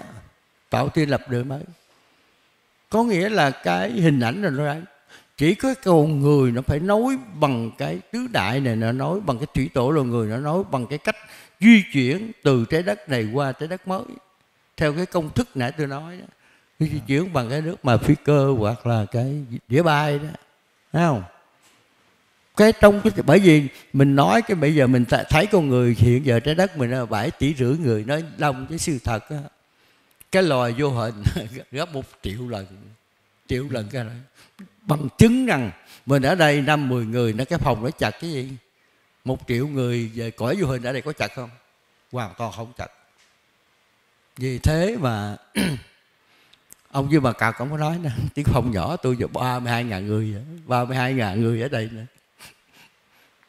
thì chú mới trả lời nó dụ ba hai còn ít ba triệu rưỡi người cũng chưa, cũng cũng còn, cũng chưa chặt chứ đừng có nói ba ngàn, ba mươi hai ngàn người. Thấy không? Phải hiểu cái cõi vô hình nó nhiều hơn cái cái, cái hiện hữu tứ đại. Bây giờ nên nhớ rằng bây giờ mình nói ờ, cái người mà gọi là cái cõi vô hình nó rất nhiều. Bây giờ khoa học chứng minh rồi. Giờ con suy nghĩ coi giờ con ở đây có bao nhiêu cái máy điện thoại đều bắt được làn sóng điện hết nó nằm ở đâu? Mình thấy bằng con mắt thường mình làm sao thấy làn sóng điện nhưng mà cái nhờ cái máy nó biết nó hiện hình luôn chứ không phải là cái cái cái tiếng nói không cái hoặc là làm thông điện không nó hiện hình luôn. À, con thấy không? Bởi khoa học rồi mới giải mã được cái thiền tông này. Còn nếu mà thiền tông mà ra đời mà khoa học không có văn minh thì không giải mã được. Rồi con hỏi tiếp đi. Dạ. Câu 14 trong kinh diệu pháp liên hoa phẩm bảo tháp thứ 11 Đức Phật đã bảo nhường nửa tòa ngồi cho Đức Phật Thích Ca Mâu Ni có ý nghĩa gì ạ? Tháp, Sao tháp đa bảo là tháp bãi tật. Cái thời này đời này là ông ngồi là ông ông ngự trị ở trong trái đất này. Này đã bảo là cái ông phật phật trước. Đó, bây giờ tôi nhường cho ông đó. Bây giờ ông quản lý cái này nè. Vì thế trái đất nam diêm phù đề là thích ca còn cái thượng tu di quan đó là ông phật thượng tu di quan nằm ở trong cái nước nó thừa cái ờ, cái nước thượng tu di châu mỗi một một cái một cái cái, cái hành tinh do một vị Phật quản lý. Đời này ông Phật Thích Ca đang quản lý nè. Chừng nào mà ba ngàn năm thì ông Phật hết rồi ông Di Lạc tới. Ờ, ừ, ông Di Lạc tới. Đó, cái ông A Giặc Đa nó tới nên là quản lý cái này. Nó một triệu ông chứ trái đất một triệu ông một ông làm, làm chủ có mấy năm thôi. Không phải là một ông làm chủ có ba ba ba ngàn năm thôi. Mà có nhiều cái không tới. Có nhiều cái nó tới nhiều cái nó không tới. Thấy không? Rồi câu hỏi tiếp đi. Dạ. Ý thứ hai tháp đa bảo từ đất mọc lên trụ ở hư không có ẩn ý gì ạ? Có nghĩa là những cái gì mà mình nói ra đó từ thân tứ đại này mới đúng á còn những bên ngoài nó đi vô là không đúng. Bên ngoài là gì? Vì thế mà đức phật nói là, anh gặp cái gì, hình tướng bên ngoài là giả dối. Cái gì trong trong mình anh lưu xuất ra mới là đúng, còn bên ngoài vô là không đúng. Thấy không? Vì thế mà trong kinh nói là có nhiều nhiều ờ, nhiều cái người vị bồ tát đó để ờ, tới cái ờ, để giúp cho thích ca. Thích ca nó không cần. Ở đây chừng nào mà chừng nào mấy người ở đây giúp ta được chứ còn mấy ông ấy tới họ không chịu. Con con à, đọc mấy cái kinh đó có nói vậy. Không? Tất cả bồ tát từ phương khác tới giúp ông thích ca ông chịu. Mà ở đây thì mới cho là gì? Anh muốn cái gì thì phải từ trong ông đó, đi ra đó mới đúng. Vì thế mà các thiền sư có mấy ông ngồi thiền ông nói vậy này từ hông ngực lưu sức ra mới là đúng còn bên ngoài ra là hoàn toàn sai là cái ông ông căn cứ vào những cái lời dạy này của ông Phật. Chỉ có vậy thôi. Rồi con hỏi tiếp đi. Dạ. Vậy các vị trong bốn chúng được Đức Phật dẫn lên trụ ở hư không nghe thuyết pháp có mặt nghĩa gì à? này là ông nói ra ông nói là nở tương lai thôi. Về sau á hồi trước thì ngồi dưới đất nói chuyện, chứ bây giờ anh ngồi lên trời nói chuyện nữa giờ con suy nghĩ không? Bây giờ người ta lên trời người ta nói chuyện á. Giờ mình ngồi đây được có ngồi dưới đất không? Con tính, con đứng đây, con có đứng dưới đất không? Cách mười mấy thước á. Có nhiều người lên hai hai chục tầng nữa. Không trăm tầng, ta nói ta nói. tự hư không nói chuyện. Đây là mình nói tôi tự hư không nói chuyện. Thấy không? Tại mình thấy đấy sự thật đó. Nếu mà người khác nhìn thấy mình Ô, Này nó đứng trên mặt đất tới 10 thước nói chuyện Không tiêu không là gì? Mà nhiều người nói là còn cao hơn nữa cho của mình nữa. Nên ta nói về thời khoa học thôi. Giờ câu hỏi tiếp đi. Dạ con cảm ơn. Dạ câu 15 Thưa bác Tại tại sao có trường hợp người chồng mất sớm Họ cứ theo bám người vợ thậm chí còn làm cả chuyện vợ chồng với người vợ đang sống. Làm thế nào để hết hiện tượng này à? Cái này là do cái cái tánh người ta đó nó nó không thoát được cái cái cái quyền lực này. Giờ cái tình cảm đó Thấy không? Mà do cũng là do một phần của, của cái nghiệp của người vợ vợ chồng. Nguyên tắc ví dụ hai người vợ chồng đó, ở nhau là năm chục năm đi mới có ba chục năm mất vì lý do gì mà nó không chịu đi cái nghiệp đó chưa xong nó không chịu đi. À, nó có quân quýt hoài do cái nghiệp. Mà cái này là ông thần ông không không can thiệp được. Đó bởi vì cái nghiệp của người ta tôi sống trên này vợ chồng tôi năm chục năm mà giờ tôi làm, làm gì rớt. Làm sao tôi chết không được. Thì tôi cũng phải làm đúng theo cái nghiệp của nó. Cái này thì mình cũng khó lắm. Nhưng mà cái này muốn thoát ra được duy nhất chỉ có cái thiền tông ra đời mình áp dụng đúng thiền tông một cái thì thì tự động nó mất mà phải cho đúng rồi à. Cho còn nếu mà sai không được. Rồi hỏi tiếp đi. Dạ con ờ, còn một câu hỏi cuối. À, câu hỏi này là con ờ, đọc ờ, nguyên văn ạ à, của một vị này. Dạ. Kính bạch đạo sư con Phật tử Thiền Tông Nguyễn Minh Quang Gò Công Tiền Giang. Số điện thoại là 0372 076 956 Xưa nay con chỉ nghe, nhưng nay con có câu hỏi, có hai ý sau, xin phép được hỏi. Một, thiền tông không dụng chữ tu. Thế mà khi huyền ký được công bố thì con lại bắt đầu tu thiền tông à? Bây giờ chữ, ờ, chữ tu nó có hai cái nghĩa. Tu, dụng công tu nó khác. Còn tu thiền tông không có dụng công. Tu nghĩa là làm cái gì đó. Giờ tôi không lẽ không tu bây giờ con đi giúp người này công đức công đức thì con cũng phải tu tu tu là gọi là tu hành. Còn cái tu vật lý gọi là tu dụng công. Đây là mình làm thôi, làm theo cái cái gì hướng dẫn của tiền tông. Còn bên kia nó hướng dẫn của cái vật lý, mình phải phân biệt chỗ này nè. Chứ giờ thế gian nếu mình không nói chữ tu là dùng cái chữ gì, thì cũng phải tu mà tu cái chuyện kia là tu ngồi thiền hoặc là tu thuyết pháp, tu này kia nọ. Còn ở đây là tu tạo được cái công đức, làm cái gì được, để làm công đức. Ví dụ con con đi con phát cái ờ, con cho cái quyển sách thì con là con đi là tu tu tu theo thiền tông là tu kiểu này. Cái sử dụng ngoài là cái gì? Có nghĩa là nó dẹp cái chữ tu mà kêu bằng tu dụng công á. Mình đây không có dụng mà tu đi sinh hoạt cách bình thường. Không dũng công à. Ví dụ con đi, con đâu có dũng công. Đi biết đi thôi chứ dũng còn dũng ngồi thiền dũng công mà con phải nghiêm chỉnh để để mà nó thanh tịnh hoặc là con gõ mỏ tụng kinh, con làm sao cho nó hay. Nó khác. Dũng công là cái này, còn này không có dũng công. Nó tu cách bình thường làm theo cái thiền tông. Thiền tông hướng dẫn mà gọi là tu, gọi bên đây gọi là hành. Thứ thiền tông gọi là hành tu hành làm theo đúng. Còn bên kia là tu dụng công. Thấy không? Chứ nếu mà không nói tu mà biết nói gì vậy? Vì thế mà tất cả những cái gì mà ông Phật nói lời của Như Lai nói ra giống như gió bay thôi, chứ không có sự thật, không có đúng cái gì thật. Thiền tông nó cũng nói vậy. Nhưng mà thế gian nếu con không nói chữ tu là con không cách, không có cái chữ nào thế vô được cái chữ này hết.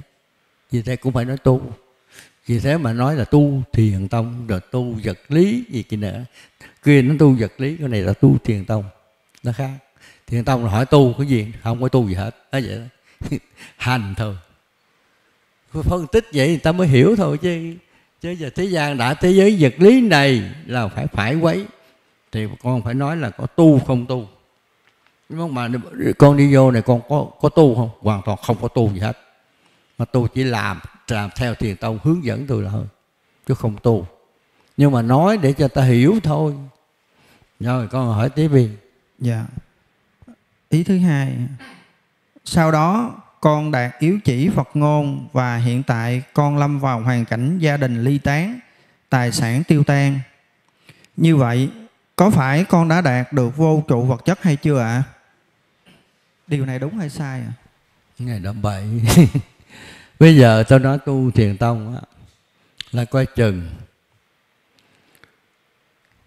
Hồi xưa đó con không có tu thiền tông đó, con sống một cuộc đời là thánh thần giúp con á. Cứ ăn cái tối ngày cúng đụng này nó mà con tu truyền tông rồi thánh thần không giúp nữa. Mấy ông thánh không giúp nữa rồi sao thì cô từ cô ta tan tan nhà rác cửa luôn tu truyền thông phải cho ra nhưng mà con tu đúng rồi thì thánh thánh nó không làm cái chuyện này được. Bởi vì hồi xưa con, cái gì cũng cũng cũng cầu xin thánh hết. Rồi bây giờ con bỏ thánh thì thôi, tao giờ không giúp mày nữa. Thì tự nhiên là nó phải tiêu thôi.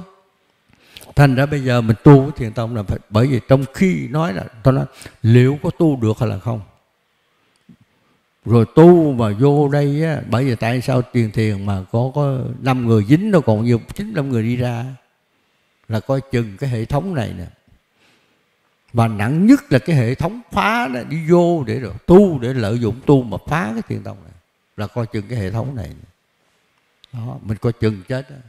bây giờ tôi nói tu thiền tông giống như là hồi, hồi đó là mình nói đi máy bay nó nó, nó còn cao chứ giờ tu thiền tông giống như hòa tiễn à. con đi địa điểm này đừng kêu đi bằng hòa tiễn tới không? Có một, có trăm cái quả tiễn bắn lên cái, các hành tinh, có cái nào tới là tới không? Còn nhiều đi. Rồi mấy cái tới thì còn nhiều đi, bài mất hết rồi. Nó khó, cực kỳ khó, chứ không phải nhỏ đâu. Thành ra, khuyên thiền tông, bởi vì tôi nó khuyên thiền tông, đừng có tu, không có tu. Chịu có thể mà tu được thì tu tu không được thì thôi, chứ đừng có vào đây rồi mang quả. Bởi vì tôi thường nói là, tu thiền tông giống như nuôi con hổ trong rừng, ở trong nhà, con rắn độc ở trong nhà con còn con tu thiền tông mà con không sơ sẩy một cái là con, con con nuôi con hổ mà trong nhà mà sơ sẩy cũng đang thịt con đó. Hiểu không? Chứ không phải đơn giản chứ không phải tại sao đời khoa học văn minh ông Phật mới cho công bố ra chứ ngày xưa không có dám. Không có ông nào dám dám tu thiền tông nó thiệt con à, thời xưa. Bởi vì nó không có nó không có chuẩn về vật lý thành ra tu thiền tông có được. Mà bây giờ chuẩn rồi đó mà tu mà nó nó còn nó còn số lượng rất ít như vậy. Con suy nghĩ không phải đơn giản đâu. Rồi con hỏi tiếp đi. Dạ con ờ, hết câu hỏi. Dạ con ờ, cảm ơn bác ạ. À. rồi cảm ơn con đã hỏi. Kính thưa bác tôi kính chào bác Nguyễn Nhân soạn giả thiền gia viện chủ chùa Tân Diệu và tất cả quý vị. Chào chị chị muốn hỏi gì hỏi đi. Dạ cảm ơn bác. Kính thưa bác Tôi tên là Phạm Thị Bưởi, hiện ở số quận 6, thành phố Hồ Chí Minh. Tôi trước đây có đi chùa tụng kinh và có nhiều thắc mắc. Tôi đã có thưa kính hỏi chư vị tăng ni nhưng quá bận các vị không giải nghĩa rõ ràng nay tôi kính xin hỏi bác về một số câu hỏi kinh nhật tụng kính mong bác giải đáp giúp cho chúng tôi được rõ. Thưa bác. Rồi à, chị hỏi đi. Dạ cảm ơn bác. Thưa đây là câu hỏi số 1 kính thưa bác thời xưa lúc còn đức phật bổn sư thích ca mâu ni các tăng ni có tụng kinh mỗi ngày không à thưa bác? Ngày xưa làm gì có cái chuyện tụng kinh đầu tiên ông phật ông dạy ngồi thiền nha, rồi sau á, ông dạy cái lý luận, rồi sau ông dạy cái tìm hiểu thôi, nha, chứ không có tụng. Ngày xưa tuyệt đối trong 49 năm, Đức Phật không dạy tụng kinh một ngày nào hết. Mà ông Phật ông Phật có dạy câu này đọc như lai viết sách ra, đọc cho thuộc.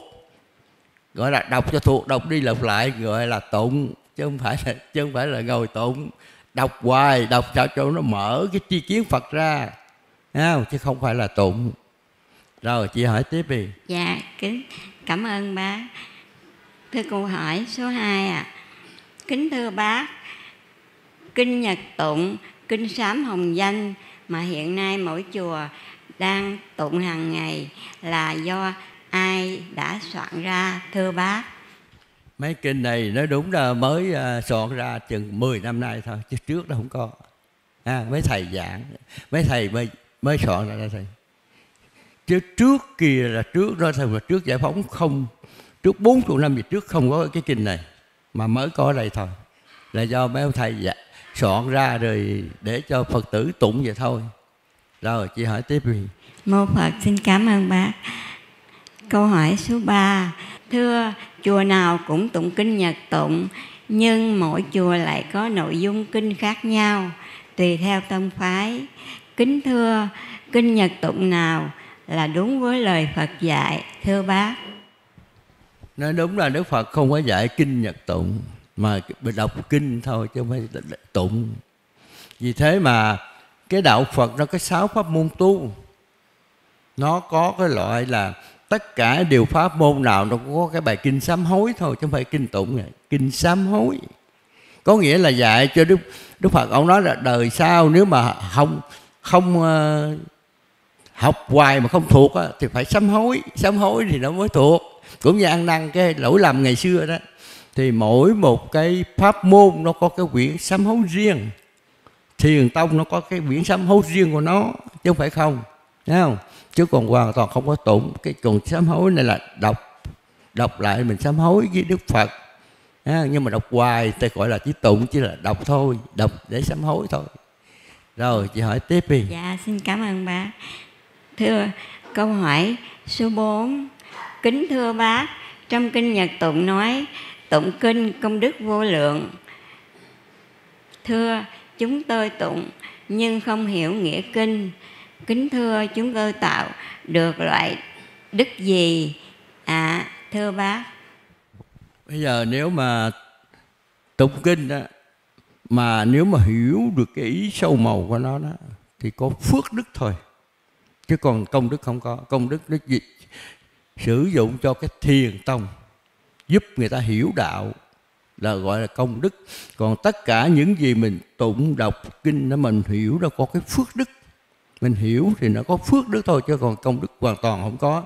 Nằm chữ công đức hoàn toàn không nằm trong cái thế giới đọc tụng mà trong cái thế giới giúp người ta hiểu cái này giác ngộ giải thoát thì mới có công đức thôi. Còn dùng cái dùng cái danh từ mà đọc tụng mà có công đức là không đúng không là nó sai chỗ này. Dạ, rồi chị hỏi tiếp đi. Dạ kính thưa bác. Chúng tôi nghe nói có hằng hà sa số chư phật khi chúng tôi tụng sám hối hồng danh 89 vị Phật hoặc 108 vị Phật hoặc 35 vị Phật tùy theo chùa, thì chúng tôi, mỗi một vị chúng tôi lại một lại. Kính thưa bác, chúng Phật tử chúng tôi có lỗi với các vị Phật còn lại hay không, thưa bác? Cái này không có lỗi gì hết đó nhưng mà tại vì Phật tử không chịu nghe lời Đức Phật thôi, chứ không có lỗi. Ông biểu một đàn mình làm một nẻo ông biểu đạo của như lai là đạo giác ngộ là hiểu biết, giải thoát, đi ra ngoài sức hút vật lý này. Mình không làm thôi, mình làm sai là không có lỗi vậy đó. Mình gọi là mình làm sai lời ông dạy thôi, thấy không? Ông nói một đàn, mình làm một nẻo, chứ chứ không phải rồi có lỗi gì trời. Mình làm sai, còn cái lỗi không có lỗi. Ông phật không bắt lỗi ai đó ông phật, ông dạy mình thì mình nghe, không nghe. Thôi, ông ông cũng không buồn, ông không nói vậy đó. Thì ông ví dụ mà biểu một đàn mà làm nẻo thì ở sao? Ông nói, ông cười thôi, chứ không nói gì hết. Rồi, chị hỏi tiếp đi. Dạ kính cảm ơn bác. Đây câu số 6 kính thưa bác. Các tăng ni dạy tụng kinh sấm hối và lạy phật sẽ bớt nghiệp. Chúng phật tử con làm theo, rồi quên, lại tiếp tục làm chuyện có lỗi. Kính thưa bác, tại sao chúng tôi cứ tái diễn như vậy và chúng tôi có bị nghiệp hại. Và hại như thế nào, thưa bác? Tại ờ, tại hành, tu đạo Phật mà không hiểu lời Đức Phật dạy, nó nói sai. Vì thế mà không thể tiêu nghiệp được đâu. Muốn tiêu nghiệp hoặc giảm nghiệp thì phải làm đúng lời Đức Phật dạy. Còn nếu mình làm sai lời Đức Phật thì nghiệp đâu nó còn có đó. Có nhiều khi mình làm sai nó còn còn nặng nghiệp thêm nữa. Dâm tu đạo Phật là gì? Đạo giác ngộ mình không giác ngộ làm chuyện tầm bậy là mình mình còn còn bị cái nghiệp còn nặng hơn. Thà đừng có tu không không có bị gì hết đó đã tu mà mình làm sai thì mình dương cái nghiệp lên. Thứ nhất là mình đi lừa người ta nó còn còn cái nghiệp còn nặng hơn nữa. Phải hiểu cái nguyên tắc này. Rồi chị hỏi Phật, cảm hỏi ơn bác. hồi còn trẻ còn có thể lạy Phật ngồi lâu để tụng kinh. Nay chúng tôi đã già, bệnh nhiều, không thể tụng kinh và lạy Phật. Chúng Phật tử, có tội không à? Thưa, có tội thì các vị sư già trước con có bị tội không, thưa bá? Này à, tạo, ông Phật đâu có bắt à, bắt lỗi ai đâu mà tội phải. Ông ông ông dạy mình không nghe, thôi à có nghĩa là ông Phật ông nói đó, một cái câu ông dạy trong kinh vậy nè làm sao lại ông? Gặp Phật giết Phật gặp ma giết ma. Ta đã gặp ổng giết ổng rồi còn đi lại ổng rồi sao? Có nghĩa là mình không nghe lời ổng mình làm sai. Ổng cũng chịu thôi chứ giọng nói gì thôi ổng nói là dạ, giải không chịu nghe. Mà cái lo là cái gì đều không? Gặp phật giết phật gặp ổng phải giết ổng đó. Rồi bây giờ đi lại ổng rồi sao? Trật lắc yeah thì thôi bây giờ cũng phải chịu thôi. Tại vì à, cái thiền tông á người ta tu á, phải có cái giáo lý. Mà cái giáo lý không có thì làm sao? Thì là nó tu sai. Cái lỗi này là do những người mà soạn thảo cái giáo lý không chịu soạn thảo ra để mà giúp cho phật tử coi coi cho hành cho đúng. Lỗi là lỗi do mấy cái ông mà không chịu đưa giáo lý ra cho phật tử tu á. Lỗi là chỗ này nè chứ còn đối với mình không có lỗi với ông phật gì rồi. Ông phật đâu có thế đây, thế giới đây. Ông biết rằng nếu mà lại ổng là lại ma đó. Thì ông biểu đừng có lại. Ở thế giới này ngũ thú tập cư, như lai không ở đây, đừng có lại. Thấy không? Phải hiểu cái căn bản này. Tại sao không cho lại ổng là gì? Ổng không có ở đây mà lại cái gì? Mà lại là tầm bậy lại lại gặp gặp ma đó. Ổng dặn vậy rồi chị hỏi tiếp đi. Ô Phật, xin cảm ơn bác kính thưa bác, con đang hỏi câu số 8 chúng Phật tử, con nghe các thầy giảng niệm Phật trong tâm, tu tại tâm. Khi chúng Phật tử, chúng con chết, khi không biết tâm Phật tử, chúng con sẽ ra sao? Thưa, lúc chết đó, chúng Phật tử con tu và niệm Phật ở đâu, thưa bác?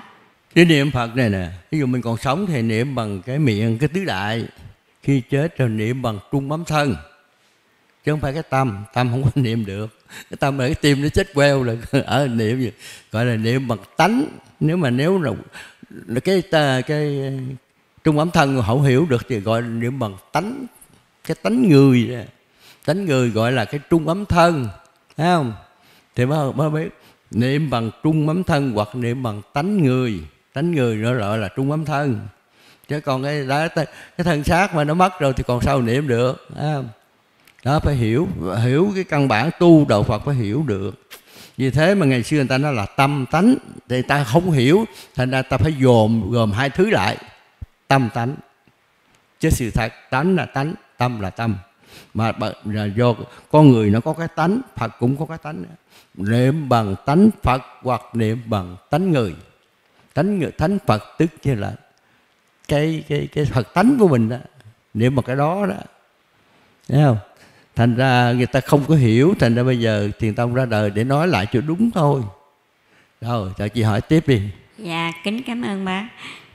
Thưa câu số 9 kính thưa bác, chúng phật tử, chúng con công phu lúc 3 giờ sáng, đánh chuông và tụng kinh bằng micro, gây ồn ào, khiến cư dân xung quanh khó chịu nhưng cư dân không dám nói gì.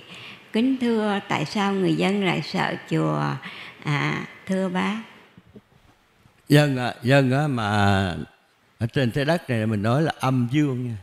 Cái người dân nào mà họ âm nhiều quá họ sợ cái tiếng cái, cái tiếng của mấy người tu lắm. Thấy không? Vì thế mà mình tu theo đạo Phật mình phải hiểu cái này nè mình tu là tu cho mình, chứ không phải tu cho ba tánh, chứ không tu cho hàng xóm. Vì thế mà cho mình thì mình biết thôi, đừng có tu cho người kia. Nụng um sùm mà ta ghét mình rồi, khúc đó rồi. Đã mình tụng kinh không có phước mà rồi bị ác nữa.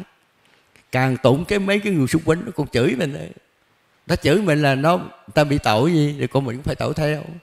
Thấy không?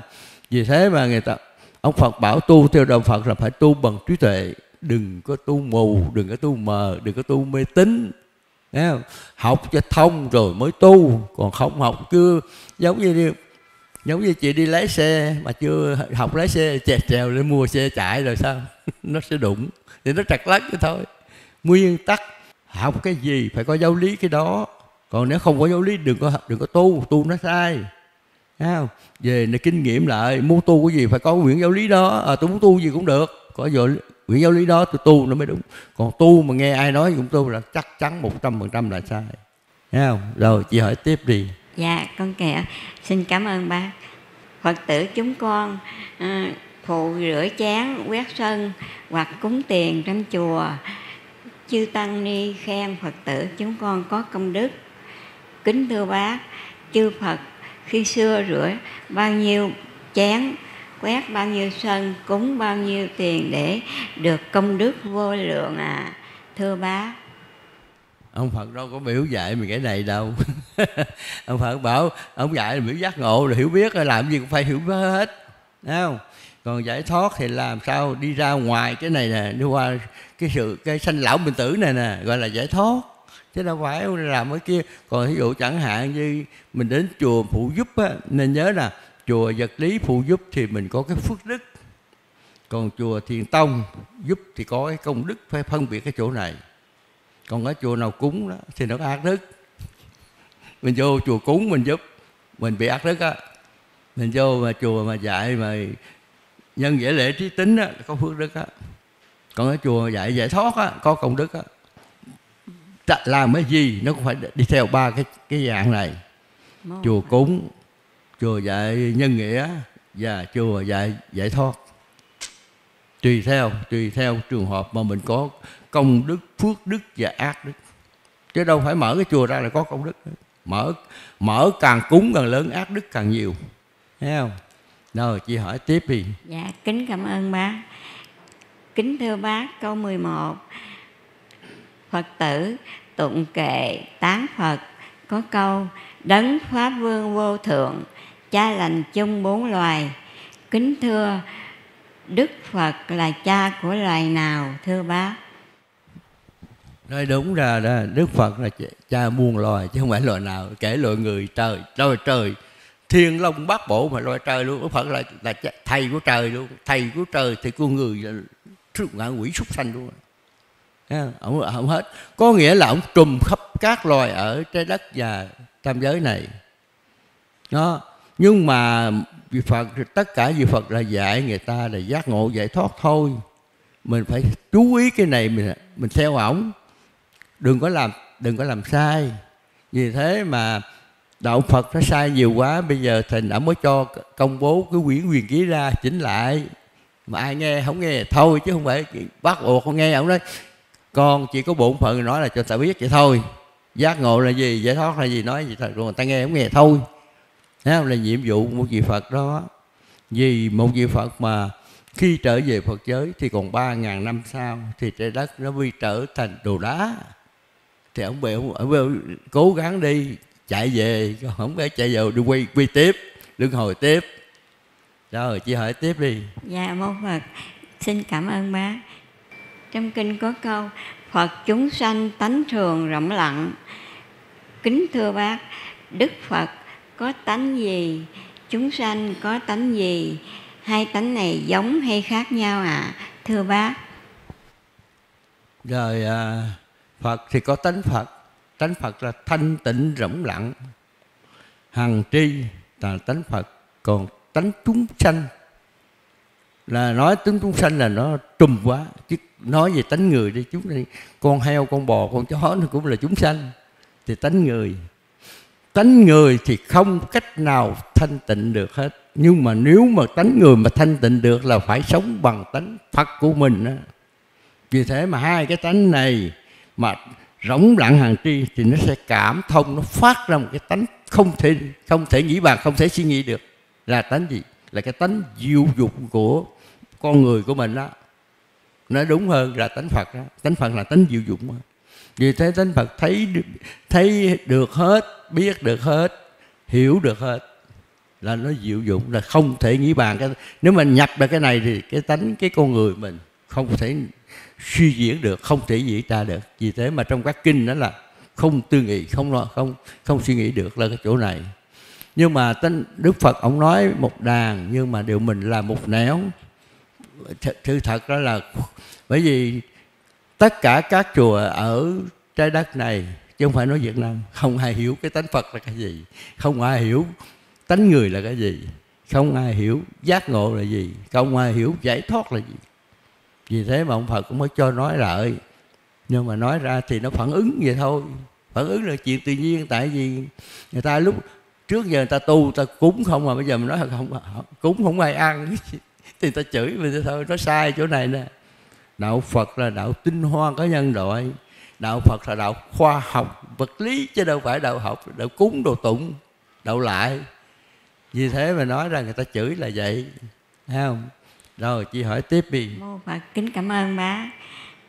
Kính thưa bác, câu số 13 trong kinh nhật tụng có câu, cầu cho các hương linh nghe pháp, nghe kinh, sớm thoát đường mê, sinh về tịnh độ kính thưa bác. Vậy khi còn sống phật tử hoặc người dân không cần làm gì hết cả, đợi đến khi chết rồi, có người tụng kinh cho chúng con nghe là các con sẽ được siêu thoát, siêu độ. Vậy như vậy khỏe cho người chết quá. Kính thưa bác, người chết có được siêu độ không, thưa bác? Bây giờ á thí dụ vậy nè cái ông đó bị tòa án kêu 5 năm tù. Bây giờ đem đem đi lo lót rồi mấy cái mấy cái ông mà cò đó có ra nổi không? Không có nợ không ra nổi nữa. Theo luật nhân quả ở đây làm gì được nấy. Đã kêu tù rồi thì ráng đi vô ở tù đi cho nó hết tù ra chứ không có đi đi đi, đi lo ai ra đấy. Mấy người mà tổ chức lo đấy mấy ông cò thôi ông lừa mình thôi chứ làm cái chuyện đó. Thế giới vật lý này trên dương gian âm phủ độc vật lý, có nghĩa là mình ở tù, không có thể lo được cái được không có lo cái gì ở ở tù. Phải không? Thì âm phủ nó cũng vậy. Chết thực thi nhân quả, rồi ví dụ mình nói, xuống địa ngục đi, hoặc làm làm con này con kia đi. Vừa chết xong rồi, thần thực thi nhân quả, rồi giờ ngồi đây cúng cúng cái gì? Năm nào cũng mở rồi cúng cúng gì? Đọc trong cái quyển kinh mà số 11 ở quyển sách số 11 vừa Trần Nhân Tông dạy con đó có cái ông đó đó tôi còn nhớ. Năm trước á ông là biểu mà đưa năm năm trăm quan ta, ta cúng cho mẹ mẹ với địa ngục lên. Năm sau ông biểu làm tiếp ông ông đi thưa. Ủa năm rồi ông lấy tôi năm trăm bây giờ biểu, biểu mẹ tôi lên rồi giờ ông nói mẹ mẹ còn ở dưới thì cái làm sao? Ông đi thưa. Đi thưa ông qua ông xử thấy không? Thế gian này không có nó lừa người ta thôi chứ làm chứ làm gì có cái chuyện đó. Bởi vì cái đạo phật này làm việc thật, nói thật, làm thật, chứ không có lừa ai hết. Và nói cho người ta bắt bẻ tự do. Không có từ chối gì hết vì nói là đạo phật là đạo khoa học, mình phải, đời văn minh này phải tu bằng khoa học chứ không phải tu bằng mù mờ, tu bằng cái tinh đại không được. Rồi, chị hỏi tiếp đi. Dạ, kính cảm ơn ba Thưa câu hỏi số 14 Kính thưa bác trong kinh nói, hạnh tăng, Vô nhất vật thanh bần. Tăng là các nhà sư thanh tịnh. Kính thưa bác, Tăng thanh bần là sao? Tăng thanh tịnh là sao, Thưa bác? Chữ tăng là mấy ông thầy tu. Thanh là thanh tịnh, bần là có nghĩa là mình nói là nghèo đi, không xài tiền. Nguyên tắc ông tăng không xài tiền. Vì thế bên tiểu thường người ta không có xài tiền đi khất thực người ta đưa cô mà ta lấy đưa tiền ta không lấy. Thanh bần ở chỗ này nè không có không có tiền tài danh lợi địa vị hoàn toàn mấy ông tăng không có màng tới mấy cái này. Phải là thanh, thanh bần ở chỗ này tăng là nó phải vậy. Tăng là các nhà sư thanh tịnh. Tánh thể không không chẳng chính bụi trần. Ly gia cắt ái khinh thân trước trừ bổn ngã lãnh phần đổ sanh anh phải đi, tăng phải đi độ người ta. Người nào phải tổ này đây thì mới gọi là tăng, gọi là thánh tăng. Còn tăng mà đụng đụng, đi bốc tiền không không phải tính tăng đó là phạm phu tăng thôi, chứ không có vụ thánh tăng, Thấy không? Không phạm phu tu xin lỗi, phạm phu tăng thua mình luôn thua cái người bình thường không tu luôn. Bình thường đâu có dính cái cái cái nhân quả này. Bởi vì vì thế mà trong kinh a hàm ông phật nói là ông a nan đi qua cái cầu là thấy mấy ông mặc áo vàng ở dưới sông còn mấy cái người mà mặc áo đẹp đi trên cầu đó. Hỏi ông phật là ai? Tại mấy ông này đi lừa gạt ta đó. Lừa gạt ta mới, mới bị cái cái nghiệp này chính ông phật nói rõ ràng chứ. Chứ là trong trong kinh nói chứ không phải là nói nó, nó đặt điều thấy không? Nên phải hiểu này tu thì phải tăng phải ra thánh tăng. Còn không học còn nếu mà nói là nếu mà không phải thánh tăng thì gọi là thầy tu thôi nha nhớ là không tăng thầy tu thôi. Thầy tu gì thì, thì được là bằng thầy thôi. Chứ còn gì tăng là phải thánh tăng là phải phải phải tánh thể không không chẳng dính bụi trần. Bụi trần còn còn không dính chỉ dính tiền. Thấy không? dính danh lợi địa vị. Mình phải hiểu cái này. Rồi chị hỏi tiếp đi. Mô phật kính cảm ơn bác thưa câu số 15 là câu chó. Kính thưa bác trong kinh có đoạn hằng ngày an vui tu tập phát phật nhiệm màu để mau ra khỏi luân hồi, minh tâm kiến tánh. Chúng phật tử, chúng con tụng kinh nhiều hơn ba chục năm, nhưng vẫn không biết thế nào là minh tâm kiến tánh.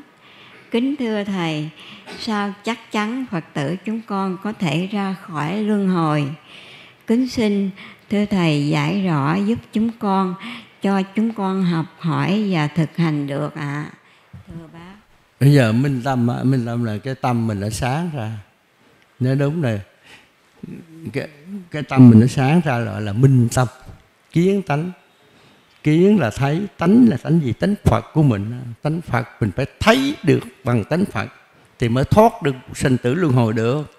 Thấy không? Chứ bây giờ nói đọc kinh ở minh tâm kiến tánh như lai thoát dòng đau khổ ra ngoài trái quan cầu xin tam bảo phước ban cái nói hoài, rồi hỏi chứ tâm gì không biết. Tối ngày, cứ đồ thì cái minh tâm kiến tánh như lai thoát dòng đau khổ ra ngoài trái quan nó hoài. Thoát dòng đau khổ là cái chỗ nào? Thế giới này đau khổ, thoát ra đâu về phật giới mới hết đâu. Hết với trái quan còn lên trên trời cũng bị trái quan trở nên lên trời thì đẳng cấp nó cao hơn. Giống như con, giống như mình ở nhà quê đi lo ruộng vườn không? Mà vô, vô cung vua làm sao? Nó cũng là nó còn quan trọng hơn thì phải vô trong này phải nghiêm túc hơn nữa. Thấy không? Bởi vì thoát ra đau khổ trái quan là trong thế gian này ở cõi trời cõi nào cũng là đau khổ. Vì thế mà trong kinh bất đa phật đó là tam giới vô an du như quả trạch. Trời người ở đâu cũng là ờ, trong nhà lửa nhà lửa là nào không nóng. Thì phải thấy phải thoát ra ngoài cái đạo, cái trái quan này đi về Phật giới mới gọi là ra ngoài trái quan tu phải làm sao đoạt được cái này mới gọi ra ngoài trái quan đó, mình đọc kinh mình không hiểu. Đâu phải đọc để cho hiểu rồi thì mình hành chứ đâu phải, chứ tối ngày đêm nào cũng là đọc hoài mà không chịu làm. Bữa nay ờ, tối đọc cái ngày mai ra chợ chửi lộn tiếp. Làm sao? Không được. Ông phật nói một đàn mình làm một nẻo không được. Thấy không? Rồi chị hỏi tiếp đi. Mô phật chúng con đã hết câu hỏi. Chúng con kính dâng lên lời cảm ơn thầy và kính chúc sức khỏe của thầy trường thọ. Mô phật rồi cảm ơn chị hỏi. Dạ xin chào soạn giả nguyễn nhân. Tôi tên là phan kim anh hiện cư ngụ tại quận 7 thành phố hồ chí minh. Nay tôi xin hỏi giúp cho cháu nguyễn hoàng giang học sinh lớp 9 ở quận Hoàng Kiếm, Hà Nội như sau. Cháu đang tìm hiểu về đạo Phật khoa học thiền tông. Cháu thấy rất hay và khoa học, khác hẳn đạo Phật mà cháu thấy ở các chùa ở Hà Nội. Cháu có một số câu hỏi rất mong ông trả lời giúp cháu để cháu được rõ thông. Cháu rất cảm ơn ông. Và sau đây đi vào các câu hỏi của cháu. Câu 1. Trong 11 cuốn sách thiền tông, số lượng tánh Phật ở trong Phật giới và tam giới là con số vô cùng lớn. Vậy số lượng tánh Phật này có tăng lên hay giảm đi không? Và nguyên nhân gì lại tăng lên và giảm đi? À, trả lời đó cái số lượng của tánh Phật trong cái Phật giới không tăng không giảm nó chỉ như vậy thôi cái số lượng này à, Đức Phật ở dạy là bất tư nghị không suy nghĩ được ông Phật ông nói là đem một tỷ cái số cát sông Hằng một tỷ tỷ số cát sông Hằng ra điếp còn thua cái tánh Phật trong Phật giới nữa. Thì nó không thể nào mà đã không bất tư nghị là không suy nghĩ thì làm sao biết? Mà tăng giảm ai biết số lượng tăng rồi ai biết số lượng giảm? Tăng giảm rồi tăng giảm là mình phải biết có số lượng. Mà không suy nghĩ được thì làm sao biết nó tăng mà biết nó giảm dạ. vì thế mà câu hỏi này thì cô nói lại với cháu á dạ. câu hỏi chưa chính xác dạ. không? chưa dạ. hiểu được thiền tông dạ. rồi câu hỏi tiếp câu thứ hai đi dạ xin cảm ơn soạn giả câu thứ hai khái niệm tam giới được đề cập trong 11 quyển sách thiền tông của ông nhân chính xác là khái niệm nào trong vật lý thiên văn hiện đại sau đây hệ mặt trời hay ngân hà cái à, đây là cái tam giới đó đây là gọi là hệ mặt trời. Khoa học nói là hệ mặt trời. Còn cái thiên hà là nó nói giải ngân hà là giải sao băng mà bằng nước á. Không? nó không phải là giải đâu. Nó là cái giải sao hành tinh bằng nước. Nó nhiều vậy đó. Thấy không? Còn cái đây nó thuộc về hệ mặt trời chứ không phải là ngân hà. Yeah. Dạ. ngân hà là cái hành tinh nước nó nó chiếu lấp lánh đó là hành tinh nước chứ còn hành tinh hành tinh kim mộc quả không nó không không không có chiếu được mà chỉ hành tinh nước nó mới chiếu được thôi. Dạ. rồi câu hỏi tiếp đi. Dạ câu hỏi thứ ba. Rìa của hệ mặt trời là khoảng 2 năm ánh sáng. Nếu tam giới là hệ mặt trời thì các nhà thiên văn học hiện đại phải thấy được năm hành tinh còn lại trong khoảng 2 năm ánh sáng. Thưa ông tại sao mấy chục năm tìm kiếm cho đến nay các nhà thiên văn học không tìm thấy hành tinh nào có sự sống giống trái đất mà họ chỉ tìm thấy hành tinh gần trái đất nhất thôi ạ. À. Xin ông giải thích cho cháu hiểu. Người ta tìm được cái hành tinh gần trái đất là đó là hành tinh vật tư. Mà hiện giờ trời tứ thiên vương á, nó đã sản xuất ra được bảy cái hành tinh giống như trái đất nhưng mà chưa có sự sống thôi. Yeah. Dạ. Nó vẫn nó vẫn tồn tại, nó chưa có sự sống của loài người thôi. Yeah. Còn vấn đề mà cháu nó hỏi là cái ý ý câu hỏi đó là cái gì? Cô cô lặp lại rồi dạ thưa ông tại sao mấy chục năm tìm kiếm cho đến rồi, nay? rồi thôi biết rồi. Dạ. Nên nhớ này kêu cháu phải nhớ câu này nè. Cái đường kính của tam giới trái đất mỗi trái đất là nó tuổi trái đất tứ đại là tuổi thọ là 10 tỷ năm. Còn cái đường kính tam giới đó 10 tỷ 10 tỷ cây số. Nên nhớ mà hiểu đây. Tất nhiên một cái cái cái bầu hoàng đạo là một tỷ cây số. Vì thế mà từ trái đất á, mà đi về Phật giới là đi 4 tỷ năm 4 tỷ cây số. Thì bây giờ hỏi chứ có cái ai mà hiểu, ai mà liên lạc từ cái hành tinh này qua hành tinh khác liên lạc được không? Có nghĩa là hành tinh vật tư được. Nhưng mà thí dụ là ta nói là sao kim sao thổ qua sao thủy là cái đây là hành tinh nó nói về hành tinh vật tư trong hành, hành tinh sự sống. Thì nó phải nghiên cứu lại cái này. Học cái này thì phải hiểu căn bản của tam giới thì mới hiểu được cái thiền tông này. Dạ. còn nếu không hiểu được căn tam giới thì hiểu trật căn bản nhớ một điều. Trái đất tuổi thọ 10 tỷ năm đường kính của tam giới 10 tỷ cây số. Đếm đi tính đi một triệu cây số để bắt đầu mình muốn đuôi con mắt rồi một tỷ là sao đếm thì giữa cái hành tinh này kia giữa hành tinh à, Đông Thắng Thần Châu Tây Ngu Quá Châu Nam Thiện Bộ Châu không thể liên lạc được bằng cái sức của con người bằng sự thấy của con người luôn chứ đừng có nói chi di chuyển nghe không thì nói là cháu đó nói cháu là nghiên cứu lại nghiên cứu dạ. kỹ đi thắc mắc cái gì thì hỏi đi thì bác nhân sẽ trả lời cho dạ. nghe không rồi dạ. câu hỏi tiếp đi. Dạ cảm ơn soạn giả. Câu thứ tư ngày trước khi nghe ông giải đáp có đoạn như sau. Bầu hoàng đạo một có sáu hành tinh trái đất có sự sống như trái đất của chúng ta. Trung bình là cứ 60 ngày thì sẽ có một hành tinh trái đất tiến gần tới trung tâm vận hành luân hồi. Để các vị Phật sẽ đưa các tánh Phật có công đức trở về Phật giới. Nếu điều này là đúng thì sáu hành tinh trái đất sẽ nằm trên một mặt phẳng vì 360 ngày chia cho 6 bằng 60 ngày. Nhưng trong 11 quyển sách Thiền Tông lại nói trong không gian 6 trái đất thì có 4 trái đất nằm ngang ở các hướng Đông, Tây, Nam, Bắc. Một trái đất ở trên, một trái đất ở dưới. Vậy thì đoạn ông trả lời ở trên trung bình là cứ 60 ngày thì sẽ có một hành tinh trái đất tiến gần tới trung tâm vận hành luân hồi để các vị Phật sẽ đưa các tánh Phật có công đức trở về Phật giới là không hợp lý. Vậy tại sao lại có sự có sự mâu thuẫn này thưa ông? Bây giờ phải hiểu thế này nè.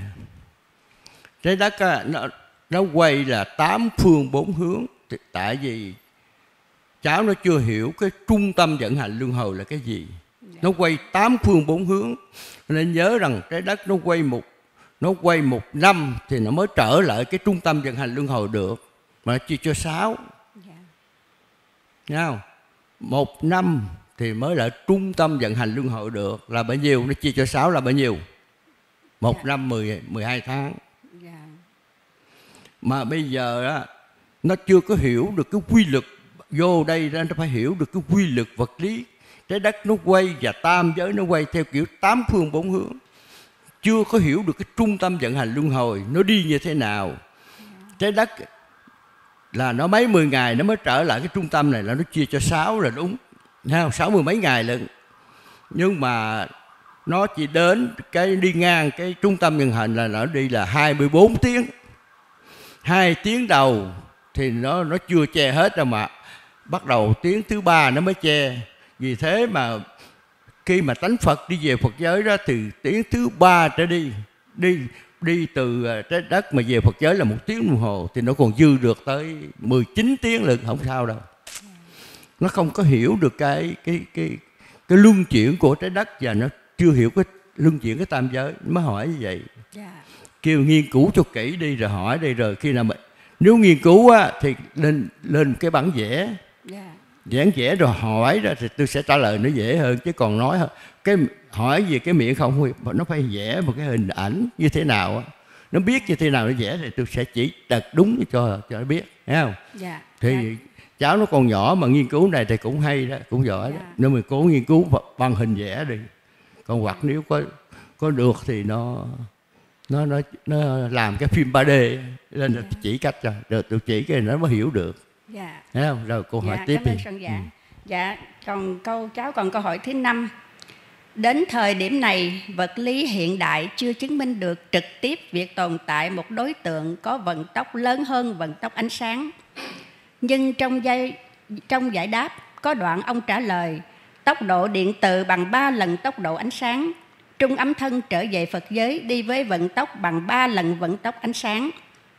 A. À, như vậy, các trung ấm thân trở về Phật giới và tới các cõi trời mà di chuyển với vận tốc lớn hơn hoặc bằng vận tốc ánh sáng, thì khối lượng của trung ấm thân phải bằng không và kích thước của trung ấm thân cũng phải bằng không.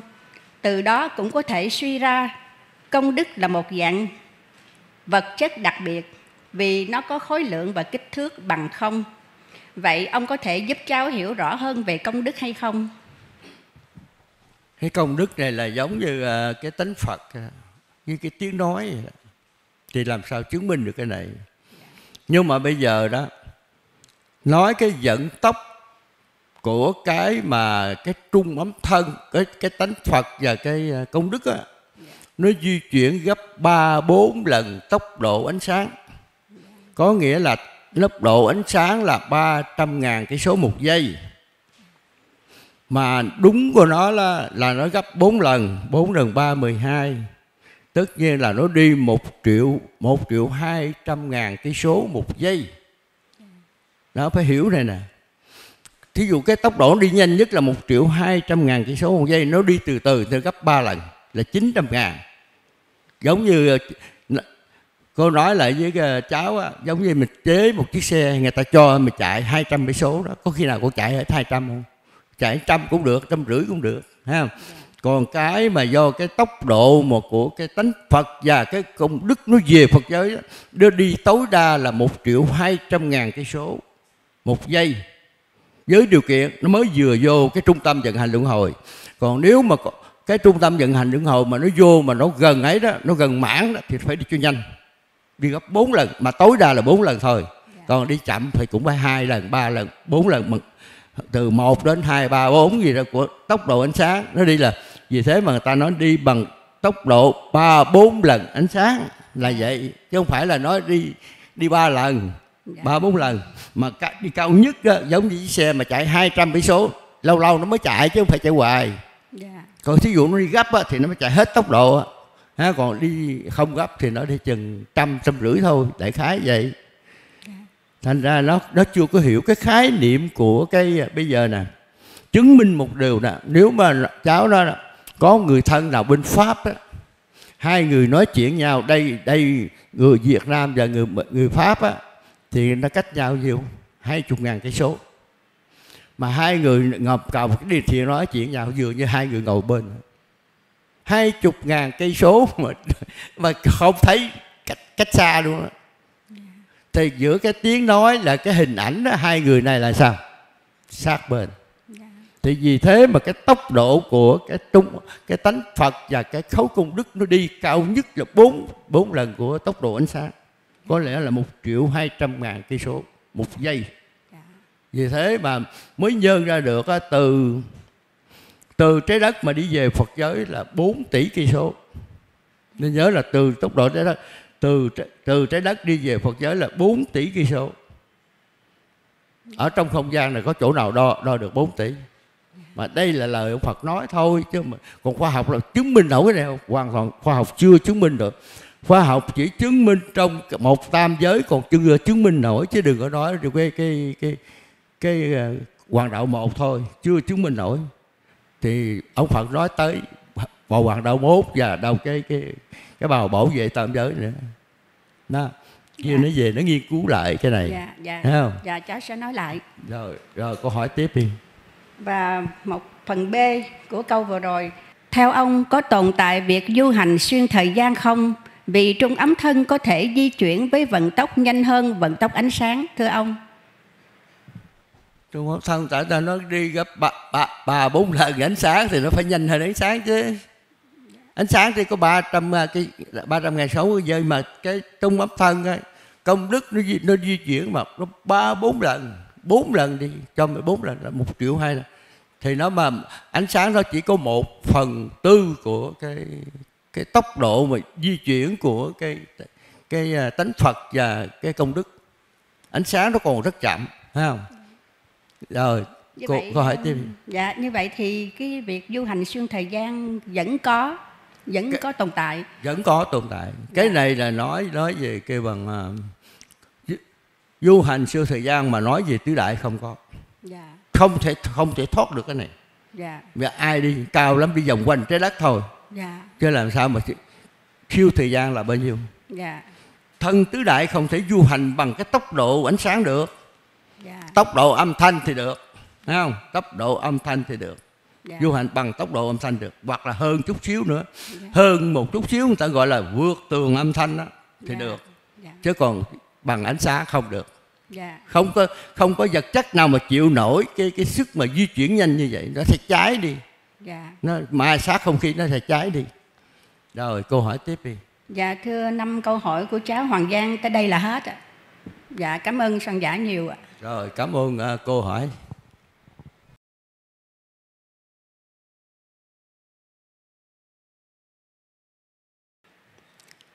Kính chào bác Nguyễn Nhân, viện chủ chùa Thiền Tông Tân Diệu. Con là Đoàn Thị Liên, địa chỉ quận Phú Nhuận, thành phố Hồ Chí Minh. Thưa bác, hôm nay con xin phép bác hỏi một số câu hỏi ạ. Rồi, có hỏi đi. Câu hỏi một. Thưa bác, nhờ nghe bác trả lời các câu hỏi trên mạng, con rút ra được cách để phát ra pháp trần. Cho con xin phép được trình bày ạ. À. Rồi, con trình bày đi. Bước 1 có thể cầm sách đọc hay viết ra tờ giấy phải đọc đi đọc lại rất nhiều lần cho chính xác đường về Phật giới khi đọc khi nào nhớ được các mặt chữ của đường về Phật giới thì không đọc ở sách hay giấy nữa bước hai khi đã thuộc các mặt chữ của đường về Phật giới rồi thì nhầm trong đầu kể cả mọi lúc mọi nơi có nghĩa lúc rảnh rồi là cứ nhầm khi thuộc rồi thì tập đọc nhầm nhanh các chữ chính xác đường về Phật giới. Bước 3. Khi đọc nhầm nhanh chính xác được rồi thì bắt đầu tập đọc không qua miệng, tức là không qua cân tự đại. Chuyển sang đọc bằng tánh người, bằng cách cho tất cả các cơ của miệng giữ yên, không cho hoạt động, tức là ngầm miệng này mà các dòng chữ của đường về Phật giới cứ trôi ở trong đầu mình, tức là đã chuyển sang đọc bằng tánh người. Làm như vậy một thời gian dài khi thuần thục rồi thì tập cho nó trôi nhanh chính xác. Đến khi chỉ cần nhớ tới là tiếng đường về Phật giới cứ trôi trong cổ hồng của mình và tiếng nói như vậy là tiếng nói nhỏ nhất gọi là Pháp Trần con thực hiện như vậy có được không ạ? À? Xin bác chỉ dạy thêm ạ. À. Rồi, con thực hiện à, như vậy là đúng. Nhưng mà phải nhớ thế này nè. Cái tiếng mà mình đọc nó xuất phát từ đâu? Nó xuất phát từ cái tánh Phật. Rồi nó mới qua trung ấm thân. Rồi mới ra cái thân tứ đại. Khi mà thân tứ đại mình mất rồi thì nó trở về trung ấm thân. Đó, trung ấm thân lúc nào nó cũng thuộc thì gọi là cái pháp trần hiện. Ha, nhớ mà cái căn bản nè cái tiếng nói từ tánh phật là điểm thứ nhất thứ hai thì qua trung ấm thân thứ ba qua cái tự thân tứ đại thân tứ đại mà mất rồi thì nó trở lại trung ấm thân trung ấm thân mà thuộc thì đó là pháp trần đó giờ câu hỏi tiếp đi dạ con cảm ơn bạc con xin đọc câu hỏi thứ hai thưa bác, khi mất thân, nếu mà trung ẩm thân chữa công đức vô lượng, hay trung ẩm thân phát ra được pháp trần, thì không có vị thánh thân xuất hiện. Lúc này, trung ẩm thân từ bay thẳng lên 10 km sẽ gặp hoa tiêu màu vàng sáng trong luôn quay một chiều, là hoa tiêu của vị Phật đã chờ sẵn. Nếu trường hợp trung ẩm thân không phát ra được pháp trần thì phải qua thử ba vị thánh. Thế nhưng trong quá trình thử của các vị thánh sẽ có nhiều hình ảnh hù dọa, lôi kéo, mê hoặc. Vậy trong trường hợp này con phải ứng xử như thế nào để chắc chắn được thoát ra 5 km với ba lần thử của ba vị thánh ạ? Giờ con phải để ý thế này nè.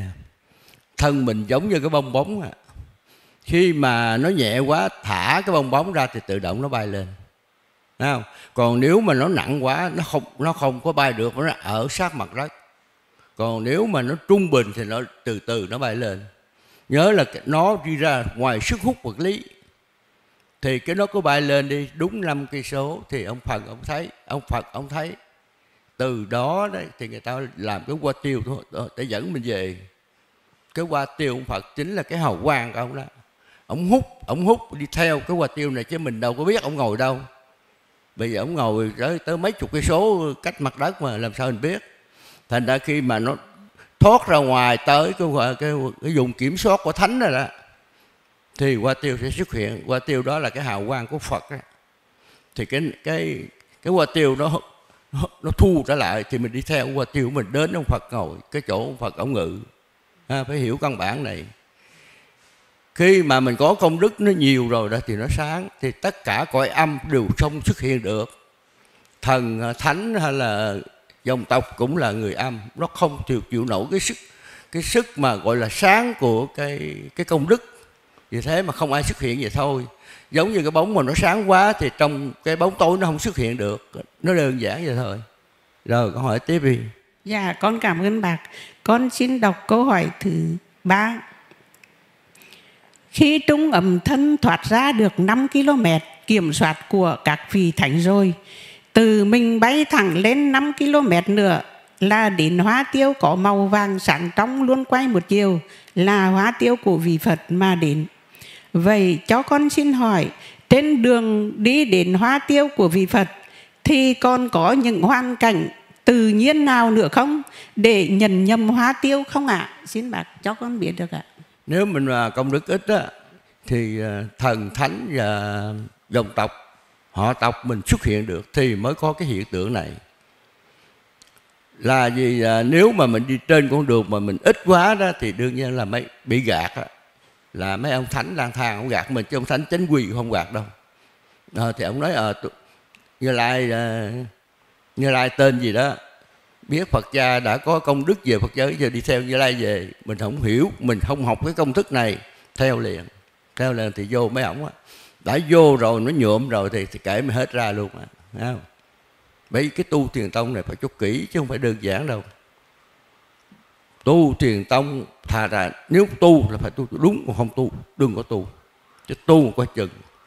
Bởi vì tôi nói thiệt á tu thiền tông giống như là đi qua tiễn chứ không phải đi máy bay đâu. Nó không đến đích thì sao, nó nổ tung là chết. Thấy không? phải vì cái tu thiền tông này rất đặc biệt. Mà hồi trước thì không dám nói nhiều, mà bây giờ bắt đầu tôi sẽ nói rõ về cái tu thiền tông này cho biết. Rồi, câu hỏi tiếp đi. Dạ con cảm ơn bác. Con xin hỏi câu hỏi thứ tư. Thưa bác, khi sắp lâm chung mà mở máy đọc đường về Phật giới cho người đó nghe thì có tác dụng gì và có nên làm như vậy không ạ? À? Cái phần này à, nó chỉ có hiệu lực ban đầu thôi ban đầu mà con người ta chưa có mất hẳn đó, thì có nghe nó còn nhớ lại, nó lặp lại được mà khi đã mất rồi thì không thua gì hết nhưng mà mất rồi để đọc lại cho người, ở người nhà mình nghe thôi, chứ còn sự thật, đã khi nó thoát cái cái trung ẩm thân mà thoát ra cái thân tứ đại rồi đâu còn nghe nữa nữa Thấy không? Mà nó không còn mà lúc đó đó nếu mà mình ổn định đó, thì mình rất vững vàng đi về. Còn nếu không ổn định là bắt đầu bị phát tưởng là mình chết rồi. Có chân cái chỗ này. Hiểu rồi thì không tưởng. Nhớ là toàn bộ khi mà mình chuẩn bị lâm chung rồi cái tưởng dẹp đi. Đừng có tưởng gì hết rồi cứ học sao hiểu vậy thì thực hiện. Cho đúng vậy là được. Tuyệt đối đừng có tưởng. Nếu tưởng là chắc chắn là nó sai rồi, con hỏi tiếp đi dạ con cảm ơn bác con xin hỏi câu hỏi thứ năm thưa bác, Người có công đức trở về Phật giới khi lâm chung có bị đau đớn nhiều không? Vì thần quản lý nghiệp của người đó có dành cho một thời gian để thanh thản trước khi rút điện từ âm dương của người đó không ạ? À? Nếu có, thời gian đó là bao nhiêu ạ? À? Cái này, tùy theo hoàn cảnh. Còn cái vấn đề mà Cái thân mình đau đớn không là do cái nghiệp. Có nghĩa là cái nghiệp nó nặng quá Thì bắt buộc anh phải đau Để trả cái nghiệp trước khi anh đi về. Anh không thể nào anh, ngày xưa đã gieo nhân quả ở thế giới này, bây giờ mình có công đức thì vẫn trả nghiệp như thường. Nhưng mà nếu mà mình có cái hiểu cái thế này nè, mình hiểu được cái câu nghiệp chướng bổn lại không thì cái đau tự nhiên nó mất nhớ cái chỗ này. Là vì mình thấy nó là cái đau không thật nó đau là đau vật lý. Mình tự nhiên mình phát được cái này thì cái đau nó mất. Mình hiểu cái này chứ chứ nếu mà không hiểu cái này á, thì mình có nhiều người mình đau một cái nó tưởng nữa là nó đau lớn đau nhiều hơn. Thấy không? Vì thế mà dân gian có câu là nhà giàu đứt tay bà ăn mày đổ ruột là cái chỗ này nè. Ta đổ ruột ta còn chưa la còn mình mới có chút xíu mình la um sùm. Là cái chỗ này nè phải không vì thế mà mình tưởng thì một nó ra mười còn không tưởng thì nó chỉ mất luôn là đau không là do mình do cái tưởng của mình thấy không rồi hỏi tiếp đi Dạ, con cảm ơn bác. Dạ, con xin hỏi câu hỏi thứ sáu. Thưa bác, muốn thực hành thanh tình rộng lặng hằng tri thì phải làm sao và được áp dụng vào thời điểm nào cần thiết nhất ạ? À? Thanh tịnh đúng đẳng hàng tri chỉ áp dụng từ khi chuẩn bị lâm chung, cho đến khi thoát ra ngoài năm cây số. Không? Vì nếu mình không thanh tịnh lỏng lặng hằng tri thì mình tưởng mình tưởng thì nó dính nó dính vô ở thế gian này và đồng thời cái trung ấm thân mà trong thời gian mà từ trái đất đi lên năm cây số, mình tưởng một cái thì mình sẽ theo cái tưởng của mình còn thanh tịnh rỗng lặng hằng ti mình biết nó vậy thôi, thấy không vì những cái chuyện gì xung quanh con mà phát được cái này á, nó cũng ngang bằng cái cái pháp trần của con chứ không ít đâu. Là vì cái người mà ví dụ con đi đi đến cái bến xe đi mà còn có dớt giá dớt giá hỏi này kia thì, thì chắc chắn là có cò nó kiếm được con liền. Còn con cứ đi ai nói gì thì kệ con cứ bước là con đi không ai không ai dụ con được hết. Phải hiểu cái này này thanh tịnh động lặng hàng tri là áp dụng từ khi chuẩn bị ra đi cho đến khi gặp ông Phật, thôi, đến đó lên tới bình, lên tới tầng bình lưu là không còn tưởng được nữa, bởi vì nó không còn dao động của vật lý thì nó không có tưởng. Nhớ là ra đến tầng bình lưu không còn tưởng, vì nó đâu còn cái sức hút mà dao động của âm dương đâu mà tưởng. Dao động âm dương nó tưởng là do cái dao động của âm dương nó mới phát ra cái tưởng. Rồi, con hỏi tiếp đi. Dạ con cảm ơn bạc con xin đọc câu hỏi thứ bảy. Thưa bạc bác vẫn thường nói, đến tuổi nghỉ hưu là vì thần không bôi đen công đức nữa. Người nay đã 70 tuổi, nếu khi thực hành mà còn vướng vào một chút tham, một chút sân, một chút kiến chấp nào đó, thì vì thần có bôi đen công đức không ạ? À? xin bác dạy con.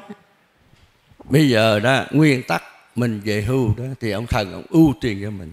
Với điều kiện mình đừng có tưởng mà cái tưởng á, thì nó sẽ sân si này kia nó nổi lên nổi lên thì và tuổi nào cũng cũng bị dướng vô hết chứ không phải là chứ không phải là sáu bảy chục đâu. Một trăm tuổi mà tưởng cũng bị nữa Thấy không? Thành ra bây giờ bắt buộc phải học cho hiểu cái thiền tông này. Chứ đâu phải mà tôi ưu tiên bây giờ nó là ưu tiên cho người già đi xe bớt đi không có lấy tiền. Mà lên trển quậy rồi sao nó đập chết luôn chứ. Ta ưu tiên là mình phải giữ mình phải hiểu cái thân phận của mình cái ưu tiên rồi mình muốn quậy người ta, sao được? Thế gian, thế giới vật lý này làm gì quả đấy mình giận người ta thì đương cái nhân quả nó vô mình đó. Mình phải hiểu căn bản này. Chứ đừng có tưởng đâu là mình ưu tiên rồi mình cái gì mình cũng muốn làm vậy làm cũng được. Ưu tiên thì bổn phận cái này. Thứ nhất, càng ưu tiên thì mình cần nghiêm chỉnh nghiêm chỉnh trong cái sự sống mà của vật lý này. Phải hiểu cái sự sống vật lý này thì mới hiểu được cái thiền tông còn anh không hiểu sự sống vật lý thì đừng có mong tu thiền tông làm gì cho anh bắt công. Có chừng nó rất nguy hiểm cho này. Rồi con hỏi tiếp đi. Dạ con cảm ơn bác. Con xin đọc câu hỏi thứ 8 thưa bác, người Phật gia về Phật giới rồi thì tro cốt đó có tác dụng gì nữa không? Do ai quản lý phần tro cốt này ạ? à? Cái phần tro cốt này là nó đúng ra đó. Mình để lại cho thế gian, để cho con cháu, nó nếu chiêm ngưỡng thôi. Chứ sự thật ai quản trí cái này? Đã mình về rồi thì tất cả giống như mình ở đây, mình định cư nước nào rồi còn cái nhà cửa mình rồi ai lo? Để cho con cháu nó lo không lo thâu kệ nó cũng phải đã mình đi rồi, thì cái phần trò cốt đây là cái lệ để chi? Để cho con cháu người ta đến ở ông bà tôi đã đạt được cái này và đạt được về Phật giới ta chứng minh được cái này này. Chứ còn cái này là cái hình thức của thế gian thôi. Chứ còn đừng có quan trọng quá về cái vấn đề mà cái tro cốt này. Tro cốt là để lại cho con cháu biết. Nếu mà cái chùa nào, cái chùa thì tông nào nó có cái chỗ này thì nên gửi chỗ đó đi. Thấy không? bởi vì người ta, chủ trương cái này là người ta không có hạn chế đâu rồi con hỏi tiếp đi. Dạ con cảm ơn bác. Con xin đọc câu hỏi thứ 9 ạ. Thưa bác, khi Đức Phật rút cành hoa sen cắm ở bình đưa lên từ phải sang trái, từ trái qua phải, tất cả có 1.250 người, không ai biết gì kể cả những đề từ lớn của Đức Phật, mà chỉ có Ngài Ma Ha Ca Diệp nhận được và mỉm cười. Vậy cho con xin hỏi, vì sao lại chỉ có ngài Ma Ha Ca Diệp nhận ra cái gì tạo sự kết nối giữa canh hóa và ngài để ngài nhận ra và nhận ra cái gì ở canh hóa ạ? À?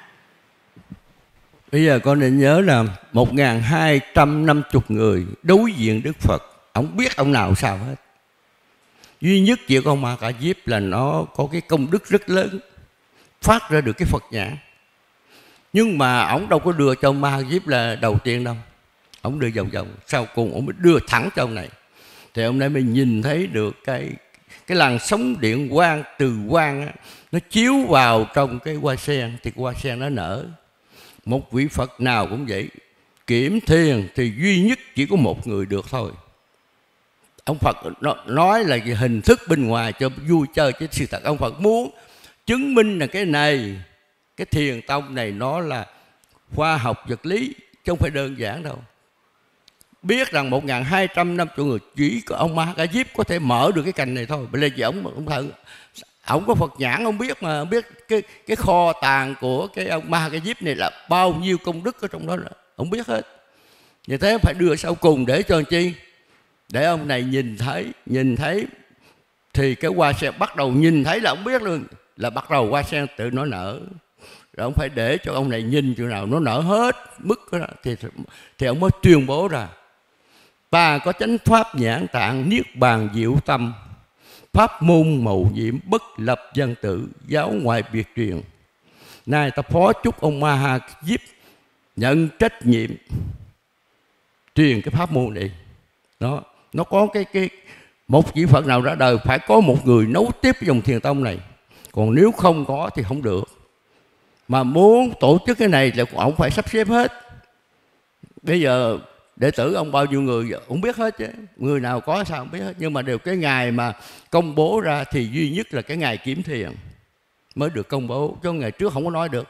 Ngày trước nói thì nó lộn xộn thì có, trong cái cái pháp hội nó sẽ loạn lên luôn á. Không? ông Phật nói đúng ra tất cả những vị Phật nào ra đời muốn truyền cái thiền này thì phải tổ chức một cuộc kiểm thiền đông đảo như thế. Cái này là cái tự nhiên của vị Phật. Bất cứ ông Phật nào phải làm cái chuyện này thôi. Rồi con hỏi tiếp đi. Dạ con cảm ơn bác. Con xin hỏi về kinh duy ma cật câu hỏi một. Thưa bác, xin bác giải nghĩa cho con các từ sau. Thường lạc ngạ tình vô thức, vô nhàn nhị tỷ thiệt thân ý cái à, thường lạc ngã tịnh này là bốn đức tính của niết bàn. Niết bàn là bốn cái đức tính thanh tịnh của phật đó. là cái tánh phật đó là thường. Cái tánh phật đó là chữ lạc nên là cái mà an cái an. Thường lạc ngã. Vì cái chân cái cái ngã mà có tánh phật gọi là cái chân ngã. Còn mình ở đây cái, cái ngã của người gọi là phàm ngã thường lạc ngã tịnh. Tịnh là lúc nào nó cũng là thanh tịnh. Đó gọi là thường lạc ngã tịnh.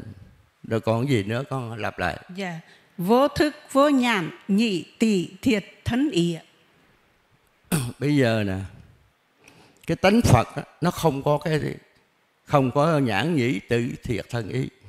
Mà nó phải mượn cái thân người để nó nó có cái chuyện này chứ thiệt thật ông ông tánh à, tánh phật đâu có cái cái nhãn. Có nghĩa là một khối một khối nguyên tử nó sáng. Ở đâu cũng thấy hết, mặt nào cũng thấy hết. Còn mình ở đây vào cái thân, tánh người thì phải thấy bằng con mắt. Chứ tánh phật nó không thấy bằng con mắt, mà đụng gì cũng là nghe cũng vậy. Thấy nghe nói, biết cái ý nó là trùm khắp trong, giống như nó cái hình tròn đi. Mặt nào nó cũng cũng cũng biết hết vì thế mà ông nói là vô nhãn nhĩ tỷ thiệt thân ý là cái gì? Là nói cái tánh phật nó không có cái này mà tại vô cái thân người phải mượn cái này để chi? Nó sống theo quy luật vật lý. Thấy không? Để thành ra trong đó mới nói là tánh Phật là thường lạc ngã tịnh. Còn tánh Phật á, là không có thân ý ờ, nhãn nhĩ tỳ thiệt thân ý gì hết rồi nó chỉ là một nguyên tử sáng thôi.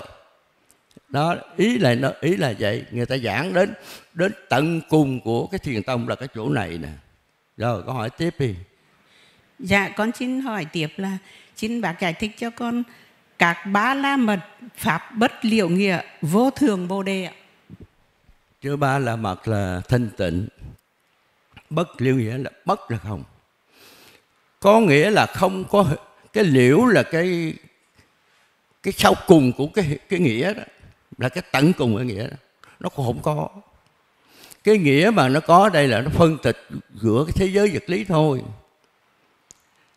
Bởi vì cái mà sự thật ở trong cái vũ trụ này, cái trong cái trái đất này, nó là tất cả những tánh Phật vô đây là anh phải đúng theo quy luật vật lý thôi, chứ sự thật nó không có cái gì rồi.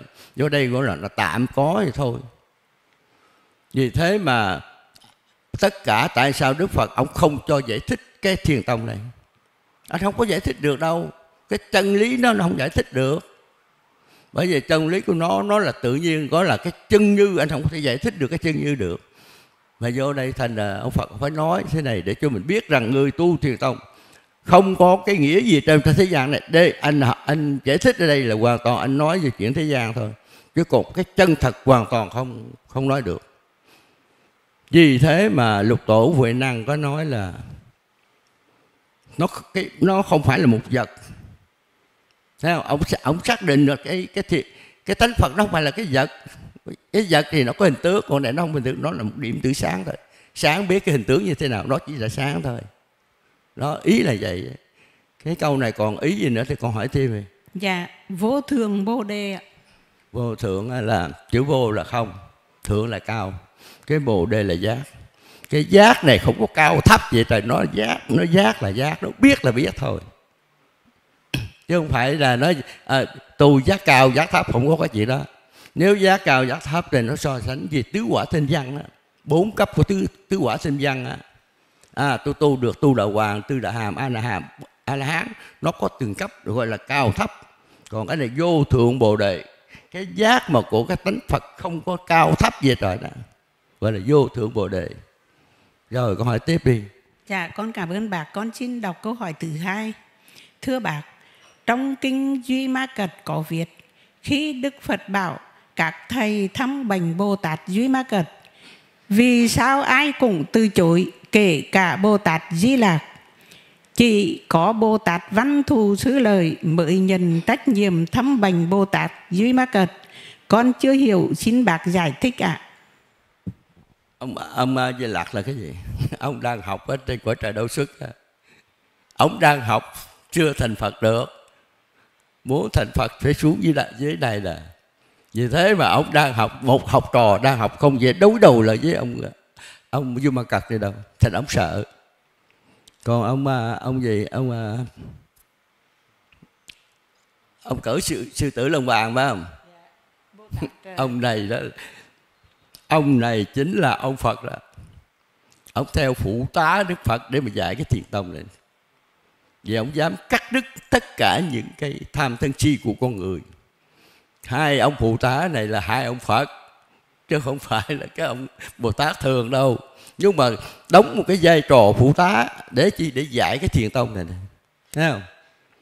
Vì thế mà ông về lạc cái dám không? Dám. Được ông nhưng mà cần ông lời ông hỏi tiếng rồi không được thì nó nhục sao? Không dám. Thôi, tôi cũng dám đâu. Bởi vì cô là chưa tốt nghiệp. Chừng nào con tốt nghiệp rồi con mới ra hành nghề được còn này ông Di Lặc chưa có tốt nghiệp. Còn lâu lắm. Còn mấy mấy ngàn năm nữa mới tốt nghiệp đó, nói cho con biết bây giờ ông còn đang học. Rồi hỏi tiếp đi. Dạ con cảm ơn bác. Con xin hỏi câu hỏi thứ ba. Thưa bác khi trưởng giả Di Ma Cật biết có Bồ Tát Văn Thù Sứ Lời và Đại chúng sắp đến ông dẹp hết đồ đạc trong phòng chỉ trừ lại một cái giường bệnh mà người bệnh nhân là ông Duy Ma Cật nằm chiếm hết. Bồ Tát Văn Thù Sư Lời vào thấy sự kiện là chưa kịp nói gì, thì trưởng giả Duy Ma Cật lên tiếng, quý hòa thay ngài Văn Thù Sư Lời đến mà không có tường đến thấy mà không có tường thấy con xin bác giải thích cho con hiểu sao lại phải dẹp hết đồ đạc trong phòng chỉ trừ lại một cái giường cho người bệnh nhân nằm và đến mà không có tượng đến thấy mà không có tượng thấy ạ. À. Bây giờ cái bây giờ nói về tướng thấy đi.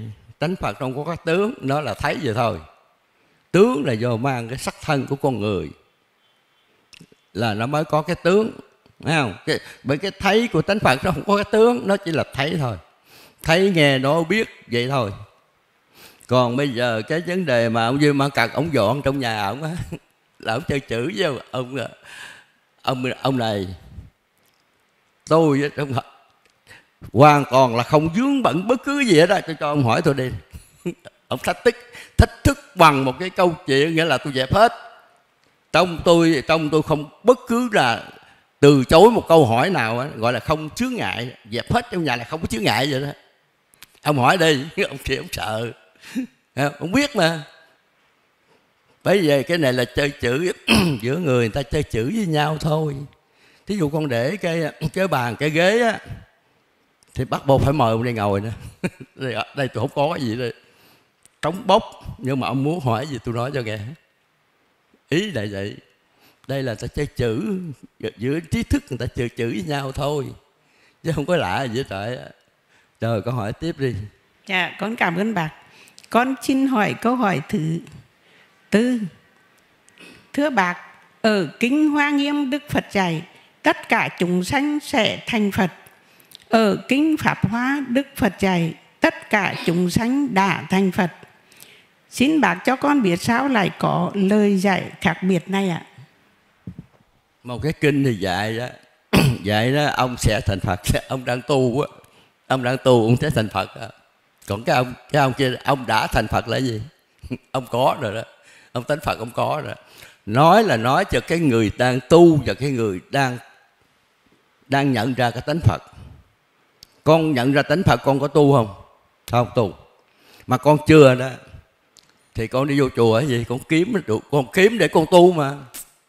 Thì hai cái kinh này nói khác nhau. Một kinh nói là ông đang dụng công tu một công là ông đã tu rồi à, đã xong rồi. Giờ bây giờ con suy nghĩ con ngộ thiền rồi con còn tu không? Con vô thiền tông con còn tu không? Hoàn toàn không tu. Ờ, tôi thành phật rồi tu gì hỏi là thành phật đâu. Thì, thì thấy nghe nó biết tôi là thật á được có tu gì nữa không? Hai cái kinh này nó nói là nói cho cho bậc nhị thừa học cùng hết học là hai cái hai cái quyển kinh này. Học cho nhị thừa. Nhị thừa là hai bên. Một ông thì đang học một ông hết học. Hết học không tu đang học và còn tu. Rồi con hỏi tiếp đi. Dạ con cảm ơn bà con xin hỏi câu hỏi thứ năm. Thưa bác trong kinh duy ma cật có đoàn viết cần phải khai quật bồ đề tâm phát huy bồ đề tự tánh. Đó mới là con đường tiến đến vô thường bồ đề. Xin bác giải thích cho con hiểu câu ý tiếp cái này là ta nói mấy ông dụng công tu anh phải tu ở dụng công để, để tìm ra cái phật tánh rồi mới mới vô mới thành phật được. Vô thượng bồ đề là thành phật đó. Ta nói về cái cái vật lý mà nói cái này là nói về kinh đại thừa đó. Áp bộ anh phải tu để cho nó thành phật. Đó, tu để được vô thượng bồ đề vô thượng. Vô thượng là không không cao. Cái bồ đề cái tánh giác tánh giác là tánh phật nó cũng cao thấp vậy đó. Tu để được cái không cao thấp này nè.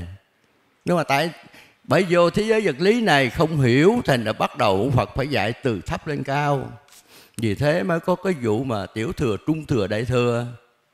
Chứ còn nếu mà nói mà vô mà dạy cái cái thiền tông này thì chắc đâu ai, ai đâu ai tu đâu. Ngày, ngày xưa con suy nghĩ không có hiểu về khoa học mà bây giờ dạy cái cái khoa học ai ai chịu? Con suy nghĩ ai chấp nhận không? Chính bây giờ khoa học lên cao mà còn không chấp nhận thì hỏi coi chứ làm sao mà thời đồ đồng cách này hai ngàn mấy trăm năm mà dám dạy cái này. Tôi nói thiệt, hai trăm năm về trước còn không hiểu được cái này. Hai trăm năm về trước chưa có cái điện thoại di động, thì làm sao? Hai trăm năm về trước mà người ta chỉ sử dụng một cái mọt cái mọt thôi, chứ còn không có giống, không có cái điện thoại luôn thì mình nói cái thế giới ờ, thế giới văn minh này là ai biết? Vì thế vì thế mà đức phật phải tuân tự dạy từ thứ lớp để khi loài người văn minh rồi mới dạy cái cái cái chân thật này thôi. Rồi con hỏi tiếp đi. Dạ con cảm ơn bà con xin đọc câu hỏi thứ sáu. Thưa bạc. trong kinh duy ma cật có đoàn Việt chưa thâm ngộ tưởng Phật, chưa thâm ngộ tưởng thật, học pháp bất liệu nghĩa, thực hành pháp bất liệu nghĩa, thường bị kẹt. Nhìn Bồ Đề Niết Bàn, còn bị bao phủ những lớp sương mù chấp chắc. Xin bác giải thích cho con đoàn kinh trên ạ. Mới về tu cái thiền tông này này, con không hiểu thì chắc chắn nó phải dướng hết. Con không có không có giải thích được nổi đâu. Nói thật cái này ông, ông nhưng mà cậu ông nói là tất cả khi mà tu rồi không chướng được cái này không cách nào thoát ra được cái quy luật này hết đó ông ông dạy ông nói nói cho tất cả những người tu thiền tu đạo Phật biết rằng không phải đơn giản. Mấy ông tu một ngàn năm không không thoát ra được cái quy luật này đâu. Mà bây giờ cái, cái vô cái đầu thì ông phải dạng những cái chuyện mà dướng bận. Chừng nào mà hết dướng bận thì phải thoát ra được. Anh chị tất bởi vì tại sao mới uh, ông chỉ tiếp ông giang thù thôi, còn kể người di lặc còn không dám vô. Ông di lặc là, bây giờ mình gọi là bồ tát di lặc á, còn không dám đụng tới ông á. Thấy không? Mình phải hiểu này. Bởi vì vô cái thế giới thiền tông rồi, nó cực kỳ khó. Mà vô được rồi thì nó rất khỏe. Còn anh chưa vô được rồi mà anh đủ chuyện hết. Thì ông phải dạy cho biết tất cả là anh làm bất cứ gì cũng không không thâm nhập được cái thiền tông đâu. Ý là muốn nói vậy thôi. Mà nói, ngày xưa không có nói chữ thiền tông mà nói là không có thể là vô thượng bộ đề là vô vô, vô để mà thành phật. Anh làm cái gì không có thành phật nữa đó.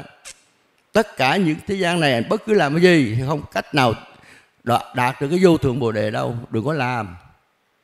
Rồi sao? Ông bị đi theo cái chừng nào công bố ra đi rồi đi kiếm cái này ông học đó, thì mặt mai mặt mai thôi chứ không phải mà dính vô luôn đâu. Rồi có hỏi tiếp đi. Dạ con cảm ơn bác. Con xin hỏi câu hỏi thứ bảy. Thưa bác bồ tát sống trong các ba la mật môn giáo hóa chúng sanh, khiến cho họ phát bồ đề tâm. Thì nhất cử nhất động dơ chân lên để chân xuống đều có thể gọi là đạo tràng. Và ở chỗ nào cũng không ngoài Phật pháp. Con chưa hiểu, xin bác giải thích ạ. Bây giờ học cái này nè. Cái hành động gì là sao? Đưa giò đưa tay lên đưa chân lên gì? Tại sao con biết? Thay, cái đưa tay chân là con thấy con bằng con mắt ông đó đưa tay hoặc đưa chân.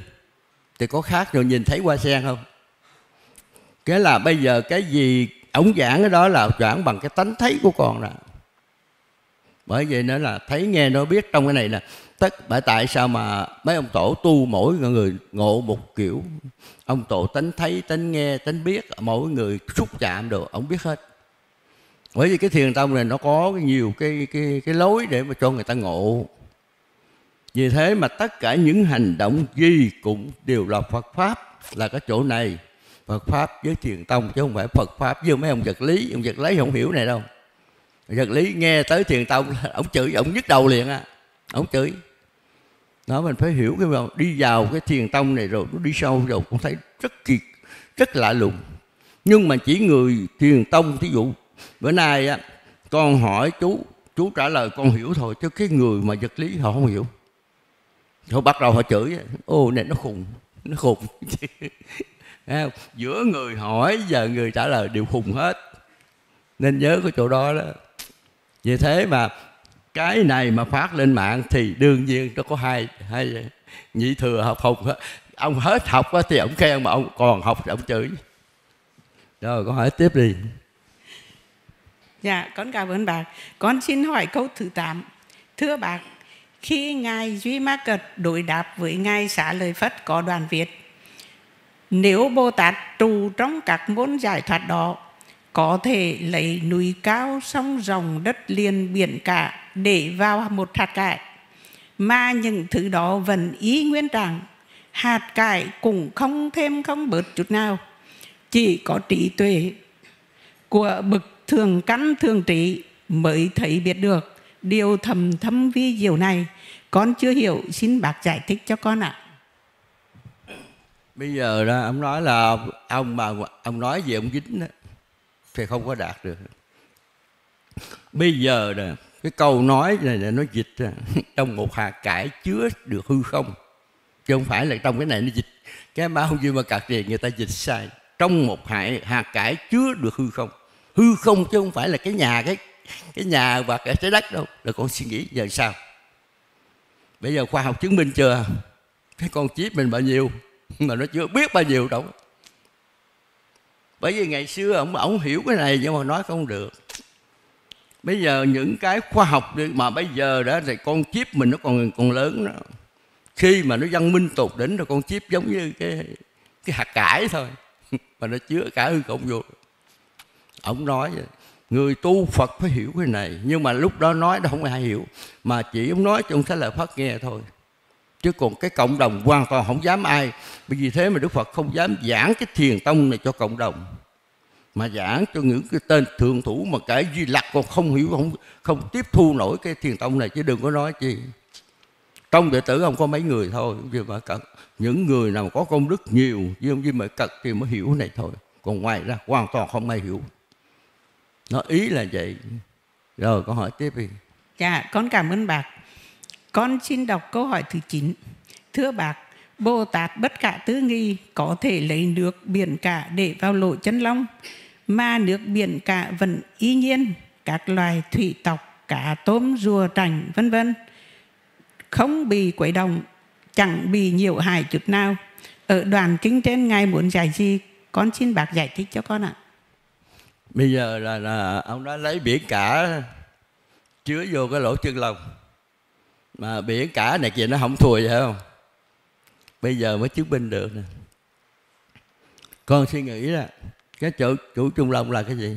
Nó bằng một cái hạt cát thôi. Mà bây giờ những cái máy quay phim bây giờ nó chưa tới tân đâu. Mà cái máy quay phim giờ nó thu vô cái hạt này nè nó hết biển luôn. Hết được không? Nhưng mà cái biển không ăn thua gì. Là sao? Ý là nó muốn thu cái hình thôi chứ còn cái biển nó không thu được. Tất cả những hình ảnh nó sẽ nhét vô cái lỗ chân lông này nè. Giống như bây giờ đó những cái máy quay phim bây giờ nó còn lớn nó lớn hơn lỗ chân lông chứ. Sự thật à, nó thu cả toàn bộ cái thế giới này vô được chứ không phải cái biển cả không đâu. Thấy không? Nhưng mà sau cùng cũng nói là nhưng mà biển cả hay các là kia nó vẫn còn y nguyên là vậy nó muốn lấy cái hình thôi. Gọi là lấy cái hình ảnh chứ không phải là thu cái ấy, thu cái biển vô trong cái lỗ chân lông không phải vậy. Cái lỏng nó đổ hết vô là thu hết vô nhưng mà biển cả không có thu gì hết. Ý là không nói vậy mà nói dạy này dạy cho thời khoa học nguyên tử. Thế thời trước nói gì nó nó ông ông khùng. Thấy không? Nói vậy gọi nó nó rồi nó nó nói thì nó, nó xảo ngôn. Ngày xưa mà nói nó ông xảo ngôn. Nó tập bậy nó không ai chứng được cái gì. Rồi hỏi tiếp đi. Dạ, con cảm ơn bác. Con xin hỏi câu hỏi thứ 10. Bồ Tát Duy Mắc Cật giải tiếp. Trù tư nghi giải thoát. Bồ Tát lấy những sự trắng trị đẹp của tất cả cõi Phật nhóm lại một chỗ. Chỉ bày cho chúng sanh xem thấy rõ ràng. Bồ Tát lại vận dùng sức thân phương tiền như uyển của lòng từ bi đem tất cả chúng sanh và cõi Phật để trong lòng bàn tay bay khắp mười phương mà bổn sự không hề chuyển động. Xin bác giải thích cho con sức mạnh, sức thân phương tiền như nguyện của lòng từ bi, trù tứ nghi giải thoát và ý nghĩa của đoàn kinh trên ạ. Ông nói cái này nó đúng là cũng vậy cho thời gian minh thôi chứ hồi xưa là ông nói họ ta không ai hiểu đâu. Bây giờ con con suy nghĩ nè, tất cả những cái hình ảnh mà bây giờ con ghi lại đi. Bây giờ nó ghi mà nó không có động, bây giờ mới chứng minh cái chỗ này nè tuy là ông ta lấy nhưng mà trong cái không gian nó không có động thí dụ bây giờ mình à, ở đây con giải, giải thích này nè. Phát lên trên mạng đi. Bây giờ ở bên mỹ nó cũng lấy được mà bên tây cũng được bên tàu bên úc nó cũng lấy được. Nhưng mà cái không gian nó có động không? Hoàn toàn không động tuy là nó trùm khắp vậy mà lấy không động giờ không lẽ con mở cái tivi ra cái cái có cái hình nó nhảy vô, không có thì nó không động. Có nghĩa là nó trùm khắp, nó không có động được cái này. Tuy là lấy hết vì thế mà đây là ông ý ông nói là cái thời cái thời thời gian sau đó, nó sẽ có cái chuyện này, chứ không phải đâu. Ông làm bộ, ông nói ông đưa tay lên cho thấy, thì có, chứ không phải. Nhưng mà cái người mà ta có cái công đức lớn á, ta đưa ngón tay để thấy hình ảnh trong ngón tay, giống như mình đưa cái cái cái điện thoại ra đó.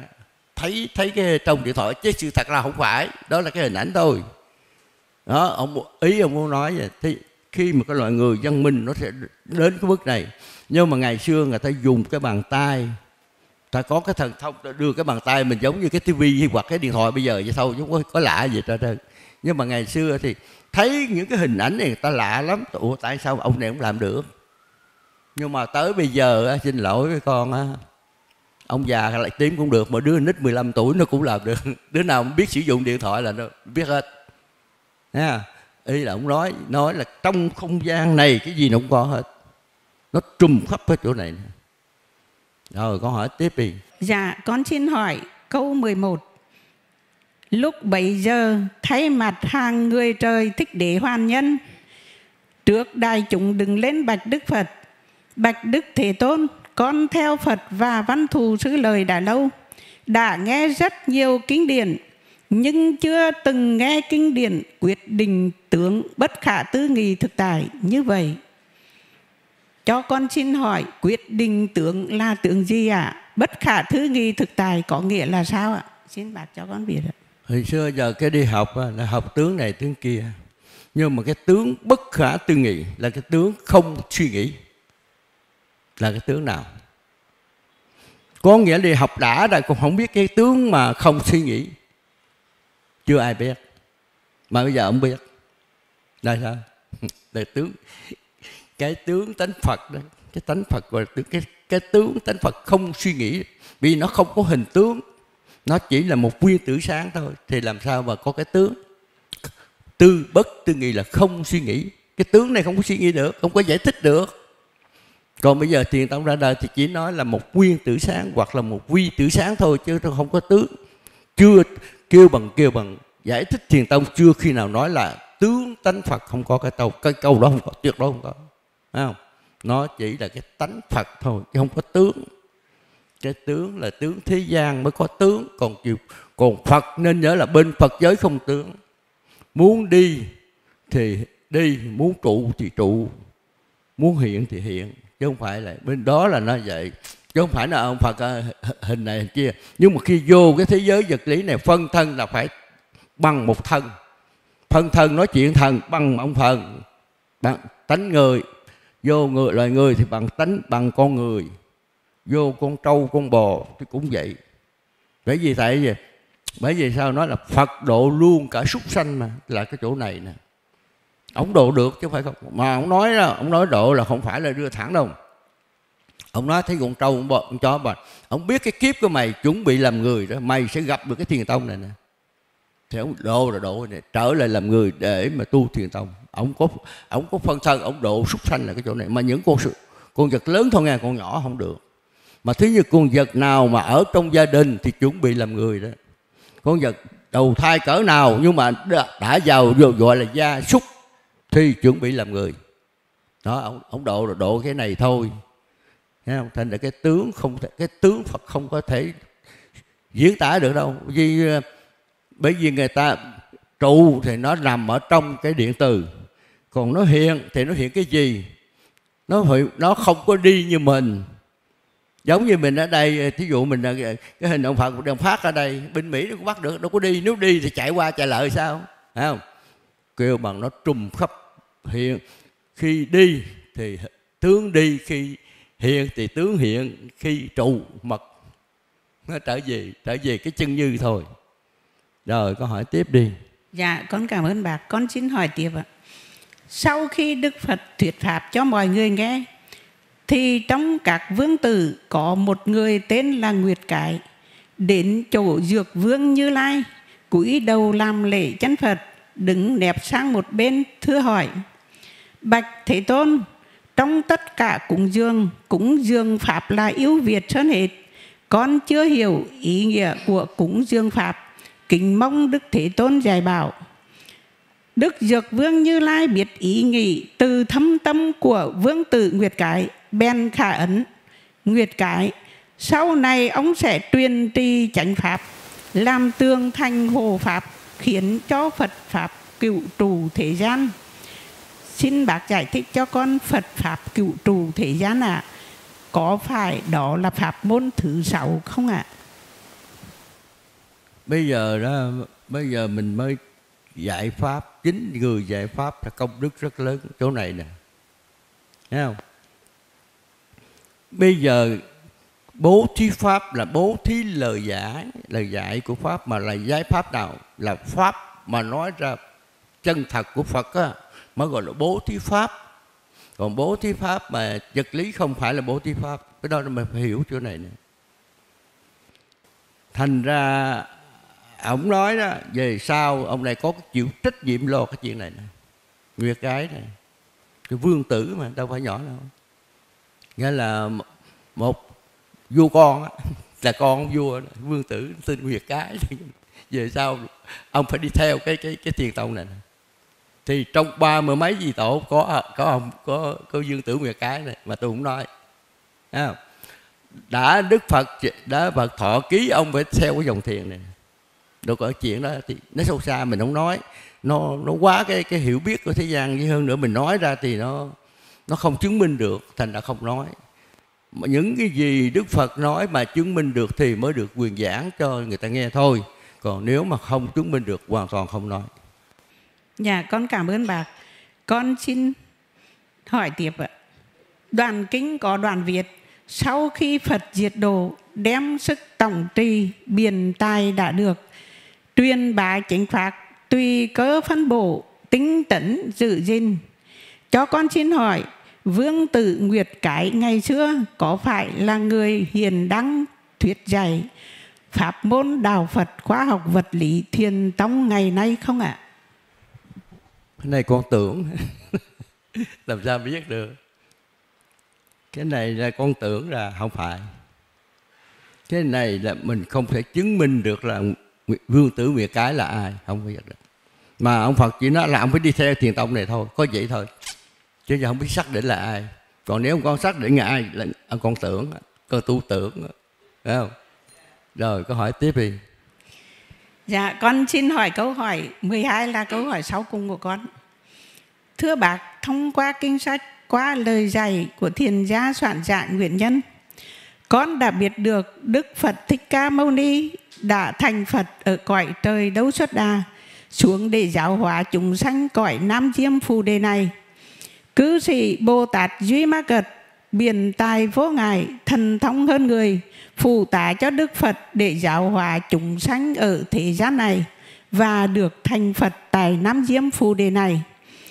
Thiền gia soạn giả nguyện nhân dạy cho dân Việt Nam, cho nhân loại pháp môn, đạo Phật, khoa học, vật lý, thiên tông đã giúp cho rất nhiều người nhận ra được tánh Phật của chính mình và được trở về Phật giới, tức là thành Phật. Chúng con giờ có tâm niệm rằng thiền gia soạn giả nguyện nhân thời mạt thường pháp này cũng giống như cư sĩ Duy Ma Cật, thời Đức Phật còn tài thế. Thật là đại phúc, đại duyên cho dân Việt Nam, cho nhân loại đã may mắn tiếp nhận được lời dạy chân thật quý báu của Đức Phật Thích Ca Mâu Ni. Thông qua thiền gia soạn giả nguyện nhân đã dẫn dạy chúng con biết đường trở về quê cũ của chính con người. Vậy xin phép bác cho chúng con giữ nguyên tâm niệm này ạ. À. Cái này con nói vậy là con tưởng nên nhớ một điều khi mà một, khi mà cái quyển giáo lý đạo Phật, khoa học vật lý mà được xuất bản ra thì ai cũng như là soạn giả nguyên nhân hết, không ai thua. Nên với điều kiện học cho thuộc. Soạn giả nguyên nhân là sao? Là học thuộc cái này mấy chục năm, không phải học mới một năm đâu. Sáu chục năm mài miệt về cái này. Có nghĩa là học trang nào thì nó nát trang nấy luôn á. Thì giờ con khi nào giáo lý ra đi tất cả người nào thực hiện đúng như vậy thì đều là hiểu đạo Phật hết. Không ai hơn ai. Còn ở chuyện thế gian này là người biết trước biết sau thôi. Giống như con mới vô lớp 1 thì thấy cái anh lớp 12 anh khen. Chứ con lên lớp 12 có khen không? Đó, ai cũng vậy thôi. Không nói cái này không không tưởng được. Cái này không đề cao bất cứ ai. Vô thiền tông tuyệt đối. Không đề cao bất cứ ai hết khi mà giáo lý ra rồi giáo lý khoa học ra rồi thì ai đọc được cái quyển này thì giống nhau. Giống như con học củ chương mới vô học củ chương 2 thấy thằng cha củ chương 9 khen củ chương 9 với gì? Nhưng mà còn tới củ chương 9 thì con có khen không? Ai cũng giống nhau thôi. Tại vì tại sao bây giờ đó là cái ông thầy giáo dạy lớp 12 gõ đầu mấy thằng lớp 5, lớp 1 bây giờ nó lên rồi lên cũng bằng ổng thôi. Nếu nó chịu học cũng lên thôi thế gian này nó vậy. Có nghĩa là ai cũng có phật tánh rồi đấy ai cũng sẽ thành phật. Không có nói cái này được. Nó nói vậy là sai nó, nó vào cái tưởng. Thấy không? Trong thế gian này không đề cao ai hết. Bất cứ ai cũng thành phật như ai ai cũng tánh phật như ai nhưng mà nó nhuộm đèn quá nhuộm ít vậy thôi chứ đừng có đừng có làm để nó sai nó sai cái cái, cái nguyên tắc của thiền tông thấy không rồi câu hỏi tiếp đi Dạ, câu còn hỏi câu quan đến đây là hết. Con xin cảm ơn bác nhân rất nhiều ạ. Dạ. rồi rồi cảm ơn con hỏi